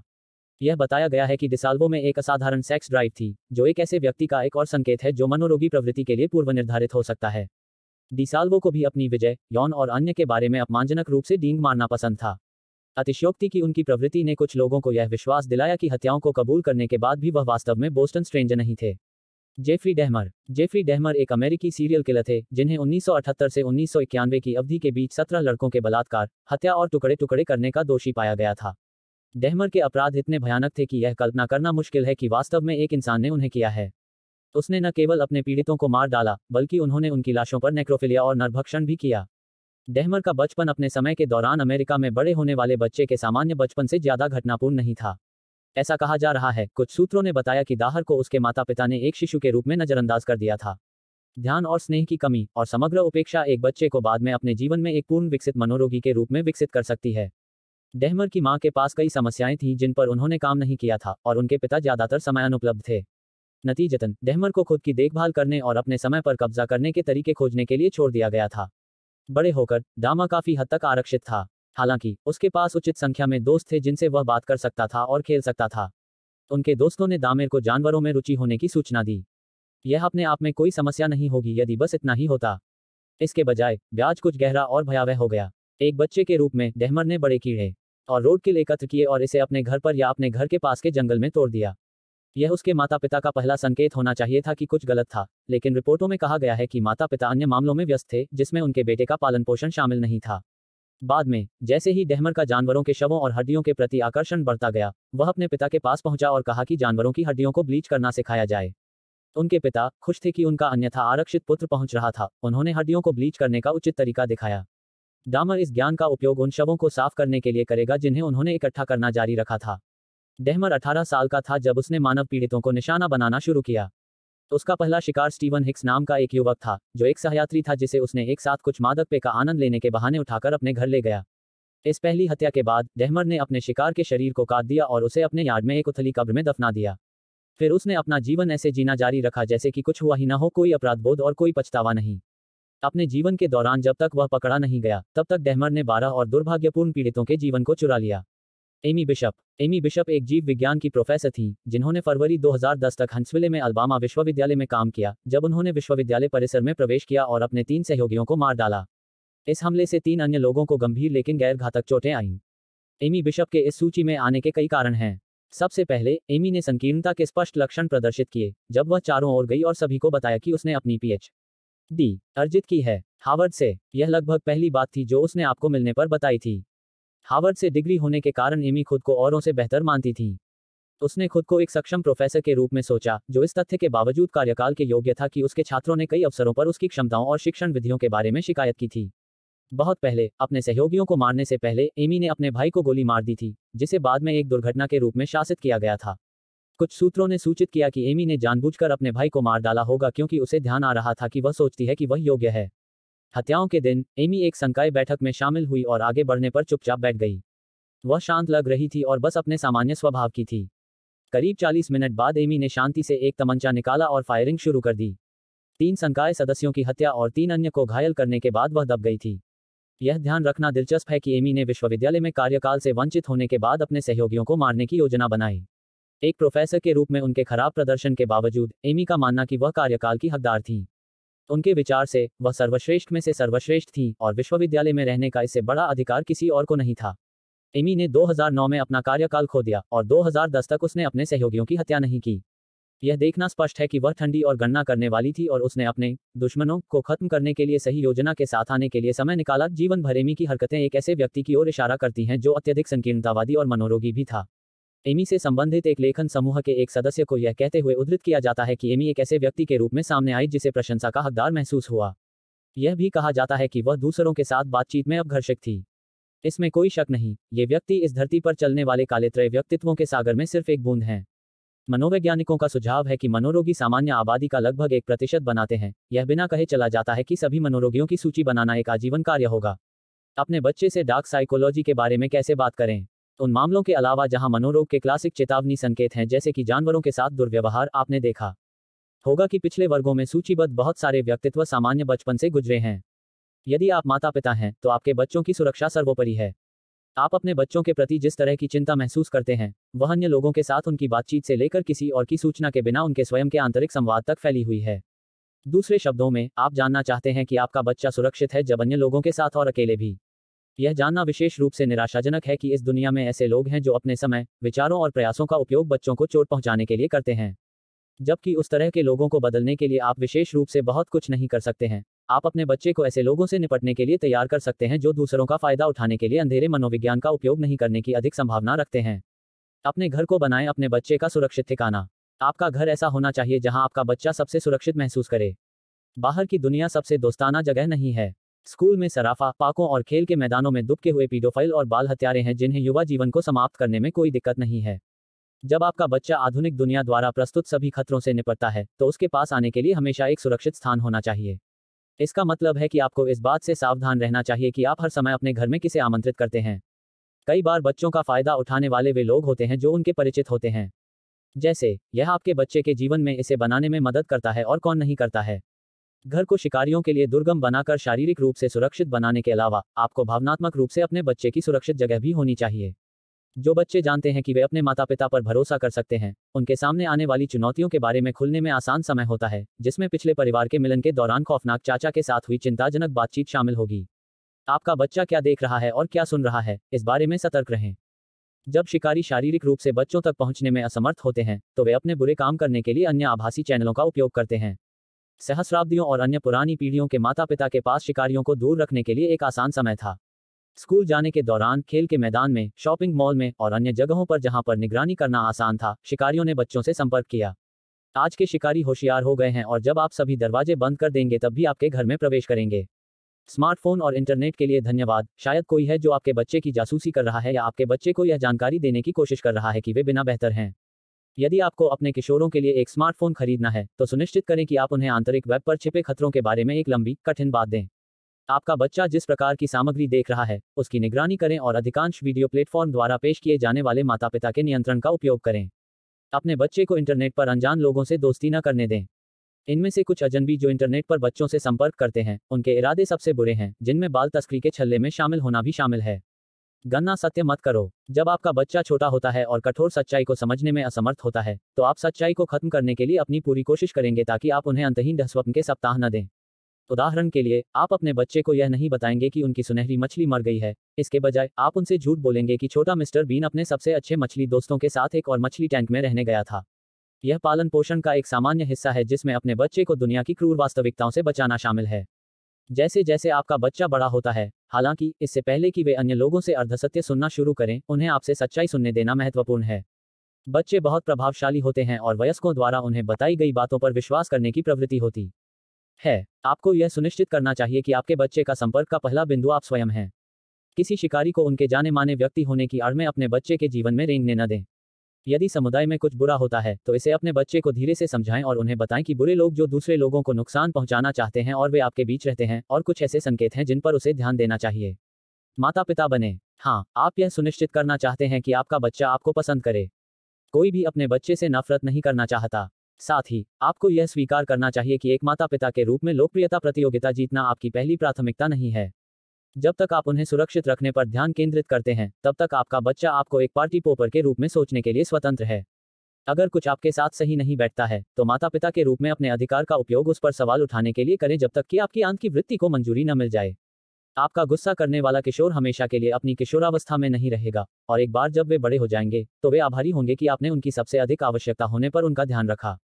खेल से आगे रहें। शिकारी लगातार खेल के नियमों को बदल रहे हैं क्योंकि वे जानते हैं कि बाकी आबादी पकड़ रही है। उदाहरण के लिए, कुछ शिकारियों ने बच्चों के हानिरहित लगने वाले वीडियो और अन्य सामग्री में हानिकारक संदेश डालने का काम किया है। ऑनलाइन गेम और लगातार सोशल मीडिया चुनौतियों का भी कभी कभी हेरफेर करने के लिए उपयोग किया जाता है और बच्चों को प्रभावित करने वाली प्रथाओं में संलग्न होते हैं जो उनके लिए हानिकारक होते हैं। माता पिता के रूप में, आपको यह सुनिश्चित करना चाहिए कि आप अपने बच्चे को हेरफेर करने के लिए इस्तेमाल की जा रही चाल और विश्वासघात से अवगत हैं और फिर बहुत देर होने से पहले इसे कली में डाल दें। क्या होगा यदि आपका बच्चा समस्या है? कोई भी यह विश्वास नहीं करना चाहता कि उनका बच्चा मनोरोगी, समाजोपत या संकीर्णतावादी होने के करीब कहीं भी हो सकता है। और फिर भी, डार्क ट्रॉयड पर उच्च स्कोर करने वाले वयस्क कभी बच्चे थे। हम अपने सबसे अच्छे बच्चों पर विश्वास करना चाहते हैं, लेकिन शायद यही इनकार है जिसके कारण माता पिता बहुत देर होने से पहले बच्चों की मदद करने के अवसरों से चूक जाते हैं। सबसे पहले, यह ध्यान रखना महत्वपूर्ण है कि मनोवैज्ञानिक बच्चों को मनोरोगी कहने का शौक नहीं रखते हैं, तब भी जब ये बच्चे चिंताजनक और असामान्य व्यवहार प्रदर्शित करते हैं। यह केवल इसलिए है क्योंकि इस शब्द में बहुत अधिक कलंक और अंतिमता है। जब छह साल की उम्र में एक बच्चे को मनोरोगी कहा जाता है तो कौन यह नहीं कह सकता कि वे नाम के अनुसार जीने के लिए बड़े होने की इच्छा नहीं रखेंगे। साथ ही, बच्चे ऐसे ही होते हैं, वे बच्चों के रूप में परेशान हो सकते हैं और फिर बड़े होने पर कुछ अलग हो सकते हैं। इसलिए असामाजिक व्यक्तित्व विकार के बजाय, बच्चों को अक्सर आचरण विकार का निदान किया जाता है। इस निदान के लिए एक बच्चे को कुछ मानदंडों को पूरा करना होगा जिन पर सहमति हुई है और इन मानदंडों को कम से कम छह महीने तक प्रदर्शित करने के तरीके से व्यवहार करना चाहिए। इसका मतलब यह है कि एक किशोर जो एक या दो मामलों में आक्रामक व्यवहार करता है, वह आचरण विकार का उम्मीदवार नहीं है। सबसे अधिक संभावना है, उनके पास सिर्फ़ एक बुरा दिन है। तो आचरण विकार स्पेक्ट्रम के लिए कौन योग्य है? एक बच्चा जिसके बाद के जीवन में मनोरोगी बनने की उच्च संभावना होती है, वह निम्नलिखित विशेषताओं को प्रदर्शित करता है। उनमें सहानुभूति की अत्यधिक कमी है। यह उस तरह का बच्चा है जो खेल के मैदान में अपने दोस्त के चोटिल होने पर नहीं हिलता। वास्तव में, आप उन्हें दूसरों के दर्द पर हँसते हुए भी पकड़ सकते हैं। उनमें पश्चाताप और अपराध बोध की कमी है। एक बच्चा जिसे पछतावा या अपराध बोध नहीं है, वह गलत करेगा और इसके लिए माफ़ी मांगने की आवश्यकता महसूस नहीं करेगा। वे अपने छोटे भाई को मार सकते हैं या परिवार के पालतू जानवर को दीवार से टकरा सकते हैं और इसके बारे में मुस्कुरा सकते हैं। जब उनसे माफ़ी मांगने को कहा गया तो वे जिद्दी हो जाएँगे और सहयोग करने से पूरी तरह मना भी कर सकते हैं। वे दंड के प्रति उदासीन हैं। अधिकांश बच्चे दंडित होने पर बहुत नाटकीय हो जाते हैं। वे अपने नन्हे मुन्नों के दिलों को चीर देते हैं और यहाँ तक उन्हें दंडित करने के बारे में आपको बुरा महसूस कराने की कोशिश करते हैं। आचरण विकार वाले बच्चों के लिए ऐसा नहीं है। अधिकतर ऐसे बच्चे सजा की परवाह नहीं करेंगे। उन्हें थोड़ा सा भी स्थानांतरित नहीं किया जाएगा और यह सुनिश्चित करेंगे कि आप जानते हैं कि वे स्थानांतरित नहीं हुए हैं। यह सिर्फ़ इसलिए है क्योंकि वे हर किसी की तरह दर्द और भावनाओं का अनुभव नहीं करते हैं। अंत में, जो वयस्क पूरी तरह से मनोरोगी बन गए, उन्होंने अपने बचपन में आक्रामकता और क्रूरता के लक्षण प्रदर्शित किए। चूँकि एक बच्चा एक छोटा व्यक्ति होता है, जिसके पास बड़े पीड़ितों को लेने के लिए ज़्यादा ताकत नहीं होती है, बच्चे अक्सर असहाय जानवरों को अपनी आक्रामकता और क्रूरता को बाहर निकालने के लिए लक्षित करेंगे। अगर एक दिन आपका बच्चा जाग जाए और परिवार की बिल्ली को मार डाले तो आपको बहुत चिंतित होना चाहिए। जब आपका सामना एक ऐसे बच्चे से होता है, जो इन सभी लक्षणों को प्रदर्शित करता है तो आप क्या करते हैं? पहली चीज़ जो आपको करने की ज़रूरत है वह यह है कि हर मनोरोगी कयामत और विनाश की ओर नहीं जाता है। जैसा कि इस पुस्तक में पहले उल्लेख किया गया है, कुछ मनोरोगी अपने जोखिम लेने लेजर तेज फोकस के कारण अपने क्षेत्रों में बहुत सफल हो जाते हैं। एक बच्चा जो प्रतीत होता है कि विनाशकारी और बेचैन है, उसे अपने जीवन में कुछ महान बनने के लिए ढाला जा सकता है। यह चिंता करने के बजाय कि आपका बच्चा सीरियल किलर बन जाएगा, इस बारे में सोचें कि आप उन्हें अगले विश्व प्रसिद्ध सीईओ में कैसे बदल सकते हैं। बच्चों के बारे में एक अच्छी बात यह है कि वे आसानी से विचलित हो जाते हैं। अपने बच्चे को व्यस्त रखें और उनके पास उन सभी क्रूर चीज़ों के बारे में सोचने का समय नहीं होगा जो वे अपने रोमांच की तलाश में हो सकते हैं। बच्चे में मौजूद विकार की प्रकृति के आधार पर पेशेवर हस्तक्षेप की आवश्यकता हो सकती है। पेशेवर जो बच्चों के साथ काम करते हैं, जो मनोरोगी व्यवहार प्रदर्शित करते हैं, उन्हें बदलने की कोशिश नहीं करते क्योंकि वे जानते हैं कि यह सब मस्तिष्क में है और ऐसा बहुत कुछ नहीं है जो आप कर सकते हैं। बच्चों को बदलने के बजाय पेशेवर बच्चों को अच्छे व्यवहार की ओर धकेलने के लिए अच्छे दिमाग के साथ काम करने का विकल्प चुनते हैं। उदाहरण के लिए, भले ही एक मनोरोगी का मस्तिष्क सहानुभूति और भावनाओं के लिए सक्षम न हो, फिर भी वे इनाम और उस इनाम को पाने के उत्साह को पहचानने में सक्षम हैं। इसलिए चिकित्सक इनाम के बदले बच्चे को अच्छा करने के लिए, प्रशिक्षित करने के लिए क्या करते हैं? मनोरोगी जीतना पसंद करते हैं, और यह उन बच्चों के लिए भी सच है जो मनोरोगी प्रवृत्ति का प्रदर्शन करते हैं। यह इनाम दृष्टिकोण उन जेलों में भी उपयोग किया जाता है जहाँ मनोरोगियों की आबादी अधिक होती है। यदि आपके पास एक बच्चा है जो सूचीबद्ध संकेतों के अनुसार एक समस्या बच्चा होने के लक्षण दिखा रहा है तो आपको इस बारे में बहुत सावधान रहना चाहिए कि आप समस्या को कैसे कहते हैं। बच्चे अपने बारे में जो संदेश सुनते हैं, वही वे बड़े होकर विश्वास करते हैं। यदि कोई बच्चा मूर्ख कहलाकर बड़ा होता है तो वह अपनी मूर्खता को अपनी पूरी क्षमता से जिएगा। एक बच्चा, चाहे उनके मनोरोगी स्वभाव की परवाह किए बिना, कुछ महान हो जाएगा यदि वे अपने बारे में मज़बूत संदेश सुनते हैं। पोषण हमेशा प्रकृति पर हर बार जीत नहीं सकता है, लेकिन यह हमेशा एक शॉट के लायक है। हो सकता है कि यह किसी ऐसे बच्चे को कहने के लिए सशक्त बनाने के बारे में सोच रहा हो जो छोटे जानवरों को मारता है, लेकिन उन्हें एक हत्यारा के रूप में लेबल करने से उन्हें केवल कुछ करने की इच्छा होगी।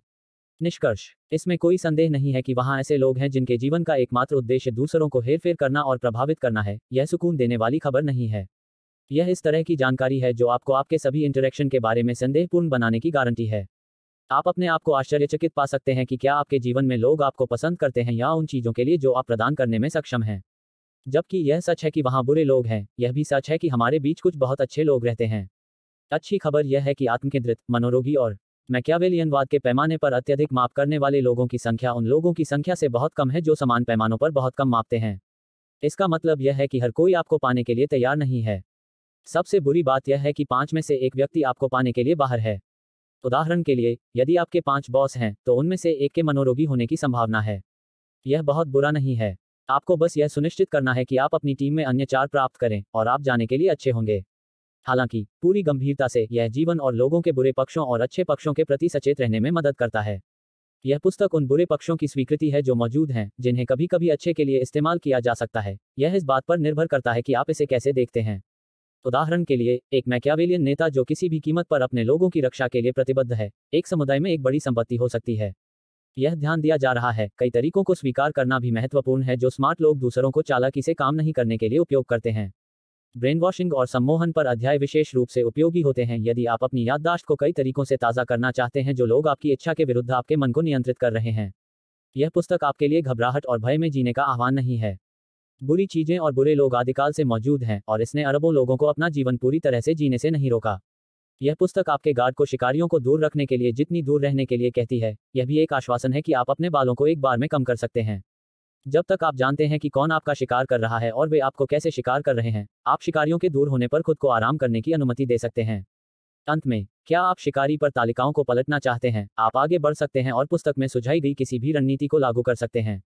बस यह सुनिश्चित कर लें कि इस तथ्य के बाद आप अपने विवेक से निपट सकते हैं। मनोरोगी किसी के साथ कुछ बुरा करने के बाद रात में चैन की नींद सो पाते हैं। इसका कारण यह है कि उनमें उन्हें जगाए रखने का विवेक नहीं होता है। और किसने कहा कि आप वैसे भी बुरे होने के लिए केवल काले मनोविज्ञान का उपयोग कर सकते हैं? यदि आप अपने बॉस को आपको बढ़ाने या पदोन्नति देने के लिए सम्मोहित कर सकते हैं तो आपको अधिक शक्ति मिलेगी। संदर्भ, बेहरी, डब्ल्यू 2013 नार्सिसिस्ट को निरस्त करना, आत्मा अवशोषित के साथ जीवित रहना और संपन्न होना। न्यू हार्बिंगर प्रकाशन, ब्रोमली, डी, और मेल्टन, जे।